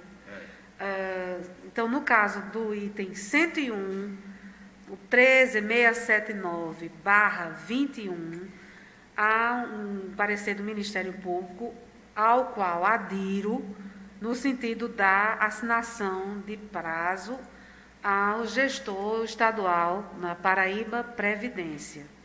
Exatamente. Vossa Excelência só pediu destaque para o só, 101, não é só isso? 102 vou pedir destaque também, logo em seguida. Certo. Agora é só para o 101. 101, assinação é. de prazo, 30 dias para encaminhamento da documentação reclamada pela auditoria. Sim, concluí. Então, o relator votou pelo prazo de 30 dias. A segunda Câmara, aprovado por unanimidade. Agora, o item 102. O, o item 102 é uma aposentadoria por invalidez da senhora Luzia Maria da Silva Araújo. Bem, esse daqui é mais complicado, porque a, auditoria conclui nos seguintes termos, senhor presidente. Peço é, a compreensão de Vossa Excelência. Então, Diz o seguinte: a ex-servidora realizou nova perícia médica que concluiu que as que as patologias que lhe acometem não lhe, não lhe incapacitam para o trabalho, não fazendo, por esse motivo, jus à concessão de aposentadoria por invalidez. Foi encaminhada pela defesa a seguinte documentação: contra-cheque relativo ao mês de julho de 2021, CTC do INSS, sim, a, a, a, o contra-cheque encaminhado diz que em julho de 2021 a servidora percebia de proventos R$ 1.100. É, foi apresentado também CTC do INSS referente ao, ao período compreendido entre 3 de março de 1983 até 31 de março de 1985. Declaração assinada por um profissional médico, clínico geral, cardiologista, atestando que a ex-servidora não tem condições de exercer atividades trabalhistas, demonstrativo de tempo de serviço compreendendo o período de 1 de abril de 1985 a 4 de dezembro de 2000. Documento elaborado pela Junta Médica indeferindo a situação de incapacidade da ex-servidora. Considerando a impossibilidade de concentração de concessão da aposentadoria por invalidez eh, e o fato da ex-servidora possuir idade superior a 80 anos, não sendo possível o retorno às suas atividades laborais, entende-se que é necessária a concessão da aposentadoria com base em outra fundamentação jurídica. Como a ex-servidora completou 70 anos em 24 de junho de 2011, 2011, completou os 70 anos. É possível a concessão de aposentadoria compulsória, devendo a portaria ser considerada sem efeito, bem como editada e publicada nova portaria com a seguinte fundamentação, e cita a fundamentação. Posteriormente, deve ser encaminhada a esta Corte toda a documentação correspondente à aposentadoria da servidora, com base na fundamentação jurídica aplicada, e que ainda não compõe, e, é nesse sentido, a auditoria entende que é, deve ser mudada a, a, fundamentação da aposentadoria. Da mesma forma, o Ministério Público, é, em parecer, é, pugna pela ilegalidade do ato aposentatório e denegação do respectivo registro, com sugestão de conversão desta aposentadoria por invalidez em aposentadoria compulsória, dado o atingimento da idade limite de permanência no serviço público pela hora aposentanda, seguida da publicação de novo ato de aposentadoria com fulcro no artigo 40 tal, não se promovendo solução de continuidade da paga dos proventos enquanto não apreciada e julgada a nova aposentação. É o relatório, senhor presidente. Falar o Ministério Público.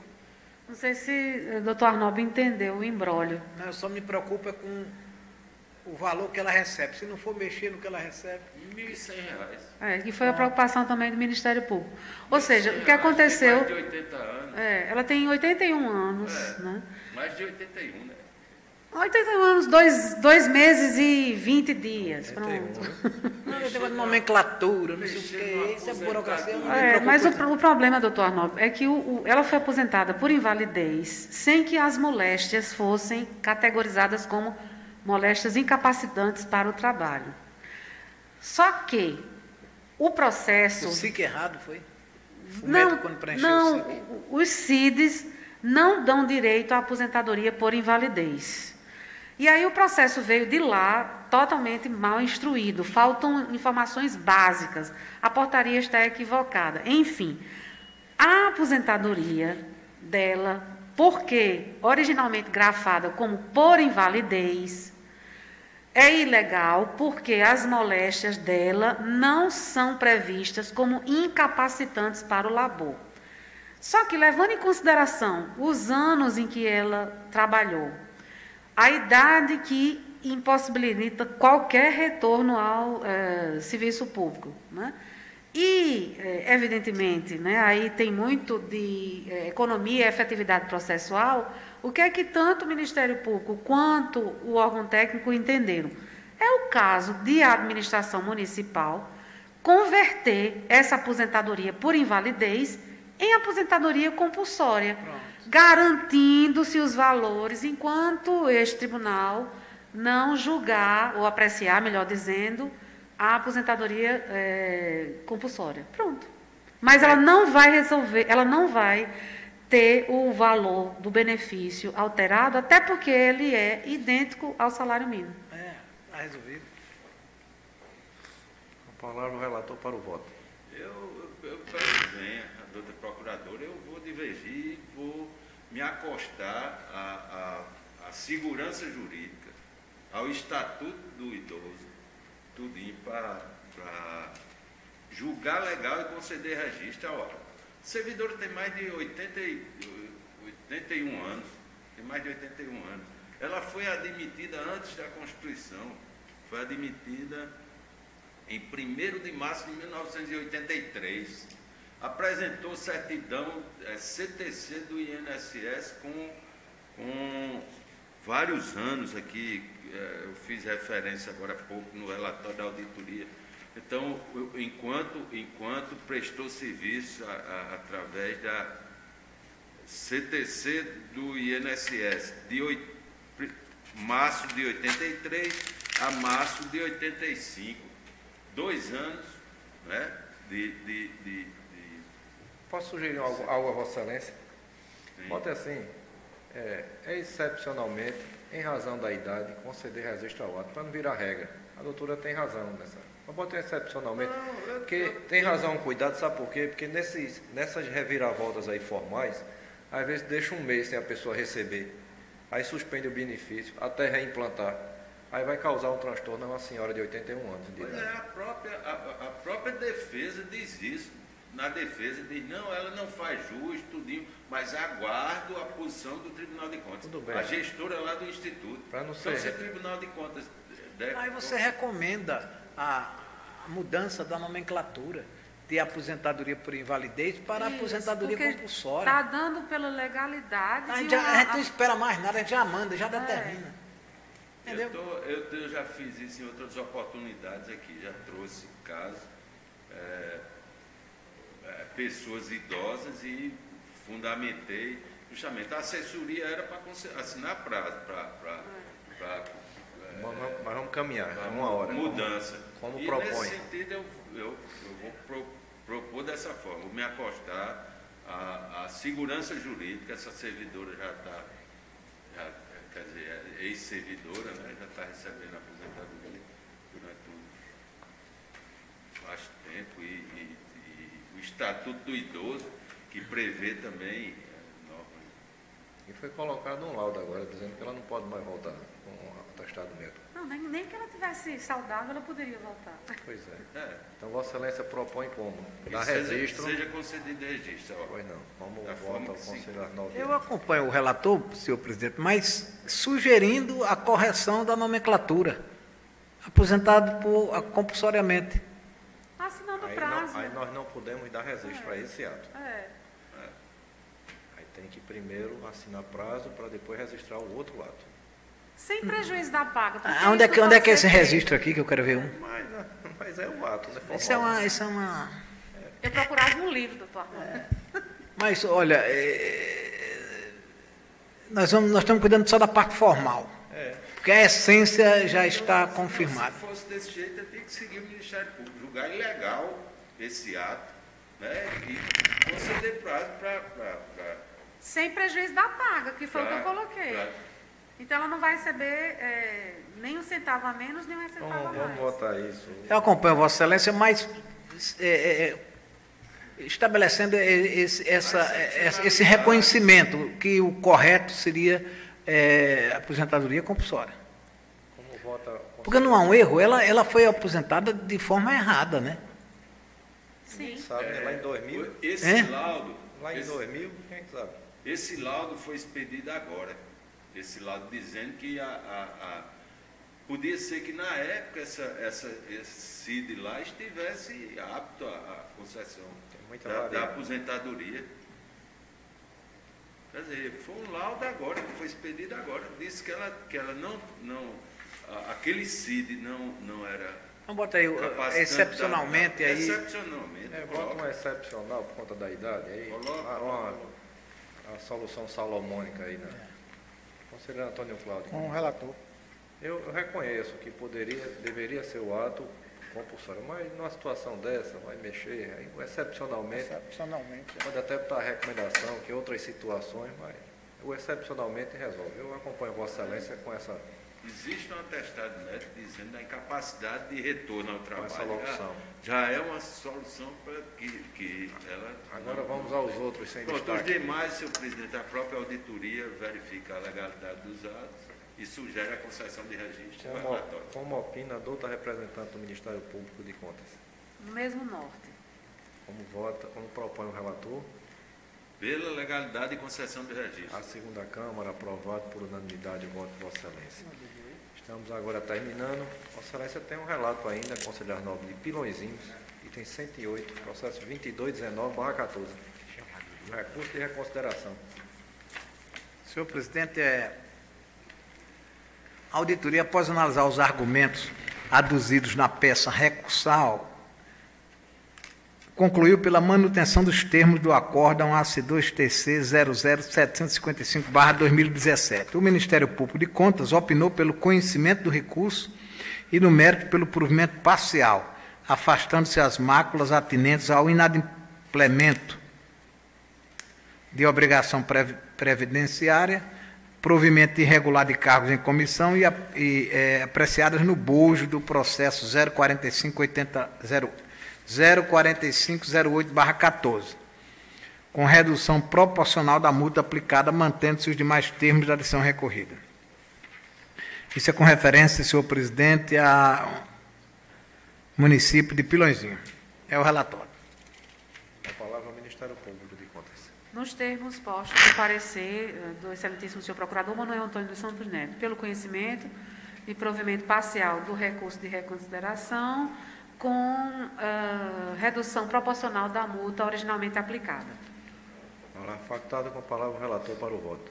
Senhor presidente, considerando que as irregularidades ensejadoras da decisão recorrida já foram objeto de apreciação no bojo do processo TC 04508-14, PCA de 2013, bem como eh, atentando para o princípio do non bis in idem, que veda a aplicação de dois ou mais procedimentos sancionadores ao mesmo sujeito em relação aos mesmos fatos e fundamentos, como afirmou o Ministério Público em seu parecer, voto pelo conhecimento do recurso de reconsideração interposto, porquanto presentes os pressupostos de admissibilidade, legitimidade e tempestividade, e no mérito pelo seu provimento, uma vez que as eivas, objeto da denúncia, já foram apreciados, eh, apreciadas no processo TC citado. Isso sem aplicação de multa, que a penalidade já foi imposta ao gestor na PCA. É o voto, senhor presidente. É, é conhecimento e, e provimento. E provimento. A segunda Câmara, aprovado por unanimidade do voto do relator. O conselheiro Antônio Cláudio tem a palavra para o item 109, convênio da Secretaria de Saúde, uma verificação de cumprimento. É um convênio firmado entre a Secretaria da Saúde do Estado, 43 de 2011, e a Prefeitura de Souza, para aquisição de equipamentos. É, ao- a- através do acordo 200 e 2018, o tri- a Câmara julgou irregular o convênio, aplicou multa de 3 mil reais ao prefeito da época do município, senhor Fábio Tarone Braga Neto, de, de Oliveira, aplicou multa de 3 mil reais ao ex-prefeito André Avelino da, de Paiva Gadelha, ao ex-secretário de Saúde, senhor Valdes Dias de Souza, 1.500 reais, fixou prazo ao prefeito de Souza, senhor Fábio Tarone Braga Oliveira, para que providenciasse a efetiva devolução do saldo remanescente do convênio, sob pena de aplicação de multa e recomendação. A auditoria fo- foi verificar o cumprimento de decisão e constatou que houve devolução do saldo do convênio à data do julgamento do processo. No entanto, entende que pela aplicação de multa, por não ter feito prova do- da mesma junto a esta Corte de Contas. Já o Ministério Público pugnou pela declaração de cumprimento e arquivamento do processo sem aplicação de multa. É o relatório. É como também opino. Palavra facultada. Com a palavra, Vossa Excelência, para o voto. Cumprimento do- da decisão sem aplicação de multa e arquivamento do processo. Conselheiro Oscar? Estou convocado, acompanho o voto do relator. Também voto com o relator. Aprovado. Eu nem prestei atenção. Aprovado por unanimidade. Tem os dois últimos. Os dois últimos. É com a palavra, com o relator do processo 109. 111. Ah, era isso? 111. É porque a doutora Neuma fala baixo e está com a Máscara. a máscara e eu não escuto bem. Aí, completo. Bem, o processo do item 111, presidente, é uma aposentadoria onde esta Câmara, através de resolução em, em primeira apreciação e depois através de acórdão, concedeu prazo para o restabelecimento da legalidade. A auditoria verifica que a, a, a irregularidade, as inconformidades apontadas foram sanadas. O Ministério Público opina pela declaração de cumprimento do acordo, legalidade da aposentadoria concedida e pelo deferimento do respectivo registro. É o relatório, senhor presidente. Palavra ao Ministério Público. É o parecer de número 1778/22. Palavra ao relator para a proposta. Proposta pelo cumprimento da decisão, julgar legal e conceder registro ao ato aposentatório.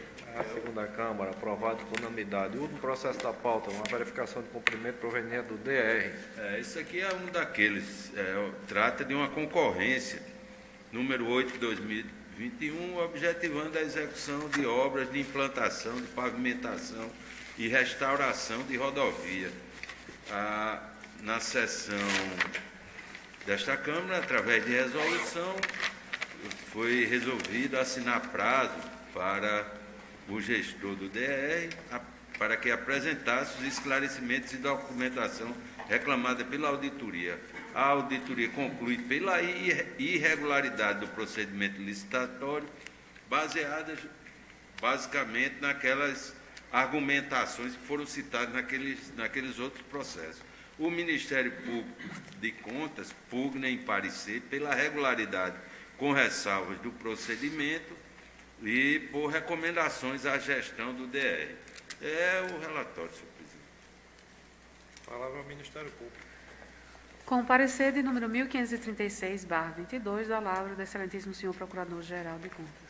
Palavra facultada com a palavra o relator para a proposta. Proposta que se julgue cumprida a resolução, julgue irregular a licitação e o contrato decorrente e determine o arquivamento dos presentes autos. É assim que A segunda propõe. Câmara, aprovado por unanimidade. Esgotada a pauta de julgamento, a nobre secretária informa que tem 12 processos para distribuição, três para, para cada relator. Fica autorizada a nobre secretária a proceder à distribuição, ao tempo que indago se tem mais algum assunto a ser debatido na presente sessão. Não havendo, está encerrada a presente sessão, agradecendo a presença e desejando uma boa tarde.